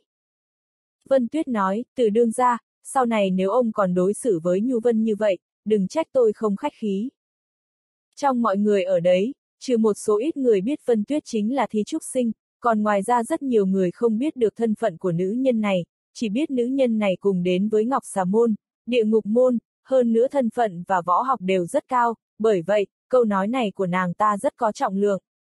Có điều khiến mọi người không hiểu là sao cô ta lại bảo vệ cho Thi Nhu Vân. Từ phiêu nhiên trong lòng phẫn nộ, mở miệng hét lên ta. Cha, đừng cãi nhau nữa. Từ bạch lộ đã đến, ôm chặt lấy Thi Nhu Vân nói, Tiểu Nhu Vân rất thiện lương, cô ấy thật đáng thương, cha đừng mắng cô ấy nữa, bọn con đều rất thương cô ấy. Nữ nhi đã nói vậy, từ phiêu nhiên cũng đành chịu. Thật ra, trong lòng ông cũng biết tiểu nữ hài trầm mặc này rất đáng thương, đáng yêu, chỉ là không biết sao lại cảm thấy khó chịu như vậy, hơn nữa mỗi lần mắng xong lại cảm thấy hối hận. Phong ái vũ đứng dậy, tiến đến nắm lấy tay Thi Nhu Vân nói, Nhu Vân, chúng ta ra ngoài đi. Chúng ta không biết võ công, cũng không biết đánh nhau, ta sẽ dạy cô cách chửi người, cãi nhau. Ái vũ, tôi cũng đi với hai người hoa tiểu mạn nói với theo. Hoa lôi cũng tự biết mình không giúp được gì, liền cùng với cháu gái và ái vũ, Nhu Vân ra khỏi doanh trướng. Không khí tiếp tục trầm mặc, lãnh như băng nói, mọi người thương lượng đã có kết quả gì chưa? Mọi người ai nấy đều trầm ngâm, nàng tiếp tục nói, nếu không ai nói gì, thì để tôi nói vậy, Phượng Tỷ nói rất đúng, Hy Bình sống chết còn chưa rõ đừng hỏi tôi tại sao, trước khi chưa tìm thấy thi thể của hắn, tôi vĩnh viễn không tin rằng hắn đã chết. Nhưng, chúng ta nhất định phải phục cừu, đại địa minh muốn hại nam nhân của chúng ta, chúng ta cũng không để cho chúng đắc ý được. Lúc đấy, nếu không phải tôi cùng Phượng Tỷ đang ở trường Xuân Đường, với thái độ của đại địa minh với Hy Bình như vậy, chắc chắn chúng tôi cũng không thể chịu nổi. Tôi quyết định, theo như Phượng Tỷ đề xuất, ngày mai, quyết chiến. Được ngày mai, Mộng Hương và Thiên Diệp bội cùng nói. Trời đêm long thành ánh sao vẫn như xưa, tỏa sáng trói lọi. Tai nạn của người trên thế gian so với mỗi ánh tinh quang trên bầu trời mịt mù thì hãy còn mờ nhạt hơn, không gian như đã chuẩn bị một trường địa vì những tai nạn đang tới này, nhưng cũng không vì vậy mà cảm thấy bất an chút nào. Thời gian dường đang thể hiện một nỗi bi ai, nhưng tự thời gian cũng chưa chắc đã cảm nhận thấy điều đấy. Long Thành đang khủng hoảng và bất an, nhưng bầu trời đêm không vì thế mà tĩnh lặng. Có lẽ vạn vật trong đêm đều đang chờ đợi sự huyên náo lúc bình minh. Còn người dân trong Long Thành thì sao? Họ đang chờ đợi cái gì chính họ cũng không biết. Có lẽ là đang chờ đợi sự chết chóc. Cha con Lạc Hùng đang chờ đợi điều gì? Đợi sự hối hận ư? Thực ra họ đã đang hối hận rồi, vì tình hình hiện nay đã không như họ đã mong muốn, và kế hoạch ban đầu của họ lại có một điều không tưởng đã xảy ra. Họ ban đầu chỉ định dùng hy bình để dụ huyết ma xuất đầu lộ diện, sau đó để cả võ lâm truy sát cha con huyết ma. Đây căn bản chỉ là tư thù nhưng xét ở mọi góc độ thì đều có lợi cho đại địa minh, vì vậy cho dù là về công hay tư họ cảm thấy điều mình đã làm là đúng. Nhưng cái chết của Hoàng Hy Bình lại dẫn đến một cuộc chiến tranh. Dù trong kế hoạch ban đầu của họ đã tính toán kỹ càng cũng không ngờ ngày hôm nay lại bị vây hãm tại Long Thành, không thể tiến thoái, mà bên ám Long cũng không có lấy một nửa tin tức gì, họ cũng không có cách nào phái người ra khỏi thành để liên lạc được với ám Long bên ngoài, phục cứu quân cơ hồ còn tàn nhẫn hơn cả sự tưởng tượng của họ, tuyệt không bỏ qua bất cứ một mạng nào. Ám Long, tự bản thân hắn cũng cảm thấy khó xử hắn đã cùng với Dương Y trốn chạy biệt vô âm tích, tuy nói là không bội phản lại Lạc Hùng, nhưng hắn cũng biết, nhiệm vụ thất bại, trở về đại địa minh cũng chỉ một con đường chết mà thôi. Côn trùng còn ham sống huống chi là con người, chỉ là ngộ bất tòng quyền mà thôi. Mẹ kiếp, người bất lực thì cũng phải có quyền được sống chứ. Lạc Hùng tất nhiên là không thể biết được tình hình hoàng thành bên chỗ ám long, nhưng việc mất liên lạc một khoảng thời gian khiến hắn dự cảm thấy ít nhiều bất an, nếu như Hoàng Thành bên chỗ ám long thất thế ngoài việc phải đối đầu với đội quân báo thù cho Hoàng Hy Bình ra còn phải ứng phó đội quân triều đình mạnh mẽ vô bỉ. Thậm chí là cả với đám quân triều đình mà hắn đang điều khiển. Lúc này, cha con Lạc Hùng đang cùng những nhân vật quan trọng trong đại địa minh nghị sự tại phòng khách, dù đêm đã rất khuya nhưng họ không thể ngủ được. Cả một đời Lạc Hùng đều nghĩ việc xưng bá võ lâm, đến đời con trai hắn Lạc Thiên cũng nghĩ trở thành nhất đại minh quân. Nhưng chỉ là tương lai thật khó đoán trước, như tình hình hiện nay, đầu họ dù có nghĩ trăm vạn lần đều vô dụng. Minh chủ, nếu cứ tiếp tục như thế này thì chúng ta sẽ không chịu được lâu. Dù bọn chúng không đến tấn công thì dân chúng Long Thành cũng sẽ phản chúng ta mà thôi. Phó Minh chủ huyết đạt nói, chúng ta cơ bản không thể khống chế được quân đội, ngay cả đám võ lâm nhân sĩ của chúng ta, trong lúc không biết ngày mai sống chết ra sao, đã bắt đầu động thủ đối với dân chúng Long Thành, đốt nhà, cướp bóc, gian dâm chuyện gì cũng làm. Bách Tư nói, đấy là điều tất nhiên trong tình hình này phát sinh những việc thế này cũng là lẽ thường tình. Ninh Phi nói, lúc đầu, thật không lên đối phó với Hoàng Hy Bình. Hắn ngoài việc là con trai của huyết ma gia các việc khác đều không trở ngại gì cho chúng ta. Lạc Thiên, bây giờ nói điều này thì có tác dụng gì? Hoàng Hy Bình đã chết rồi. Tôi có cảm giác hắn vẫn có thể chưa chết. Ninh Phi, nhìn tướng của hắn tuyệt không phải là người dễ hiểu mạng. Lỗ ra nói, hắn làm sao mà không chết cho được. Thương ưng nói, tôi cũng có cảm giác hắn chưa chết. Lạc Hỏa cũng nói, không biết tại sao, từ lần đầu gặp hắn ở võ đấu môn, tôi đã thấy hắn cảm thấy hắn như là con quái vật không hề biết đến cái chết, đến tận rất lâu sau này, thực lòng tôi không bao giờ nghĩ đến việc đối địch với hắn. Lúc đầu tôi cũng đã nói với minh chủ về hắn, nhưng các người cơ hồ không một ai để ý lời tôi nói. Cả đời tôi chưa từng biết đến đứng trước mặt một người mà trong lòng cảm thấy sợ hãi run rẩy đến thế nhưng đồng thời cảm thấy ít nhiều kính phục. Hắn không phải là loại người có thể dùng võ lực giải quyết, giống như tình hình sắp tới của chúng ta, đã sớm không còn là chuyện của võ lâm nữa rồi. Tôi đang nghĩ con người Hoàng Hy Bình, võ công của hắn có lẽ thực lực thì không có gì, nhưng hắn đích thực là người can đảm kỳ lạ. Lạc Thủy, ông cũng cho rằng Hoàng Hy Bình chưa chết ư. Ừ. Lạc Thổ nói, tôi không tán thành cách nói của ả ông, tôi cảm thấy võ công của hắn thực sự rất mạnh, trước đây nhất thời đã xem thường hắn, thế nhưng bất luận là hắn là cuồng đao học từ lôi kiếp thần đao hay chỉ đơn giản như bộ quyền mà khi đánh ra có tiếng sấm của hắn cũng cơ hồ như võ công vô địch vậy, trước đây chưa bao giờ từng nghe nói đến bộ quyền pháp này bao giờ. Lạc Mộc nói, có thể là do hắn tự sáng tạo ra. Thân thể của hắn còn cứng hơn cả tôi. Người mang kim cương bất hoại thân, Lạc Kim nói. Huyết đạt tổng kết, nói tóm lại, tay Hoàng Hy Bình này đích thực là một con quái vật, chứa vô số điều bí ẩn. Lỗ ra nói, kinh khủng nhất là đám nữ nhân của hắn sao nhiều thế, hơn nữa, đám nữ nhân này còn lập thành được một đám quân phục cừu đánh cho chúng ta thê thảm như vậy. Bọn nữ nhân đó, đợi đến khi chúng ta thắng xong sẽ chơi chúng một phen, hắc hắc, bọn bà nương đấy tuy đứa nào cũng bụng to, nhưng chúng đúng là quá đẹp, nhìn cứ gọi là chảy nước. Bách tư mắng, người đúng là thô bỉ, chết đến nơi rồi mà còn mơ đến chuyện đấy à? Lỗ ra cười nói, làm người tốt thì nhanh chết lắm, thế nên phải chơi hết mình, người không biết, thời gian qua, ở Long Thành này không biết đã có bao nhiêu con gái nhà lành bị lỗ ra ta cưỡng gian rồi, ha ha. Lạc Hùng nói, nói mấy chuyện đấy làm gì, còn không mau nghĩ xem là cách nào để phá địch đi. Lỗ ra nói, chúng ta cố thủ không ra, bọn chúng cũng chẳng làm gì ta được, nếu bọn chúng cường công, thì bọn chúng bại là cái chắc, đến lúc đó thì nào là nữ nhân mỹ lệ, đến các nữ binh cao lớn cường tráng, còn có cả Minh Nguyệt Phong. Huyết đạt hét lên, câm mồm đi, người đúng là đồ con lợn.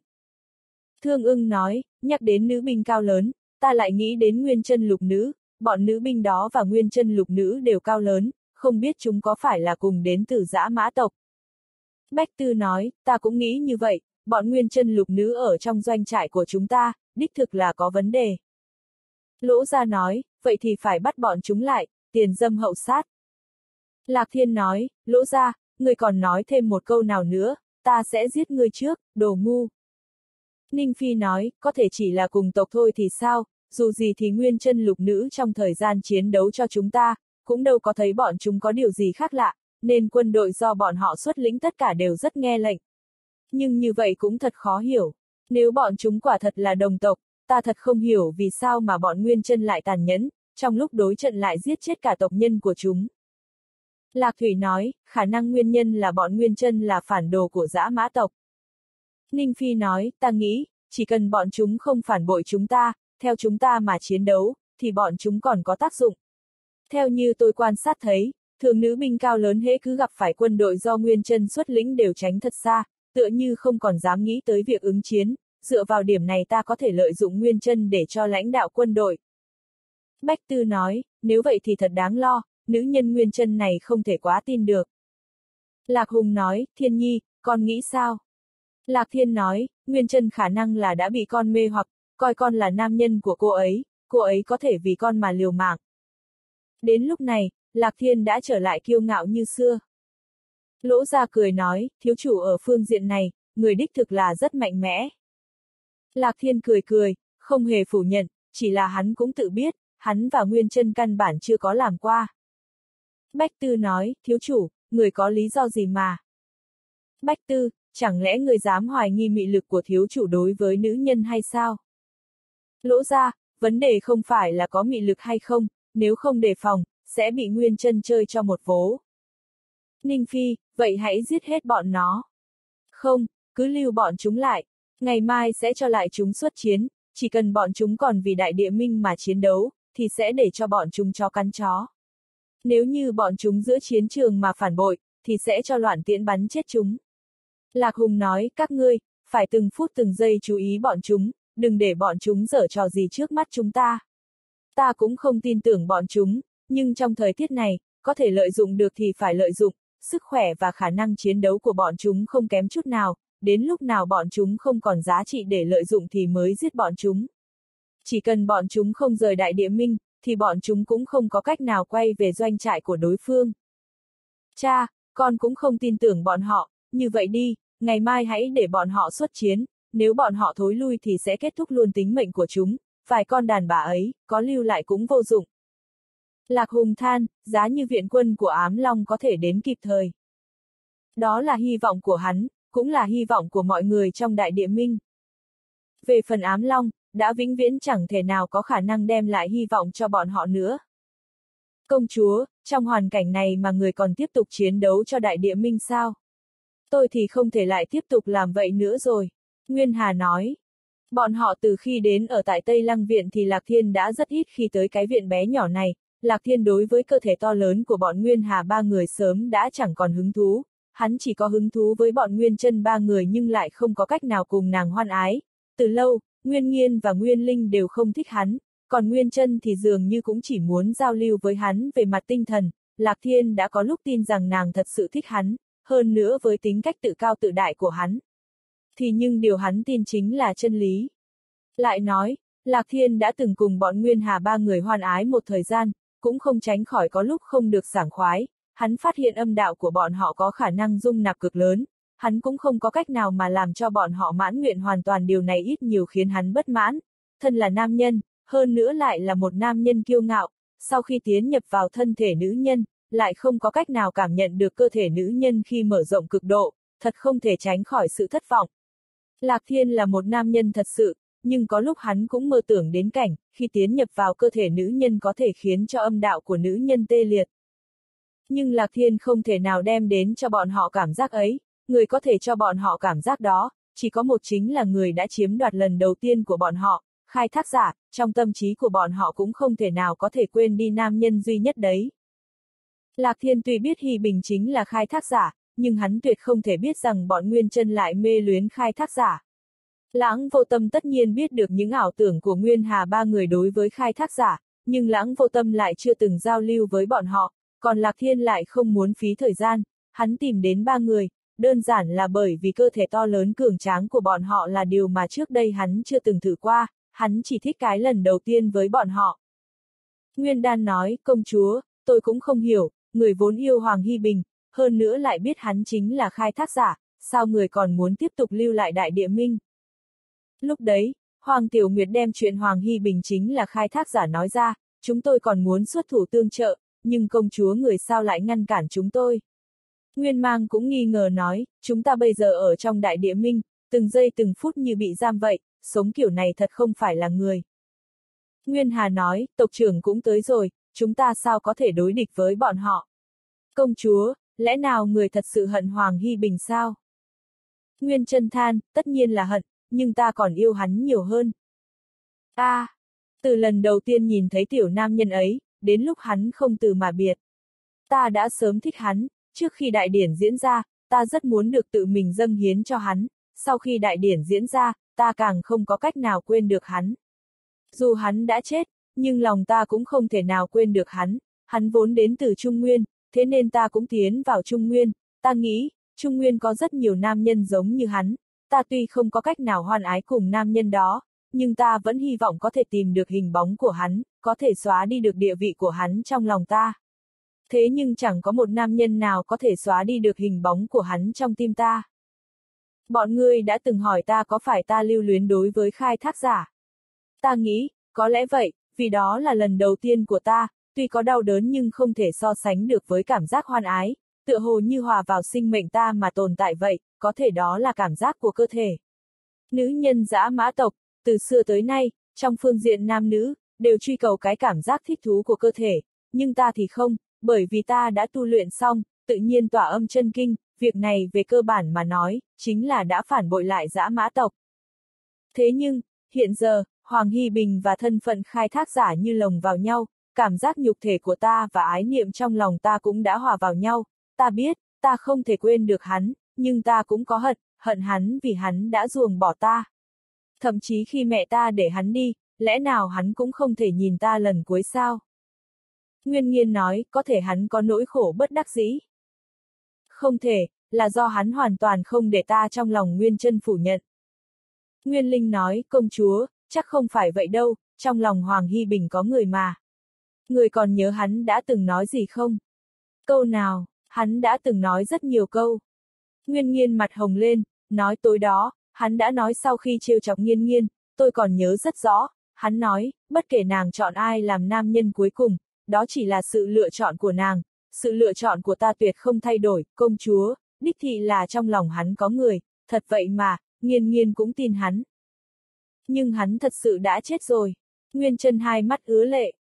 Nguyên nghiên nói, không đâu, tôi tin hắn vẫn còn sống. Đã bao nhiêu đời nay, khai thác giả của chúng ta không ai là không chết ngay, nhưng hắn lại là khai thác giả duy nhất vẫn còn sống, bản thân hắn chắc không phải là người thường, không tìm thấy thi thể của hắn thì có thể chứng minh rằng hắn vẫn còn chưa chết. Nguyên Hà nói, nếu như hắn chưa chết, hắn còn muốn gặp chúng ta sao? Nguyên Nghiên nói, người đã quên hắn đã nói gì sao?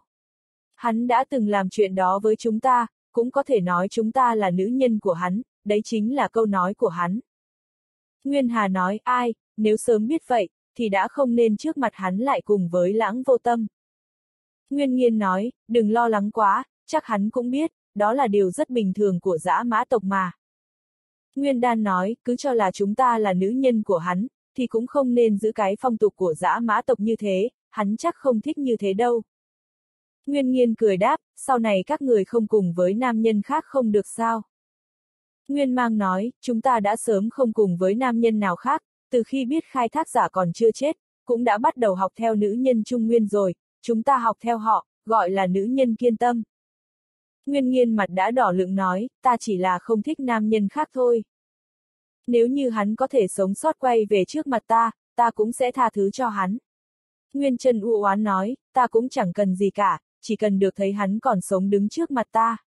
Ta lúc đầu sở dĩ còn tiếp tục lưu lại đại địa minh, tuyệt không phải là không nghĩ qua, ta nghĩ, hắn nếu có khó khăn, có lẽ ta có thể từ trong giúp được.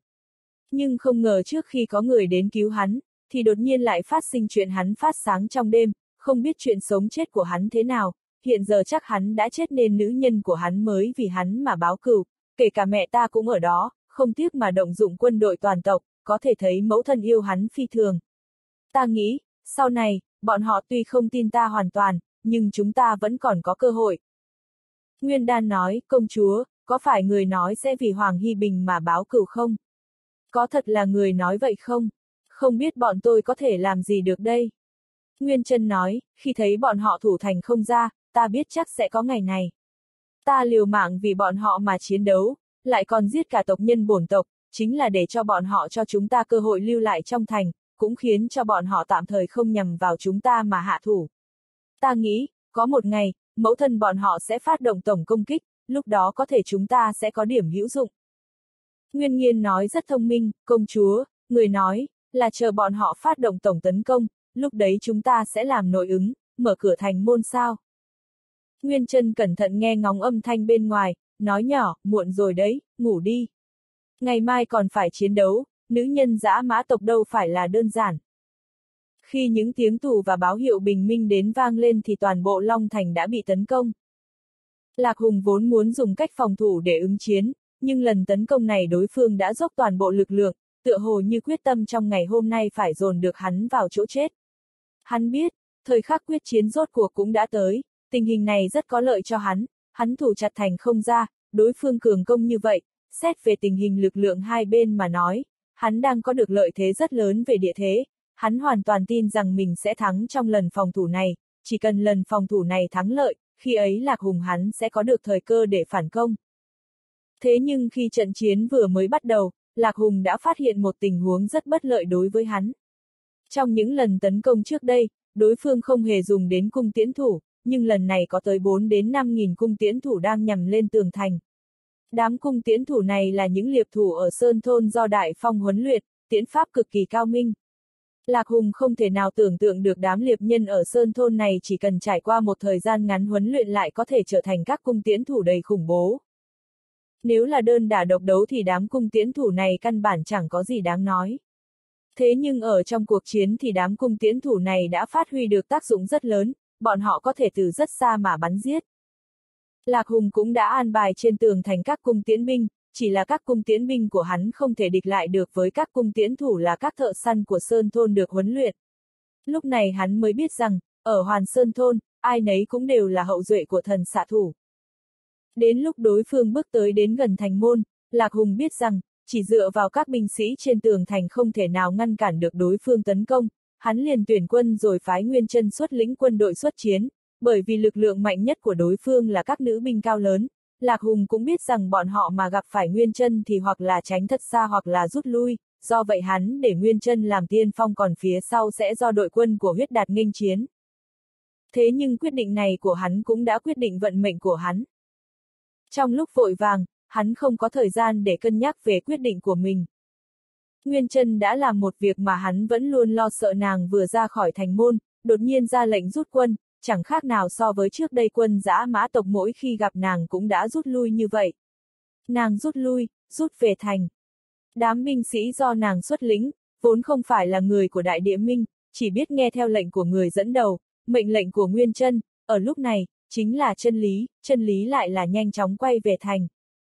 Thành môn không có cách nào đóng lại nhanh chóng, hơn nữa lúc các binh sĩ thủ thành muốn đóng cửa thành thì cũng là lúc nguyên chân lục nữ bắt đầu hạ thủ bọn họ.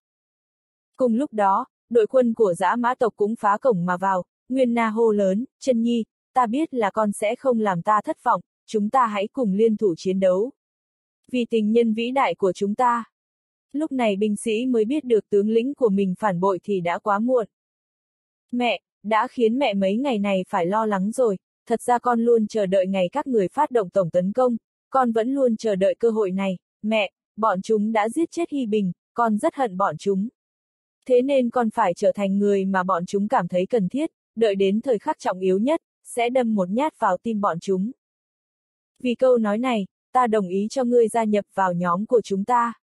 Một nữ kỵ sĩ tráng kiện đi đến bên cạnh Nguyên chân nói. Nguyên Trân hỏi, mẹ, cô ấy là ai? Nguyên Na nói, nàng ấy là đệ nhất phu nhân của Hy Bình, tên là Lôi Phượng, tất cả nữ nhân của Hy Bình đều nghe theo nàng ấy. Nguyên Trân ngạc nhiên, rốt cuộc là gã có bao nhiêu nữ nhân vậy, ta chưa thấy qua. Rất nhiều, bọn họ đều tin rằng Hy Bình chưa chết, đợi đến sau khi chúng ta giết được tiểu minh chủ Trung Nguyên, chúng ta sẽ tập hợp lại, lúc ấy mọi người sẽ làm quen với nhau. Mẹ cũng chỉ vừa mới quen bọn họ, thật ra mẹ không cần là một nữ nhân của hắn mà chỉ cần là tình nhân của hắn thôi, tình nhân vĩnh viễn. Nguyên Na nhìn Nguyên Trân, khẽ cười nói, con là nữ nhân của hắn, bởi vậy phải vì hắn mà chiến đấu. Mẹ thật sự rất vui vì con đã quay về phía chúng ta, để hai mẹ con có thể cùng chiến đấu vì một nam nhân. Nguyên Trân nói, con đến Trung Nguyên, ban đầu chỉ là muốn quên được hắn, nhưng con không ngờ được hắn vẫn còn chưa chết. Hắn là khai thác giả, là nam nhân đầu tiên của con, cũng là nam nhân duy nhất, con tự nhiên không có cách nào quên được hắn, cũng không thể nào thật sự hận hắn, con chỉ còn cách nhớ tới hắn thôi.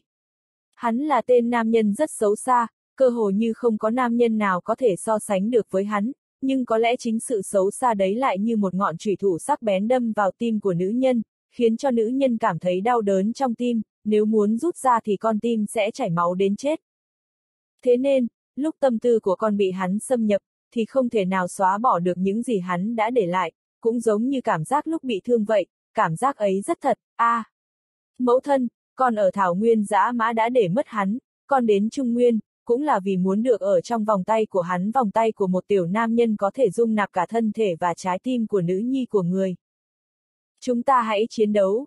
Đây là cuộc chiến cuối cùng, ta đã nhẫn nại chờ đợi quá lâu. Nguyên chân đột nhiên quay đầu ngựa, xông vào trong thành.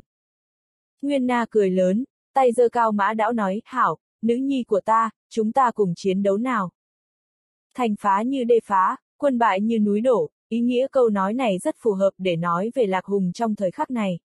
Hắn không thể tưởng tượng được rằng Nguyên chân có thể phản bội trong lúc này, trước đấy hắn vẫn còn nghĩ đó không phải là phản bội, mà chỉ là quay lại, quay lại về phía trận doanh của bọn hắn. Thành bị phá trong tình huống không hề có sự phòng thủ. Các binh sĩ trên tường thành bị các cung tiễn thủ do Đại Phong xuất lĩnh khống chế.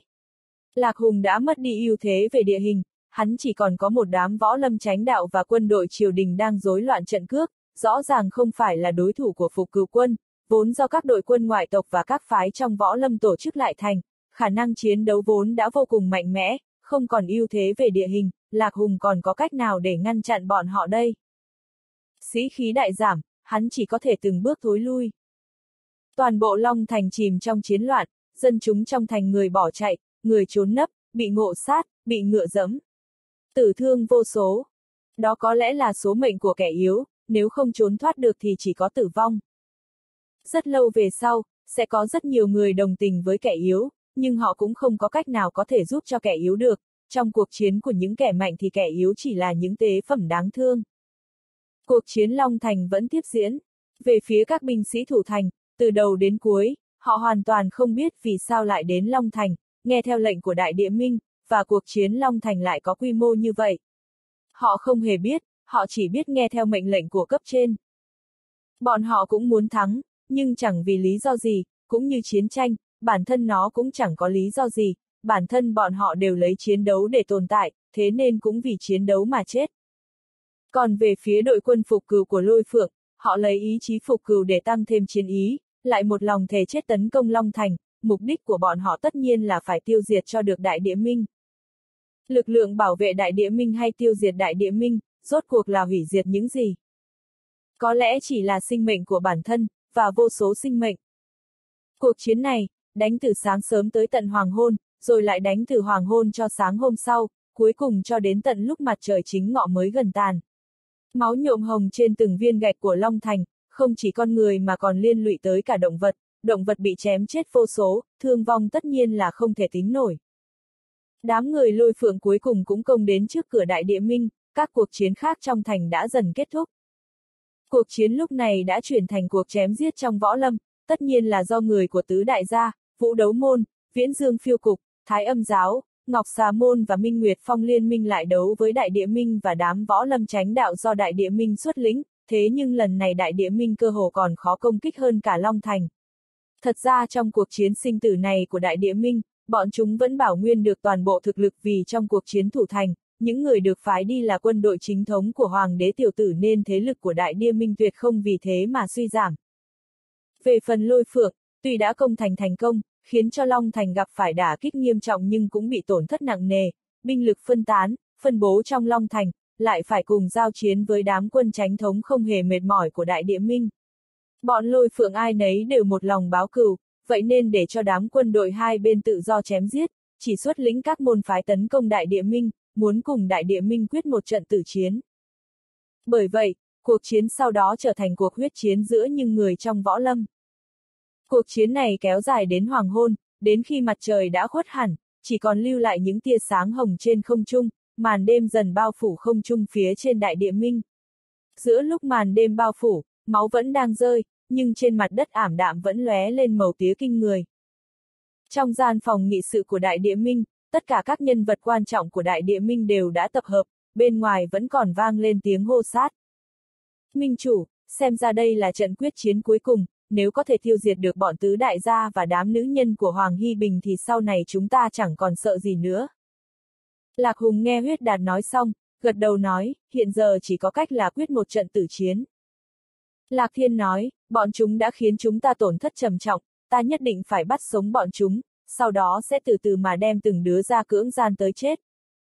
Trong ánh mắt của hắn lộ ra những tia tàn nhẫn, Lạc Hùng nhìn nhi tử của mình, không nói gì. Lỗ ra nói, thiếu minh chủ nói rất đúng, bọn nữ nhân đó nên bị luân phiên hãm hiếp tới chết. Thương ưng nói, nếu trong cuộc chiến đấu vừa rồi mà có sự giúp đỡ của tiên duyên cốc thì đâu đến nỗi. Không thể ngờ được, tiên duyên cốc không những không giúp đỡ, mà nữ nhi của bọn họ lại xuất lĩnh tiên duyên cốc liên hợp với xà thần bộ lạc để đối địch với chúng ta. Ai? Lạc Hùng ánh mắt đầy vẻ bi thương, hắn có hai vị muội muội, một người thì phản bội lại hắn, đối địch với hắn, một người thì hoàn toàn không quan tâm. Nếu như Lạc Gia và Thủy Thiên Trường xuất lĩnh tiên duyên cốc tới giúp cho hắn, hắn chắc chắn sẽ không rơi vào tình cảnh này, thế nhưng hắn không thể nào đoán được, người Lạc U Nhi yêu lại không phải là Lâm Khiếu Thiên mà lại chính là Hoàng Hy Bình có lẽ lên gọi là Lâm Hy Bình, chỉ là đã quen gọi là Hoàng Hy Bình Hy Bình đã hóa giải tuyết kình chi thân cho Thủy Khiết Thu, khiến cho Thủy Khiết Thu đối với gã, yêu sâu như biển, hơn nữa, công chúa duy nhất còn lại của xà thần bộ lạc lại là nữ nhân của Hy Bình. Khiến cho hắn mất đi sự trợ lực từ tiên duyên cốc và xà thần bộ lạc. Sự việc hôm nay, hắn nghĩ lại, cảm thấy bản thân mình, tuyệt không phải bị Lâm Khiếu Thiên đả bại, cũng không phải là bị Hoàng Hy Bình đả bại, càng không phải là bị tứ đại gia đả bại, đương nhiên cũng là Hoàng đế tiểu tử cũng chẳng có cách nào đả bại được hắn, chân chính đả bại hắn, lại là đám nữ nhân của Hoàng Hy Bình, bọn họ đều đã bụng to, thường ngày đều là những nữ nhân an tĩnh, không ai có thể tưởng tượng được bọn họ lại có thể phát động một lực lượng to lớn đến như vậy. Bọn hắn trước đây lúc tính toán thực lực của Hoàng Hy Bình, sao lại quên không tính đến đám nữ nhân có thể phát động lực lượng này. Cũng không hẳn như vậy, bọn hắn rõ ràng là đã tính đến, thế nhưng, lại ngoài sự tưởng tượng của bọn hắn, bọn họ không thể nào nghĩ tới giã mã tộc, bạch dương tộc và xà thần bộ lạc, bọn hắn vốn không hề quan tâm đến phương diện này, bởi vì ba bộ tộc này tuyệt không phải là người trong võ lâm, hơn nữa xà thần bộ lạc trước nay vẫn theo tiên duyên cốc, mà tiên duyên cốc lại có quan hệ rất sâu với hắn. Lại thêm chuyện bất lợi ở cái bang, hắn hoàn toàn không hiểu nổi, tập ảnh gã vì sao lại không giết tứ cẩu và phong tự lai. Hắn nghĩ mãi vẫn không hiểu, nhưng tập ảnh lại hoàn toàn không hối hận, nếu như hắn quả thật giết bọn tứ cẩu, hắn mới thật sự hối hận. Bởi vì hắn không giết tứ cẩu, nên lúc độc cô Minh muốn giết hắn, tứ cẩu và phong tự lai liền ngăn cản, chỉ là bảo hắn giấu kín chuyện này, cũng hoàn toàn không đối phó với người nhà của hắn. Tứ cẩu còn nói để hắn tự ngửi hương vị của mấy thứ hắn thải ra, đến lúc nào hắn đủ tỉnh ngộ, sẽ thả cho hắn đi, hắn trong lòng rất cảm động, hắn đã già rồi, không còn mong muốn điều gì nữa. Chỉ cần người nhà của hắn có thể bình an là hắn đã mãn nguyện lắm rồi, tự ngửi mấy đồ thải của mình thì có sao. Toàn bộ kế hoạch của bọn họ, cơ hồ đã bị đám nữ nhân của Hoàng Hy Bình phá hỏng, bọn hắn hận đám nữ nhân thấu xương nữ nhân, có những lúc đích xác là cực kỳ đáng hận. Bách Tư nói, bọn nguyên chân chúng, đúng là sơ suất của chúng ta, không thể ngờ rằng chúng lại nhanh đến thế. Lạc Thiên nói, đừng nhắc đến chuyện này nữa, việc đã xảy ra rồi, hồi hận cũng chẳng ích gì. Ta hận lúc trước đã. Hắn đột nhiên phát hiện mình cũng đang nói lời hối hận, lập tức ngậm miệng. Lạc Hùng nói, chưa đến phút chót thì hưu vào tay còn chưa biết. Bách Tư nói, tôi cũng thấy rằng, chúng ta vẫn có khả năng phản bại thành thắng, bọn nữ nhân đó nôn nóng muốn báo cửu, chắc chưa thể tổ chức được binh lực mạnh nhất đến đây, hơn nữa bọn chúng đã lâu không ăn không uống, lực chiến đấu tất giảm, tôi nghĩ, hiện giờ chính là thời cơ tốt nhất để chúng ta xuất chiến, chỉ cần đánh bại bọn chúng thì cuộc quyết chiến này, người thắng chính là chúng ta. Ninh Phi nói, không sai, chúng ta phải xuất chiến, không thể lại đợi ám long tới viện trợ nữa. Lỗ gia nói, gã bất lực ám long và Dương Y không biết đang làm trò quỷ gì, không lẽ một tên làm hoàng thượng một tên làm hoàng hậu rồi, thì mẹ kiếp, đã quên chúng ta rồi sao? Một ngày nào đó nhất định phải đánh cho chúng làm vạn mảnh. Bách Tư nói, có thể bọn họ có nguyên nhân nào đó. Có thể có nguyên nhân gì chứ? Lỗ ra phản bác. Lạc Hùng nhíu mày, nói, không nhắc tới bọn chúng nữa, nước xa không cứu được lửa gần, bây giờ lửa đã đốt tới lông mày rồi, chúng ta phải toàn lực cứu hỏa trước. Được rồi, chuẩn bị lên đường, giờ đã không còn đường lui nữa rồi. Lỗ ra hét lên, ta nhất định sẽ giết sạch bọn nữ nhân đấy, giết xong, cưỡng gian. Lạc Hùng, tới đây chịu chết đi.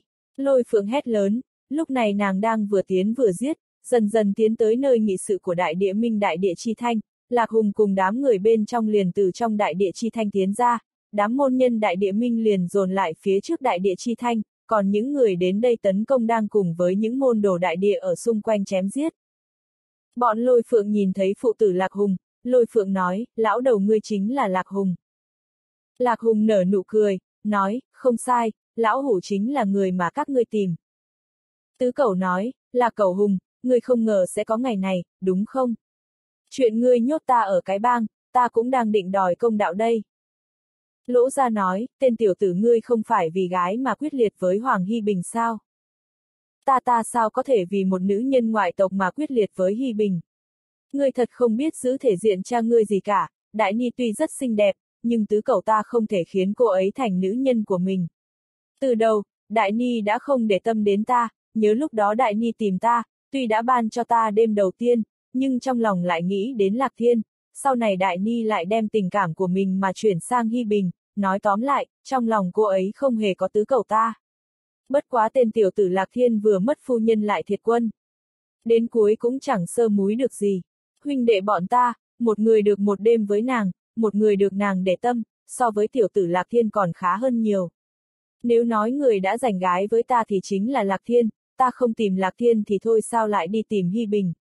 Nói cho các ngươi biết, Đại Ni tổng cộng đã tìm Hy Bình hai lần, cũng ở trước mặt Hy Bình mà hai lần thoát y vũ, lão tử ta đều biết, đừng nghĩ lão tử ta ngốc để các ngươi chơi xỏ. Lỗ ra nói, các ngươi diễn trò xong chưa? Chúng ta diễn giờ mới bắt đầu thấy có hứng. Tiếp thật, người không có trong lúc chúng ta ám toán, nếu không thì cũng đã đi theo Hoàng Hy Bình rồi. Ninh Phi đắc ý nói. Tứ cẩu và mọi người sắc mặt trầm xuống, mọi người trong cuộc đấu đều lộ rõ sát khí, tứ cẩu nói, ta và Hy Bình từ nhỏ tới lớn, chưa bao giờ ta nghĩ hắn lại đoản mệnh hơn ta, hơn nữa hắn cũng đã nói, mạng của hắn so với bất kỳ ai đều cứng hơn nhiều, Đại Phong, ngươi đến nói tiếp đi. Đại Phong nói, trong truyền thuyết của Hoàn Sơn Thôn, có một cái có liên quan tới Hoàng Hy Bình. Các ngươi nên biết rằng, người có thể nhất quyền đả hổ, tất phải có bản năng cầu sinh của dã thú, trước khi đánh ngã bọn ngươi, ta với thân phận là trưởng thôn, tất nhiên phải vì sự sống của người dân trong thôn mà nói. Cáp cáp, đám người của đại địa minh, ai nấy đều cười lớn. Lạc thổ nói, trưởng thôn, hóa ra là có trưởng thôn đến. Ôi, sợ quá, các ngươi chỉ là bọn dân thôn đừng nên đắc ý vội, đêm nay, các ngươi có thể đến được đại địa minh, nhưng tuyệt đối không thể ra khỏi đại địa minh. Hoa tiểu ba nói, xem xem, tên gia hỏa này cứ lớn tiếng cả ngày nói là quyền của hắn rất lợi hại, thế mà không biết sao lại bị tỷ phu một quyền đánh bay, thật rất đáng sợ. Lạc thổ sắc mặt khó coi, hét lớn, hoa tiểu ba, dám tới đây không? Hoa tiểu ba nói, chuyện vặt, nhưng người sắp chết tới nơi rồi, ai lại thèm đi đấu với người chết? Nếu là lúc bình thường, lạc thổ đã sớm đến nện cho hắn một trận, nhưng lúc này hai bên đối trận, cao thủ đối phương vô số, tuy công phu của hoa tiểu ba kém cỏi, hắn có thể đánh được nhưng lại không dám tới đánh nói không sợ chết, đúng là lời dám thối. Lạc thổ chỉ nói được, đồ nhát gan. Ngươi cũng là từ lão tử ta mà ra đấy, xúc sinh hoa tiểu ba chửi lại. Độc cô Minh nói, tiểu ba, giờ không phải là lúc đấu khẩu.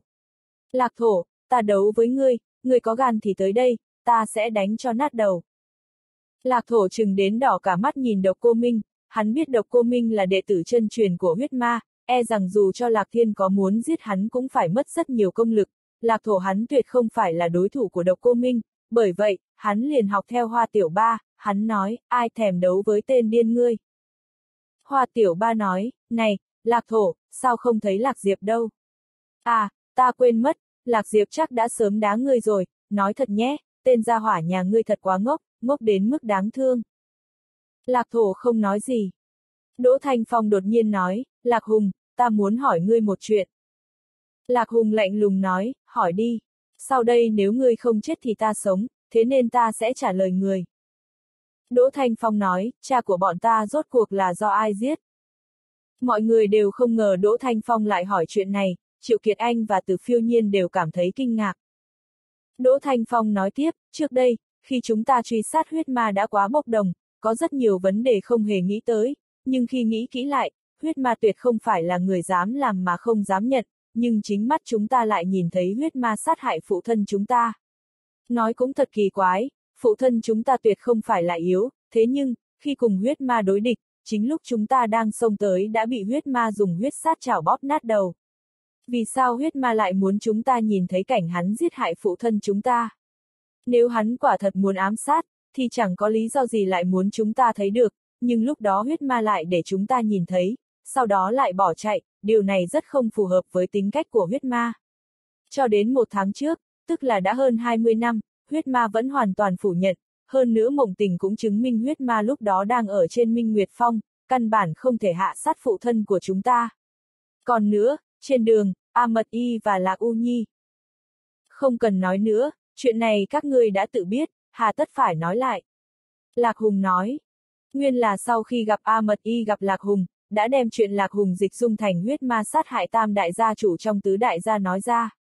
Lạc Hùng vốn biết rất nhiều loại võ công, năm xưa khi ám sát tam đại gia chủ, trước đó đã dùng tiêu công mê dược khiến cho công lực của tam đại gia chủ 10 phần chỉ còn được 7, trước lúc tung đòn tối hậu hạ sát các đại gia chủ, hắn cố ý phát ra tiếng cười lớn, để cho người của tứ đại gia đổ xô đến, sau đó trước mắt bọn họ, dùng huyết sát chảo hạ sát đối phương, khiến cho người của tứ đại gia đều cho rằng đó là hành vi của huyết ma. Triệu Kiệt Anh và Từ Phiêu Nhiên đồng thanh nói, người nói như vậy, phải chăng ngươi đã thừa nhận? Lạc Hùng nói, không sai, các ngươi muốn báo cửu thì tới đây. Từ 20 năm trước, ta đã tìm mọi cách để xưng bá võ lâm, bất kỳ kẻ nào có thể làm trở ngại cho kế hoạch của ta, ta đều không bỏ qua.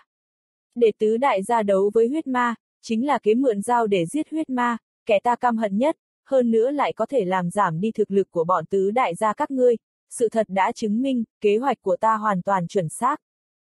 Đỗ Thanh Phong nói, Lạc Hùng, ít ra ngươi cũng có gan dám làm dám chịu. Hoa Tiểu Ba nói, sắp chết tới nơi rồi, có thể nhát gan được sao? Từ phiêu nhiên nói, hóa ra, mọi việc đều do ngươi gây ra, Hoàng Dương và Hoa Sơ khai hai tên tiểu tử đấy đã không nghĩ oan cho ngươi, mà chính là ngươi đã làm ta nghĩ oan cho họ. Lão tử ta giờ đây cuối cùng đã mãn nguyện, trước nay vẫn đợi nữ nhi lấy chồng, và tìm cửu nhân của nhi tử, mà có lỗi với tổ tông. Từ bạch lộ nói cha, sao lúc này cha lại cười? Ta thấy rất vui, bị lừa gạt hơn 20 năm, cuối cùng đã biết được cửu nhân chân chính, chết cũng sáng mắt.